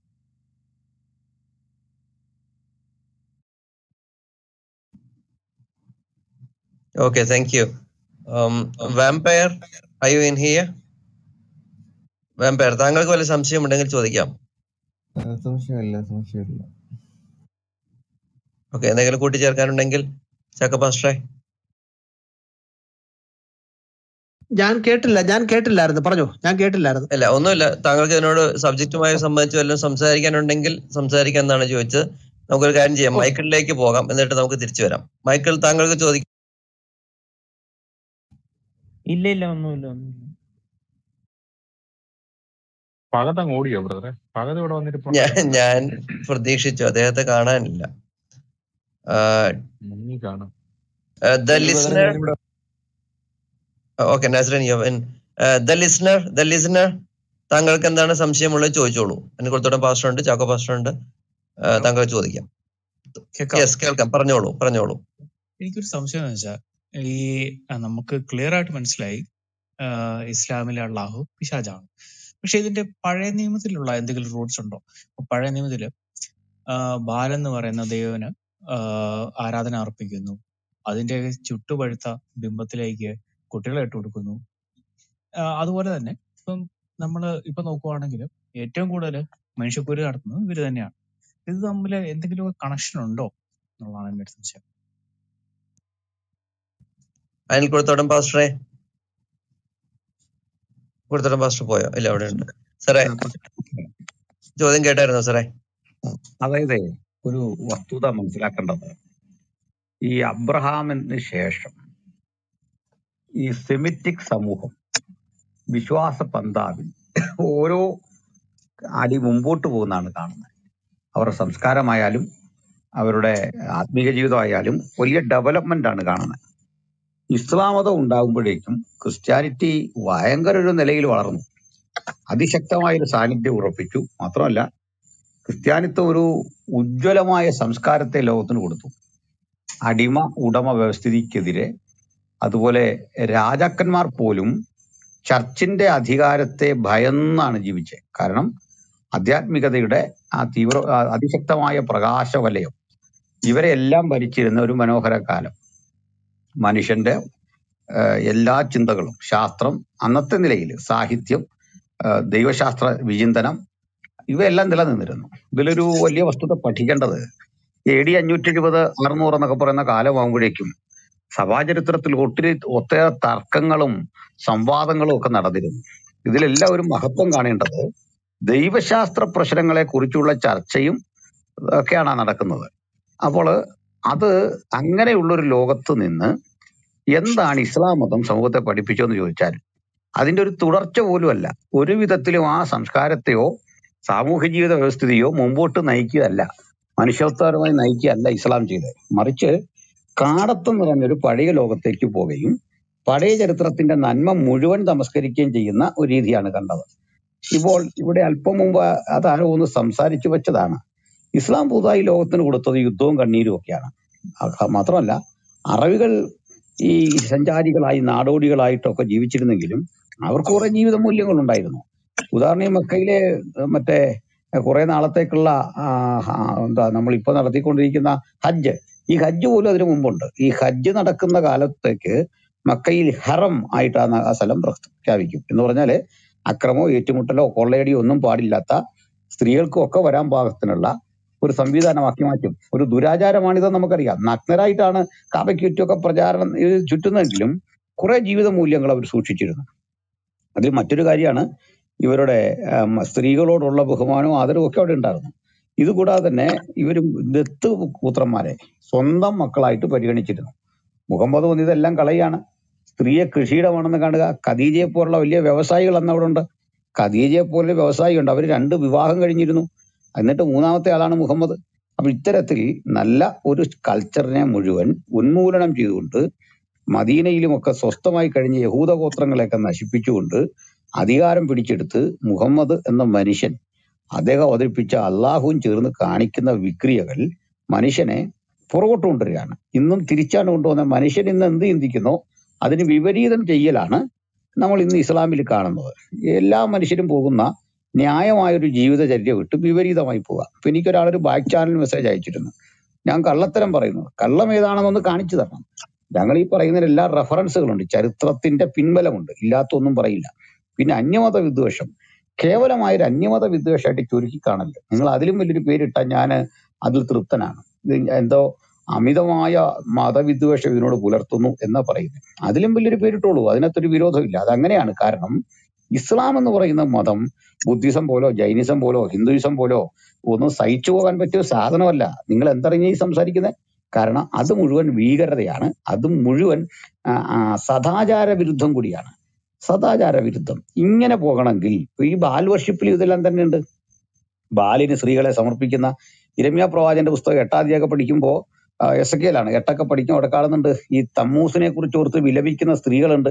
അപ്പോൾ അവരെ ആ ആ ആരാധനയെക്കുറിച്ചൊന്നും പൊതു സമൂഹത്തിൽ പറയാനായിട്ട് പറ്റില്ല. അന്ന് നിലനിന്നിരുന്ന ഒരുതരം ആരാധനാ രീതിയായിരുന്നു ഈ സ്ത്രീകളുടെ ജനനേന്ദ്രിയത്തിന്റെ ആകൃതിയുള്ള കല്ലുകളിൽ പുരുഷന്മാർ തങ്ങളുടെ ജനനേന്ദ്രിയം സ്പർശിച്ചിട്ട് പോരുക. ഇതുപോലെ തിരിച്ചും. അപ്പൊ കാബായിലെ കല്ലുമൊക്കെ ഏതാണ്ട് ഇതേ സംഗതിയാണ്. ലാത്തയുടെ ജനനേന്ദ്രിയത്തെയാണ് അത് അനുസ്മരിപ്പിക്കുന്നത്. ഇത്തരത്തിലുള്ള കാര്യങ്ങളാണ് ഇന്നും തുടർന്നുകൊണ്ടിരിക്കുന്നത്. അല്ലെങ്കിൽ ഈ കല്ലെന്തുവാ? ഈ കല്ലിന് ഏതാണ്ട് വലിയ പവിത്രതയുണ്ടോ? അപ്പൊ ഇതൊക്കെ പ്രാകൃതമായ ആചാര അനുഷ്ഠാനങ്ങളാണ് പിന്നെ അവിടെ ഈ ദേവദാസി സമ്പ്രദായം പോലെയൊക്കെയുള്ള വൃത്തിഹീനങ്ങളായ രീതികൾ നിലനിന്നിരുന്നു. ഇത് ഇന്ന് പെർമിറ്റോടെ ചെയ്യുന്ന ഒരു മതമാണ് ഇസ്ലാം മതം. ഏത് കാര്യം? നമുക്കറിയാം എല്ലാ മതങ്ങളും ഏതെങ്കിലും രൂപത്തിൽ വ്യഭിചാരത്തെ എതിർക്കുന്നു. അസാൻമാർഗ ജീവിതത്തെ എതിർക്കുന്നു. പക്ഷെ ഇസ്ലാം അത് പെർമിറ്റോടെ ചെയ്തിട്ട് വേറെ വ്യഭിചാരത്തിന് വേറൊരു നിർവചനം കണ്ടുപിടിക്കുന്നു. ഇപ്പൊ ക്രിസ്ത്യാനിയോട് പറയുക what is adultery according to you നിങ്ങളുടെ വീക്ഷണത്തിൽ എന്താണ് അഡൾട്ടറി ക്രിസ്ത്യാനിക്ക് കൃത്യ ഒരു മറുപടി ഉണ്ട് ഹിന്ദുവിന് ഒരു മറുപടി ഉണ്ട്. എന്താ ഭാര്യ ഉണ്ടായിരിക്കാൻ പുറത്തു പോയിട്ട് തെറ്റായി ജീവിക്കുന്നത് അഡൾട്ടറിയാണ് അത് അങ്ങനെയാ കാണുന്നത്. ഇസ്ലാമിന് അങ്ങനെയല്ല. ഭാര്യമാരുണ്ടാകാം. അത് നാല് പേരെ മിനിമം ആകാം. നബിക്ക് മാത്രം പത്താകാം. അത് കൊച്ചുകുട്ടിയടക്കാകാം ഒരു പ്രശ്നമില്ല അപ്പോൾ പെർമിറ്റ് ചെയ്ത് കൊടുക്കുകയാണിത്. അടുത്തത് അടിമത്തം പെർമിറ്റ് ചെയ്ത് കൊടുക്കുകയാണ്. പണ്ട് കാലത്ത് പല മതങ്ങളിലും അടിമത്വവും പ്രശ്നങ്ങളും ഒക്കെ നിലനിന്നിരുന്നു. അതിൽ നിന്നൊക്കെ മതങ്ങൾ നവീകരിക്കപ്പെടുമ്പോൾ അടിമ സ്ത്രീകളെ ഭോഗിക്കാം. സ്ത്രീകൾ നിങ്ങളുടെ കൃഷിയിടമാകുന്നു കൃഷിയിടങ്ങളിലേക്ക് ചെല്ലാം എന്നൊക്കെ പറഞ്ഞ് പഠിപ്പിക്കുന്ന അധർമ്മത്തെ ജസ്റ്റിഫൈ ചെയ്യുന്ന ഒരു വിശ്വാസം. എനിക്ക് കമന്റ് ഇട്ട മാന്യ സ്നേഹിതനെ അങ്ങ് ഓർത്തു നോക്കൂ. ഇതേ രീതിയിൽ ലോകം പോയാൽ എവിടേക്ക് പോകും? ലഷ്കർ ഇ തോയിബയായിട്ട് അതുപോലെ താലിബാനായിട്ട് ഇങ്ങനെ നമ്മളെ എല്ലാം നശിപ്പിച്ചു കളയുന്ന ഒരു സംസ്കാരത്തോടുള്ള നമ്മുടെ യുദ്ധം കൂടിയാണിത്. അതുകൊണ്ടാണ് ഞങ്ങൾ ഇത്ര മൂർച്ചയോട് ഇത് സംസാരിക്കുന്നത്. ഇനി ഒരു തലമുറ വന്ന് ഇങ്ങനെ നശിച്ചു പോകാനായിട്ട് പാടില്ല. അല്ലാതെ ജനസാമാന്യങ്ങളായ ഈ രാജ്യത്തെ മുസ്ലിം സഹോദരന്മാരോട് ഞങ്ങൾക്ക് ഒരു വിരോധവുമില്ല. ഞങ്ങൾ പതിവായി പറയുന്ന കാര്യം ആവർത്തിക്കുന്നു. ഇസ്ലാമിസത്തിന്റെ ആദ്യത്തെ വിക്ടിംസ് മുസ്ലിങ്ങൾ തന്നെയാണ്. കാരണം മറ്റുള്ളവരെ കൊന്നതിലധികം ഇസ്ലാമിയർ മുസ്ലിങ്ങളെ കൊന്നിട്ടുണ്ട്. അത് മുഹമ്മദ് നബിയുടെ കാലം മുതൽ നടക്കുന്ന കാര്യമാണ്. അവർ ഏറ്റവും അധികം കൊന്ന ആരെയെന്ന് ചോദിച്ചാൽ മുസ്ലിങ്ങളെ. ആ കൊലയുടെ പരമ്പരയിൽ പ്രവാചകന്റെ ആന്തരികൾ രണ്ടുപേരുണ്ടായിരുന്നു പൗത്രന്മാര്. അവരെ പോലും അലിയുടെ മക്കൾ അല്ലെങ്കിൽ ഫാത്തിമയുടെ മക്കൾ അവരെ അവർ പോലും മുസ്ലിങ്ങളാൽ വധിക്കപ്പെട്ടു എന്നുള്ളതാണ് ദാരുണമായ അതിന്റെ ചരിത്രം. താങ്കൾ ചോദിച്ച ചോദ്യത്തെ ഇങ്ങനെ ഞാൻ പറഞ്ഞ് മനസ്സിലാക്കട്ടെ. ബാൽദേവനെ ആരാധിച്ച അവിടെ കണ്ട എല്ലാത്തരം തിന്മയും അത് ഒട്ടും കുറവായിട്ടല്ല അതിലും കൂടുതലായ ഒരു നിലയിൽ ഇസ്ലാം നിലനിർത്തി പോരുന്നു എന്നുള്ളതാണ് ഇതിന് അബ്രഹാമിക വിശ്വാസ പാരമ്പര്യമായിട്ട് യാതൊരു തരത്തിലും ബന്ധമില്ല. ഒരു കാര്യം കൂട്ടിച്ചേർക്കാമോ? പറയൂ. പറയൂ പറയൂ ബിജു ലിസണർ ചോദിച്ച ഒരു ചോദ്യം എന്ന് പറയുമ്പം ബാൽ എന്ന ദേവനുമായിട്ട് ഈ അള്ളാഹുവിന് എന്തെങ്കിലും ഒരു ബന്ധമുണ്ടോ എന്ന തരത്തിലാണ്. ഇവിടെ ബാൽ എന്ന് പറയുമ്പോൾ നമ്മൾ ശ്രദ്ധിക്കേണ്ടത് ദൈവം എന്ന പേരിൽ ദൈവം എന്നത് ഒരു സാമാന്യ പദമായിരിക്കെ. ദൈവം എന്ന പേര് ഇപ്പോൾ തമ്പുരാൻ എന്ന് പറയുന്ന ഒരാൾക്കൊരു പേരുണ്ടായാലുള്ള സ്ഥിതി നിങ്ങൾ ആലോചിച്ചു നോക്കുക. തമ്പുരാൻ എന്നുള്ളത് ഒരു കോമൺ പദമാണ് പക്ഷെ തമ്പുരാൻ എന്നുള്ള പേരുള്ള ഒരാൾ. അതുപോലെ ദൈവം എന്ന സാമാന്യ നാമം എന്നാൽ ദൈവം എന്ന പേരുള്ള ഒരു വ്യക്തി. ഇതുപോലെയാണ് എല്ലാ മതങ്ങളിലും ചില ആ നാ ആ നാടുകളിലെ ഇസ്രയേൽ അടക്കമുള്ള ആ നാടുകളിലെ ഒരു പ്രശ്നം അതായിരുന്നു. ബാൽ എന്ന് പറഞ്ഞാൽ തന്നെ അർത്ഥം ദൈവം എന്നാണ്.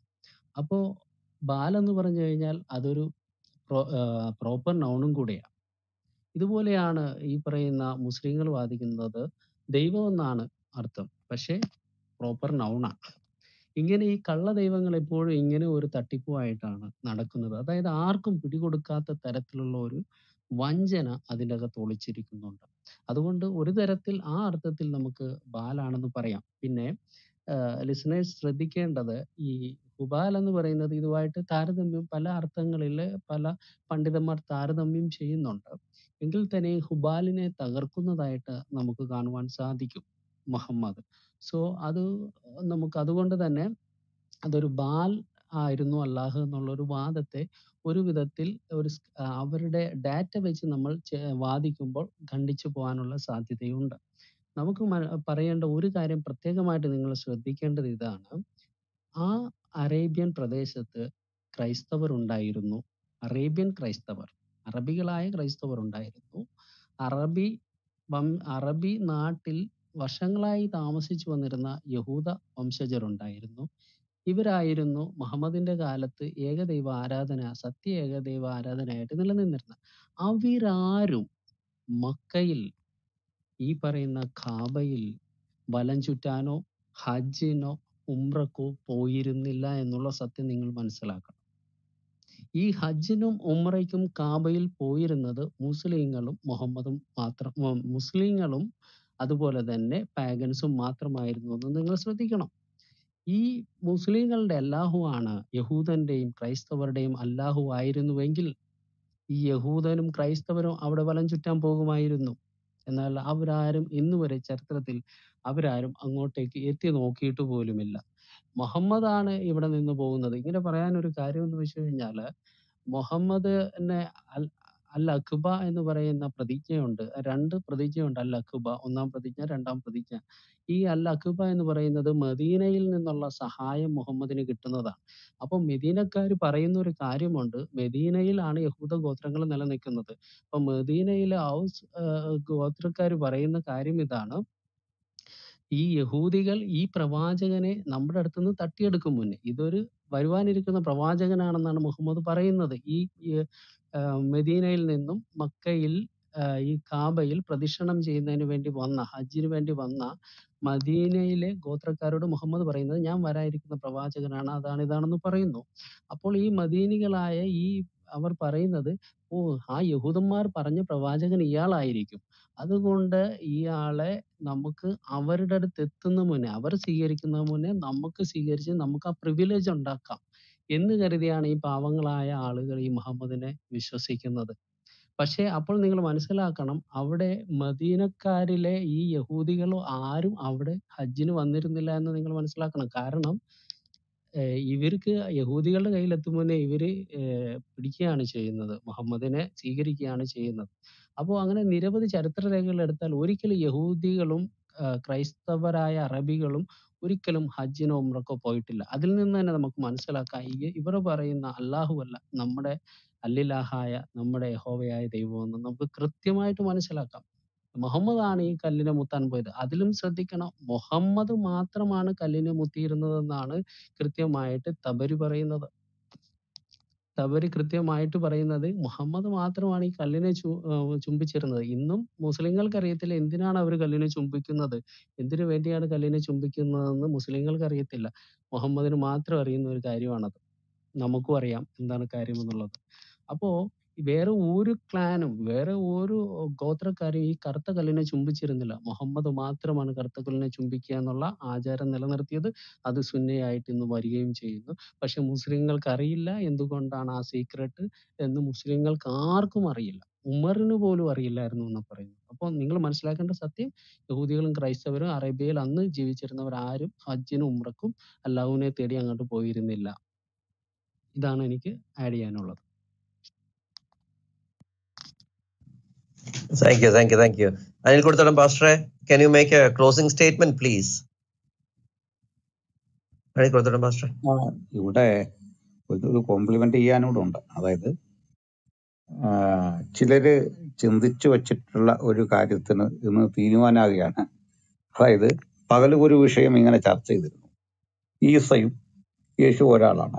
അല്ലെന്നുള്ളതാണ് സത്യം.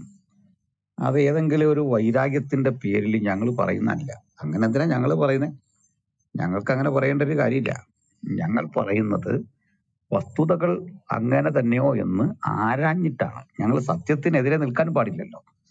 അപ്പോൾ ഇന്ന് നമ്മുടെ സമൂഹം നേരിടുന്ന ഏറ്റവും വലിയ വിപത്ത് ഇസ്ലാമാണ്. അത് ചോരച്ചൊരിച്ചിലിന്റെ കിരാതമായ അധ്യായങ്ങളെ വീണ്ടും രചിച്ചുകൊണ്ടിരിക്കുകയാണ്. ഒരു സിംഗിൾ ഉദാഹരണം. നമ്മുടെ തൊട്ടു മുമ്പിലാണ്.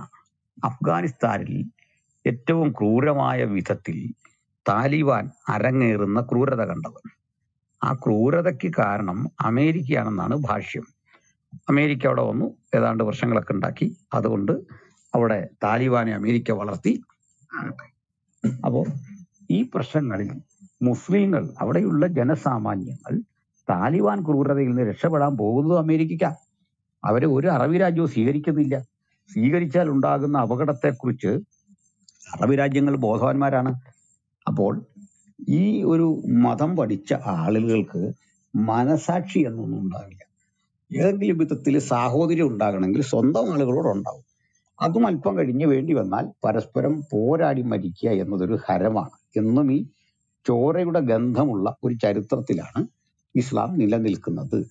ഇതൊന്നും ആശയപരമല്ല ഇന്നലെ ഇങ്ങനെ ഒരു ഡിസ്കഷൻ നീണ്ടുപോയി. ആ ഡിസ്കഷനിൽ പറഞ്ഞത് ഈ ഇസ്ലാമിന്റെ ചരിത്രത്തിൽ എവിടെങ്കിലും ഒരു ആശയത്തിന് വേണ്ടി മരിച്ചവരുണ്ടോ? നബി അങ്ങനെ മരിച്ചിട്ടില്ല ഉമർ മരിച്ചിട്ടില്ല അബൂബക്കർ മരിച്ചിട്ടില്ല ആ രൂപത്തിൽ അലി മരിച്ചിട്ടില്ല. ഇവരൊക്കെ തന്നെ മരിച്ചത് അവരുടെ ആഭ്യന്തര പ്രശ്നങ്ങളാൽ സ്വന്തക്കാരായ ആളുകളാണ്. അതിൽ അലിയുടെ മരണമാണ് ഏറ്റവും ഭീകരം. എന്താണത് അലി മരിക്കുന്നത് ഖുറാൻ മനഃപ്പാടമാക്കിയ ഒരു ഉസ്താദിന്റെ കൈകൊണ്ടാണ് മനസ്സിലാക്കിക്കൊള്ളണം. അപ്പോൾ അത്ര ഇബിനു മുൻജാൻ എന്നറിയപ്പെടുന്ന ഒരു ഖുറാൻ മനഃപ്പാടമാക്കിയ ഒരു പണ്ഡിതന്റെ കരങ്ങൾ കൊണ്ടാണ് പ്രവാചകന്റെ ഇഷ്ടമകളായ ഫാത്തിമയുടെ ഭർത്താവ് അലി മരിക്കേണ്ടി വരുന്നത്. ഓർത്തോണം. അതും ഖാദൻ എന്നറിയപ്പെടുന്ന അയാളുടെ കാമുകിയുടെ ആവശ്യപ്രകാരമാണ് മുൻജാൻ ഇത് കാര്യം ചെയ്യുന്നത്. അപ്പോൾ ഇതുപോലെ നമുക്ക് ഇനി ഉസ്മാന്റെ മരണം വളഞ്ഞിട്ട് വെട്ടുമായിരുന്നു പത്തിരുപത് ദിവസം പട്ടിണിക്കിട്ടിട്ട് ഉസ്മാനെ വളഞ്ഞിട്ട് വെട്ടിയത് പ്രവാചകന്റെ അളിയനാണ്. മുഹമ്മദിന്റെ അളിയനായ മറ്റൊരു മുഹമ്മദാണ്. ആയിഷയുടെ സഹോദരനാണ്. അബൂബക്കറിന്റെ മകനാണ്. ഇസ്ലാമിന്റെ ചരിത്രത്തിൽ അവർക്ക് പോലും കിട്ടാത്ത ഒരു സമാധാനം. അതുകൊണ്ടാണ് എപ്പോഴും പറയും ഇസ്ലാം സമാധാനമാണ് സമാധാനമാണെന്ന് പറയും. നമ്മളൊന്ന് ചോദിക്കും ഇത് എവിടെയാ ഈ സമാധാനം? ഒന്ന് പറയൂ. നിങ്ങളുടെ മതത്തിൽ എവിടെ സമാധാനം? ഏതിടത്താണ്? ഏത് രാജ്യത്താണ്? നിങ്ങൾ ഭരിച്ച ഏത് രാജ്യത്തുണ്ട്? മനുഷ്യാവകാശങ്ങൾ സ്ത്രീക്ക് അവകാശങ്ങൾ കുട്ടിക്ക് കുട്ടിയുടെ അവകാശങ്ങൾ ചെറിയ ചില കഥകൾ ഊതിപ്പെരുപ്പിച്ച മതപ്രഭാഷണമുണ്ട്. പക്ഷേ സാമൂഹ്യനീതിയുടെ രംഗത്തൊന്നും ഇസ്ലാമിന് മുമ്പോട്ട് വരാനായിട്ട് സാധിച്ചിട്ടില്ല. അതുകൊണ്ട് ഇന്ന് ലോകത്ത് നിന്ന് ഇസ്ലാം ഏറെ തെരി തിരിക്കപ്പെട്ടുകൊണ്ടിരിക്കുന്നു എന്നുള്ളതാണ് സത്യം. സൗദി അറേബ്യയിൽ നിന്ന് പോലും ഇത് പിന്തള്ളപ്പെട്ടുകൊണ്ടിരിക്കുകയാണ്. പുത്തൻ നിയമവ്യവസ്ഥയിലേക്ക് ആ രാജ്യം മാറുന്നു. അതിനിടയിലാണ് ഇവിടെ ചില ആളുകൾ പറഞ്ഞ് പ്രചരിപ്പിച്ചുകൊണ്ടിരുന്നത് ഇസ്ലാം വളരുന്നു. ഇസ്ലാം ഭയങ്കര സംഭവമായി മാറുന്നു. ഒന്നുമില്ല. ഇസ്ലാം ഇന്ന് ചോദ്യങ്ങൾക്ക് ഉത്തരമില്ലാതെ പതറി നിൽക്കുന്ന ഒരു കാലം. ഏറ്റവും ഒടുവിൽ നമ്മുടെ കേരളത്തിൽ നമ്മുടെ മുഹമ്മദ് ഈസയും മുജാഹിദ് ബാലിശ്ശേരിയും എം എം അക്ബർ സാഹിബും എല്ലാം ഈ രംഗത്ത് പരാജയപ്പെട്ടിരിക്കുന്നു. അതിനാണ് പറഞ്ഞത് മുഹമ്മദ് മദ്യപിച്ചിട്ടുണ്ടോ എന്ന് സമ്മതിച്ചുകൊണ്ട് അക്ബർ സാഹിബും മ- മദ്യപിച്ചിട്ടുണ്ട് എന്ന നിലയിലൊക്കെ ഉള്ള സംഭാഷണം പുറത്തു വരുന്നു. ഇത് കേൾക്കുന്ന ഞങ്ങളുടെ പ്രിയപ്പെട്ട സഹോദരങ്ങൾ മുസ്ലിങ്ങൾ കേൾക്കുന്നെങ്കിൽ മനസ്സിലാക്കിക്കൊള്ളൂ. നിങ്ങൾ ഇത്തരത്തിലുള്ള ഏറ്റവും കാവഡ്യം ലോകത്തെ പഠിപ്പിച്ച സദാചാര വിരുദ്ധത ലോകത്തിന് കാട്ടിക്കൊടുത്ത ഏറ്റവും മ്ലേച്ഛത നല്ലത് എന്ന് പറഞ്ഞ് നിങ്ങളെ കൊണ്ട് ചുമപ്പിക്കാൻ വേണ്ടി സമർപ്പിതനായ അല്ലെങ്കിൽ അതിനുവേണ്ടി കർമ്മനിരതനായ ഒരു അധ്യാപകനെ അങ്ങനെ ചിന്തിച്ച ഒരു പ്രവാചകനെ അദ്ദേഹത്തെ വിടുക. അതിന്റെ ഒറ്റ വഴിയേ ഉള്ളൂ. മുസ്ലിങ്ങൾ ശുദ്ധരാകാൻ നല്ല മനുഷ്യരാകാൻ അവരുടെ മുമ്പിലെ വഴി ഇത് തള്ളിപ്പറയുക എന്നത് മാത്രമേ ഉള്ളൂ. വേറെ ഉപാധിയില്ല. എക്സ്പ്ലെയിൻ ചെയ്ത് ഇന്നും അത് നിങ്ങൾക്ക് സ്ഥാപിക്കാൻ സാധിക്കാത്ത വിധത്തിൽ കാര്യങ്ങൾ എത്തി നിൽക്കുകയാണ്. ഞങ്ങൾ ഇന്ന് വൈകിയ വേളയിൽ ഈ ചർച്ച അവസാനിപ്പിക്കുമ്പോൾ ഒരു കാര്യം പറയാം. ഞങ്ങൾ എത്രയോ വിമർശനങ്ങൾ ഇവിടെ ഉദ്ധരിച്ചു. ആ വിമർശനങ്ങൾക്കെല്ലാം തെളിവുള്ളവയാണ്. വെറുതെ ക്രിയേറ്റ് ചെയ്തവ ഞങ്ങൾക്ക് ഉച്ചരിക്കാനാവില്ല. പക്ഷെങ്കിൽ മറുവശത്ത് ഞങ്ങൾ പ്രസംഗിക്കുന്ന കർത്താവ് യേശു ക്രിസ്തുവിനെ കുറിച്ചോ അവിടുത്തെ അപ്പോസലന്മാരെ കുറിച്ചോ രേഖകൾ ഉദ്ധരിച്ച് ഞങ്ങൾ രേഖകൾ ഉദ്ധരിക്കുന്നു. സാഹിഹ് മുസ്ലിഖിൽ നിന്ന് സൊഹീഹ് ബുഖാരിയിൽ നിന്ന് ഒക്കെ ഞങ്ങൾ ഉദ്ധരിച്ചു. ഖുറാനിൽ നിന്ന് ഉദ്ധരിച്ചാണ് സംസാരിക്കുന്നത്. ഇങ്ങനെ രേഖകൾ ഉദ്ധരിച്ച് കർത്താവ് യേശു ക്രിസ്തുവിനെയോ അവിടുത്തെ അനുഗാമികളെയോ നിങ്ങളേറെ വെറുക്കുന്ന പൗലോസ്ലീഹ് അടക്കമുള്ള ആളുകളെ വിചാരണ ചെയ്യാൻ ഞാൻ പ്രിയപ്പെട്ടവരെ സ്നേഹബുദ്ധിയ സന്തോഷത്തോടെ സധൈര്യം നിങ്ങളെ വെല്ലുവിളിക്കുകയാണ്. ആ പദം ഉപയോഗിക്കാൻ എനിക്ക് പറ്റുന്നുള്ളൂ. അതിന്റെ അർത്ഥം ഒരു തിന്മയുടെ ലാഞ്ചന പോലും ഇല്ലാതെ ആർക്കും വിചാരണയ്ക്ക് നിന്ന് കൊടുക്കാതെ അപ്പോൾ തന്നെ വിമർശനങ്ങളെ ഭയപ്പെടാതെ ഉലകത്തിന്റെ ചരിത്രത്തിൽ ഏതെങ്കിലും ഒരു മഹാരഥൻ നിലകൊണ്ടിട്ടുണ്ടെങ്കിൽ അത് കർത്താവായ യേശു ക്രിസ്തുവാണ് യേശു ക്രിസ്തു എന്ന അതുല്യനായ ആ ദൈവ മനുഷ്യനെ ദൈവപ്രവാചകനെ ദൈവത്തിൻതാൽ അയക്കപ്പെട്ട ദൈവപുത്രനെ പിതാവിന്റെ അരികിൽ സമത്വം മുറുകെ പിടിക്കണമെന്ന് വിചാരിക്കാതെ ദാസരൂപമെടുത്ത സാക്ഷാൽ ദൈവമായവനെ ഞങ്ങൾ അഭിമാന പുരസ്സരമാണ് നിങ്ങളുടെ മുമ്പിൽ പരിചയപ്പെടുത്തുന്നത്. അങ്ങനെ അഭിമാനിക്കാൻ ഒരു കഥാപാത്രത്തെ എന്റെ മാന്യ സഹോദരങ്ങൾ ഇസ്ലാമിക ചരിത്രത്തിൽ നിന്ന് തെളിവോടെ കൊണ്ടുവരുവാനും ഞാൻ അവരെ ക്ഷണിക്കുന്നു. അതിന് കഴിയില്ല. കാരണം നിന്ദ്യവും നികൃഷ്ടവുമായ ഒരു ഇരുട്ടിലേക്ക് മനുഷ്യ മനുഷ്യരാശിയെ ഒരിക്കൽ കൂടി തള്ളിവിടണം എന്നുള്ള ഒരു ബാധ്യതയിലാണ് ഇസ്ലാം മതം നിലകൊള്ളുന്നത് അതിലെങ്ങും എവിടെയും ഒരു നന്മ ദർശിക്കാൻ ഞങ്ങൾ അത്ര പഠിച്ചിട്ടും കഴിയുന്നില്ല. അത് പഠിച്ച നിങ്ങൾ പണ്ഡിതന്മാരുണ്ടെങ്കിൽ ആ നന്മയെക്കുറിച്ച് നിങ്ങൾ പറയണം. അതൊന്നും ഞങ്ങൾ കേട്ടിട്ടില്ല. അത് തെളിവുകൾ ഉദ്ധരിച്ച് പറയണം. അത് മുഹമ്മദിന്റെ ജീവിതത്തിൽ നിന്ന് പറയണം. അതിന് സാധിക്കുന്നില്ല. അവിടെയാണ് സുവിശേഷത്തിന്റെ പ്രസക്തി. സുവിശേഷം വളരെ ലളിതമായ ഒരു കാര്യമാണ്. അല്ല അള്ളാഹു ഏതാണ്ട് സ്വർഗത്തിൽ നിന്ന് ഇറക്കി കൊടുത്തു. അത് എന്ത് എന്ത് ചെയ്ത് ചോദിച്ചുകൊണ്ടിരിക്കുകയാണ്. ഞങ്ങളുടെ ദൈവം ഒരിക്കലും ഇങ്ങനെ സ്വർഗത്തിൽ നിന്ന് ഒരു പുസ്തകം ഒന്നും ഇറക്കി ആർക്കും കൊടുത്തായിട്ട് ബൈബിളിലില്ല. ആകെ അങ്ങനെ കൊടുത്തിരിക്കുന്ന രേഖ പത്ത് കൽപ്പനകളാണ്. ബാക്കിയൊക്കെ ആത്മനിയോഗം പ്രാപിച്ചിട്ട് മനുഷ്യൻ എഴുതിയതാണ് എന്ന് കൃത്യം തിരുവെഴുത്തിലുണ്ട്. പക്ഷെങ്കിൽ ഒന്ന് ഞങ്ങൾക്ക് വേണ്ടി വന്ന ഉയരത്തിൽ നിന്ന് വന്ന ഒരാളുണ്ട്. അത് കർത്താവായ യേശു ക്രിസ്തുവാണ് ആ യേശു ക്രിസ്തു സ്വർഗമഹിമ വിട്ട് താണലോകത്തിലേക്ക് വന്ന് കൃപയും സത്യവും നിറഞ്ഞവനായി നമ്മുടെ ഇടയിൽ പാർത്തു എന്നുള്ളതാണ് ഗോസ്പൽ. അതുകൊണ്ട് ഗോസ്പൽ എന്നത് മാനവികതയുടെ സന്ദേശമാണ്. അത് മനുഷ്യനെ മനുഷ്യവൽക്കരിക്കുന്ന കൂടുതൽ അവനെ ക്രിയാത്മകതയിലേക്ക് നയിക്കുന്ന സന്ദേശമാണ്. പാപബോധം വരുത്തി അവനെ പരിശുദ്ധനാക്കി മാറ്റുന്ന മാർഗമാണ്. സ്ത്രീ പുരുഷ ഭേദമന്യേ യേശുവിന്റെ പാതാന്തിയെ അടുത്തു വരുന്ന ഏതൊരാൾക്കും കർത്താവ് യേശുക്രിസ്തു ഒരുക്കുന്ന നിത്യത എന്ന ആ വലിയ വിശാലമായ ലോകം അവന്റെ മുമ്പിൽ തുറന്നിടുന്നു. അത് ഏറ്റവും മാന്യമായ പരിശുദ്ധമായ ഇടമാണ്. അത് എണ്ണമറ്റ സ്ത്രീകളെ ഓരോ പുരുഷനും കൊടുത്ത് ഈ സ്ത്രീകൾ കൃഷിയിടമാണ് എന്ന് പഠിപ്പിക്കുന്ന പ്രാകൃതമായ മ്ലേച്ഛമായ ജീവിതധാരകളിൽ നിന്ന് വിഭിന്നമാണ്. അതുകൊണ്ട് സംശുദ്ധിയുടെ ആ മണ്ഡലത്തെ പുൽകാൻ ഈ വചനം കേൾക്കുന്ന ഏവർക്കും അത്യുന്നതൻ സംഗതിയാക്കട്ടെ. ഞാൻ തന്നെ വഴിയും സത്യവും ജീവനും നരളിയ കർത്താവ് യേശുക്രിസ്തുവിന്റെ പാതാരബിന്ദങ്ങളിലേക്ക് നിങ്ങൾക്ക് സ്വാഗതം. തന്റെ ഏകജാതനായ പുത്രനെ ലോകത്തിലേക്ക് അയച്ച മഹാദൈവത്തിന്റെ പ്രവൃത്തി വന്നണഞ്ഞ് ആസ്വദിച്ച് യഹോവ നല്ലവൻ എന്ന് രുചിച്ചറിഞ്ഞു പോകാൻ ഈ വചനം കേൾക്കുന്ന ഏവർക്കും അവസരമുണ്ടാകട്ടെ. ഈ ക്ലബ്ബ് നിങ്ങൾ ഫോളോ ചെയ്യണം. ഞങ്ങളുടെ ഇതര ക്ലബ്ബുകളുണ്ട് അതിലൊക്കെ നിങ്ങൾ പങ്കാളികളാക്കണം. തീർച്ചയായിട്ടും ഇത്തരം ആധികാരികമായ ചർച്ചകൾക്ക് ദൈവത്താൽ അയക്കപ്പെട്ട ദൈവാസന്മാരുടെ വലിയ നിര അവിടെ ഉണ്ടാകും. നിങ്ങളുടെ ചോദ്യങ്ങൾ ഞങ്ങളോട് ചോദിക്കാം. ഞങ്ങൾ ചോദ്യങ്ങളിൽ നിന്ന് ഒഴിഞ്ഞു മാറുന്നവരല്ല. കാരണം ഞങ്ങളുടെ പ്രത്യാശയെക്കുറിച്ച് ഞങ്ങൾക്ക് കൃത്യമായ ഉത്തര ഉത്തരവുണ്ട് ഉറപ്പുണ്ട്. വിശുദ്ധന്മാർക്ക് ഒരിക്കലായി വരമേൽപ്പിച്ച ഈ അതിവിശുദ്ധ വിശ്വാസം ഏറ്റവും പവിത്രമായി സൂക്ഷിക്കാനുള്ള ആ ബാധ്യതയും ഇത് കേൾക്കുന്ന ക്രിസ്തുവിന്റെ അനുഗാമികളായ ഏതൊരാളും തങ്ങളുടെ ഉത്തരവാദിത്വം തിരിച്ചറിയാൻ ഇതൊരു നല്ല സന്ദർഭമായി പരിഗണിക്കട്ടെ എന്നുള്ള പ്രാർത്ഥനയിൽ ഞാൻ ഉപസംഹരിക്കുന്നു നന്ദി നമസ്കാരം. Thank you so much അനുകൂലത്തോട്ടം pastor thank you so much brother Nasreen താങ്കൾക്ക് എന്തെങ്കിലും ആഡ് ചെയ്യാനുണ്ടോ? താങ്കളുടെ മൈക്ക് ആഡ് ചെയ്യാനില്ല. നമുക്ക് ഒത്തിരി നേരമായി നമുക്ക് പ്രാർത്ഥിച്ച് നിർത്താം. ഷിജുമോൻ ചാൻ ഉണ്ട്. ഷിജുമോൻ ചാൻ. ഷിജുമോൻ ചാൻ കേൾക്കാം? കേൾക്കാം കേൾക്കാം ഷിജുമോൻ ഒന്ന് പ്രാർത്ഥിച്ച് നമുക്ക് ഇന്നത്തെ ഈ മീറ്റിംഗ് അനുഗ്രഹപ്രദമായിരുന്നു ഒന്ന് പ്രാർത്ഥിച്ചു. പ്രാർത്ഥിക്കാം. ഞങ്ങളുടെ ദൈവമായ പിതാവെ ഞങ്ങൾ അങ്ങയെ സ്തുതിക്കുന്നു വാഴ്ത്തുന്നു.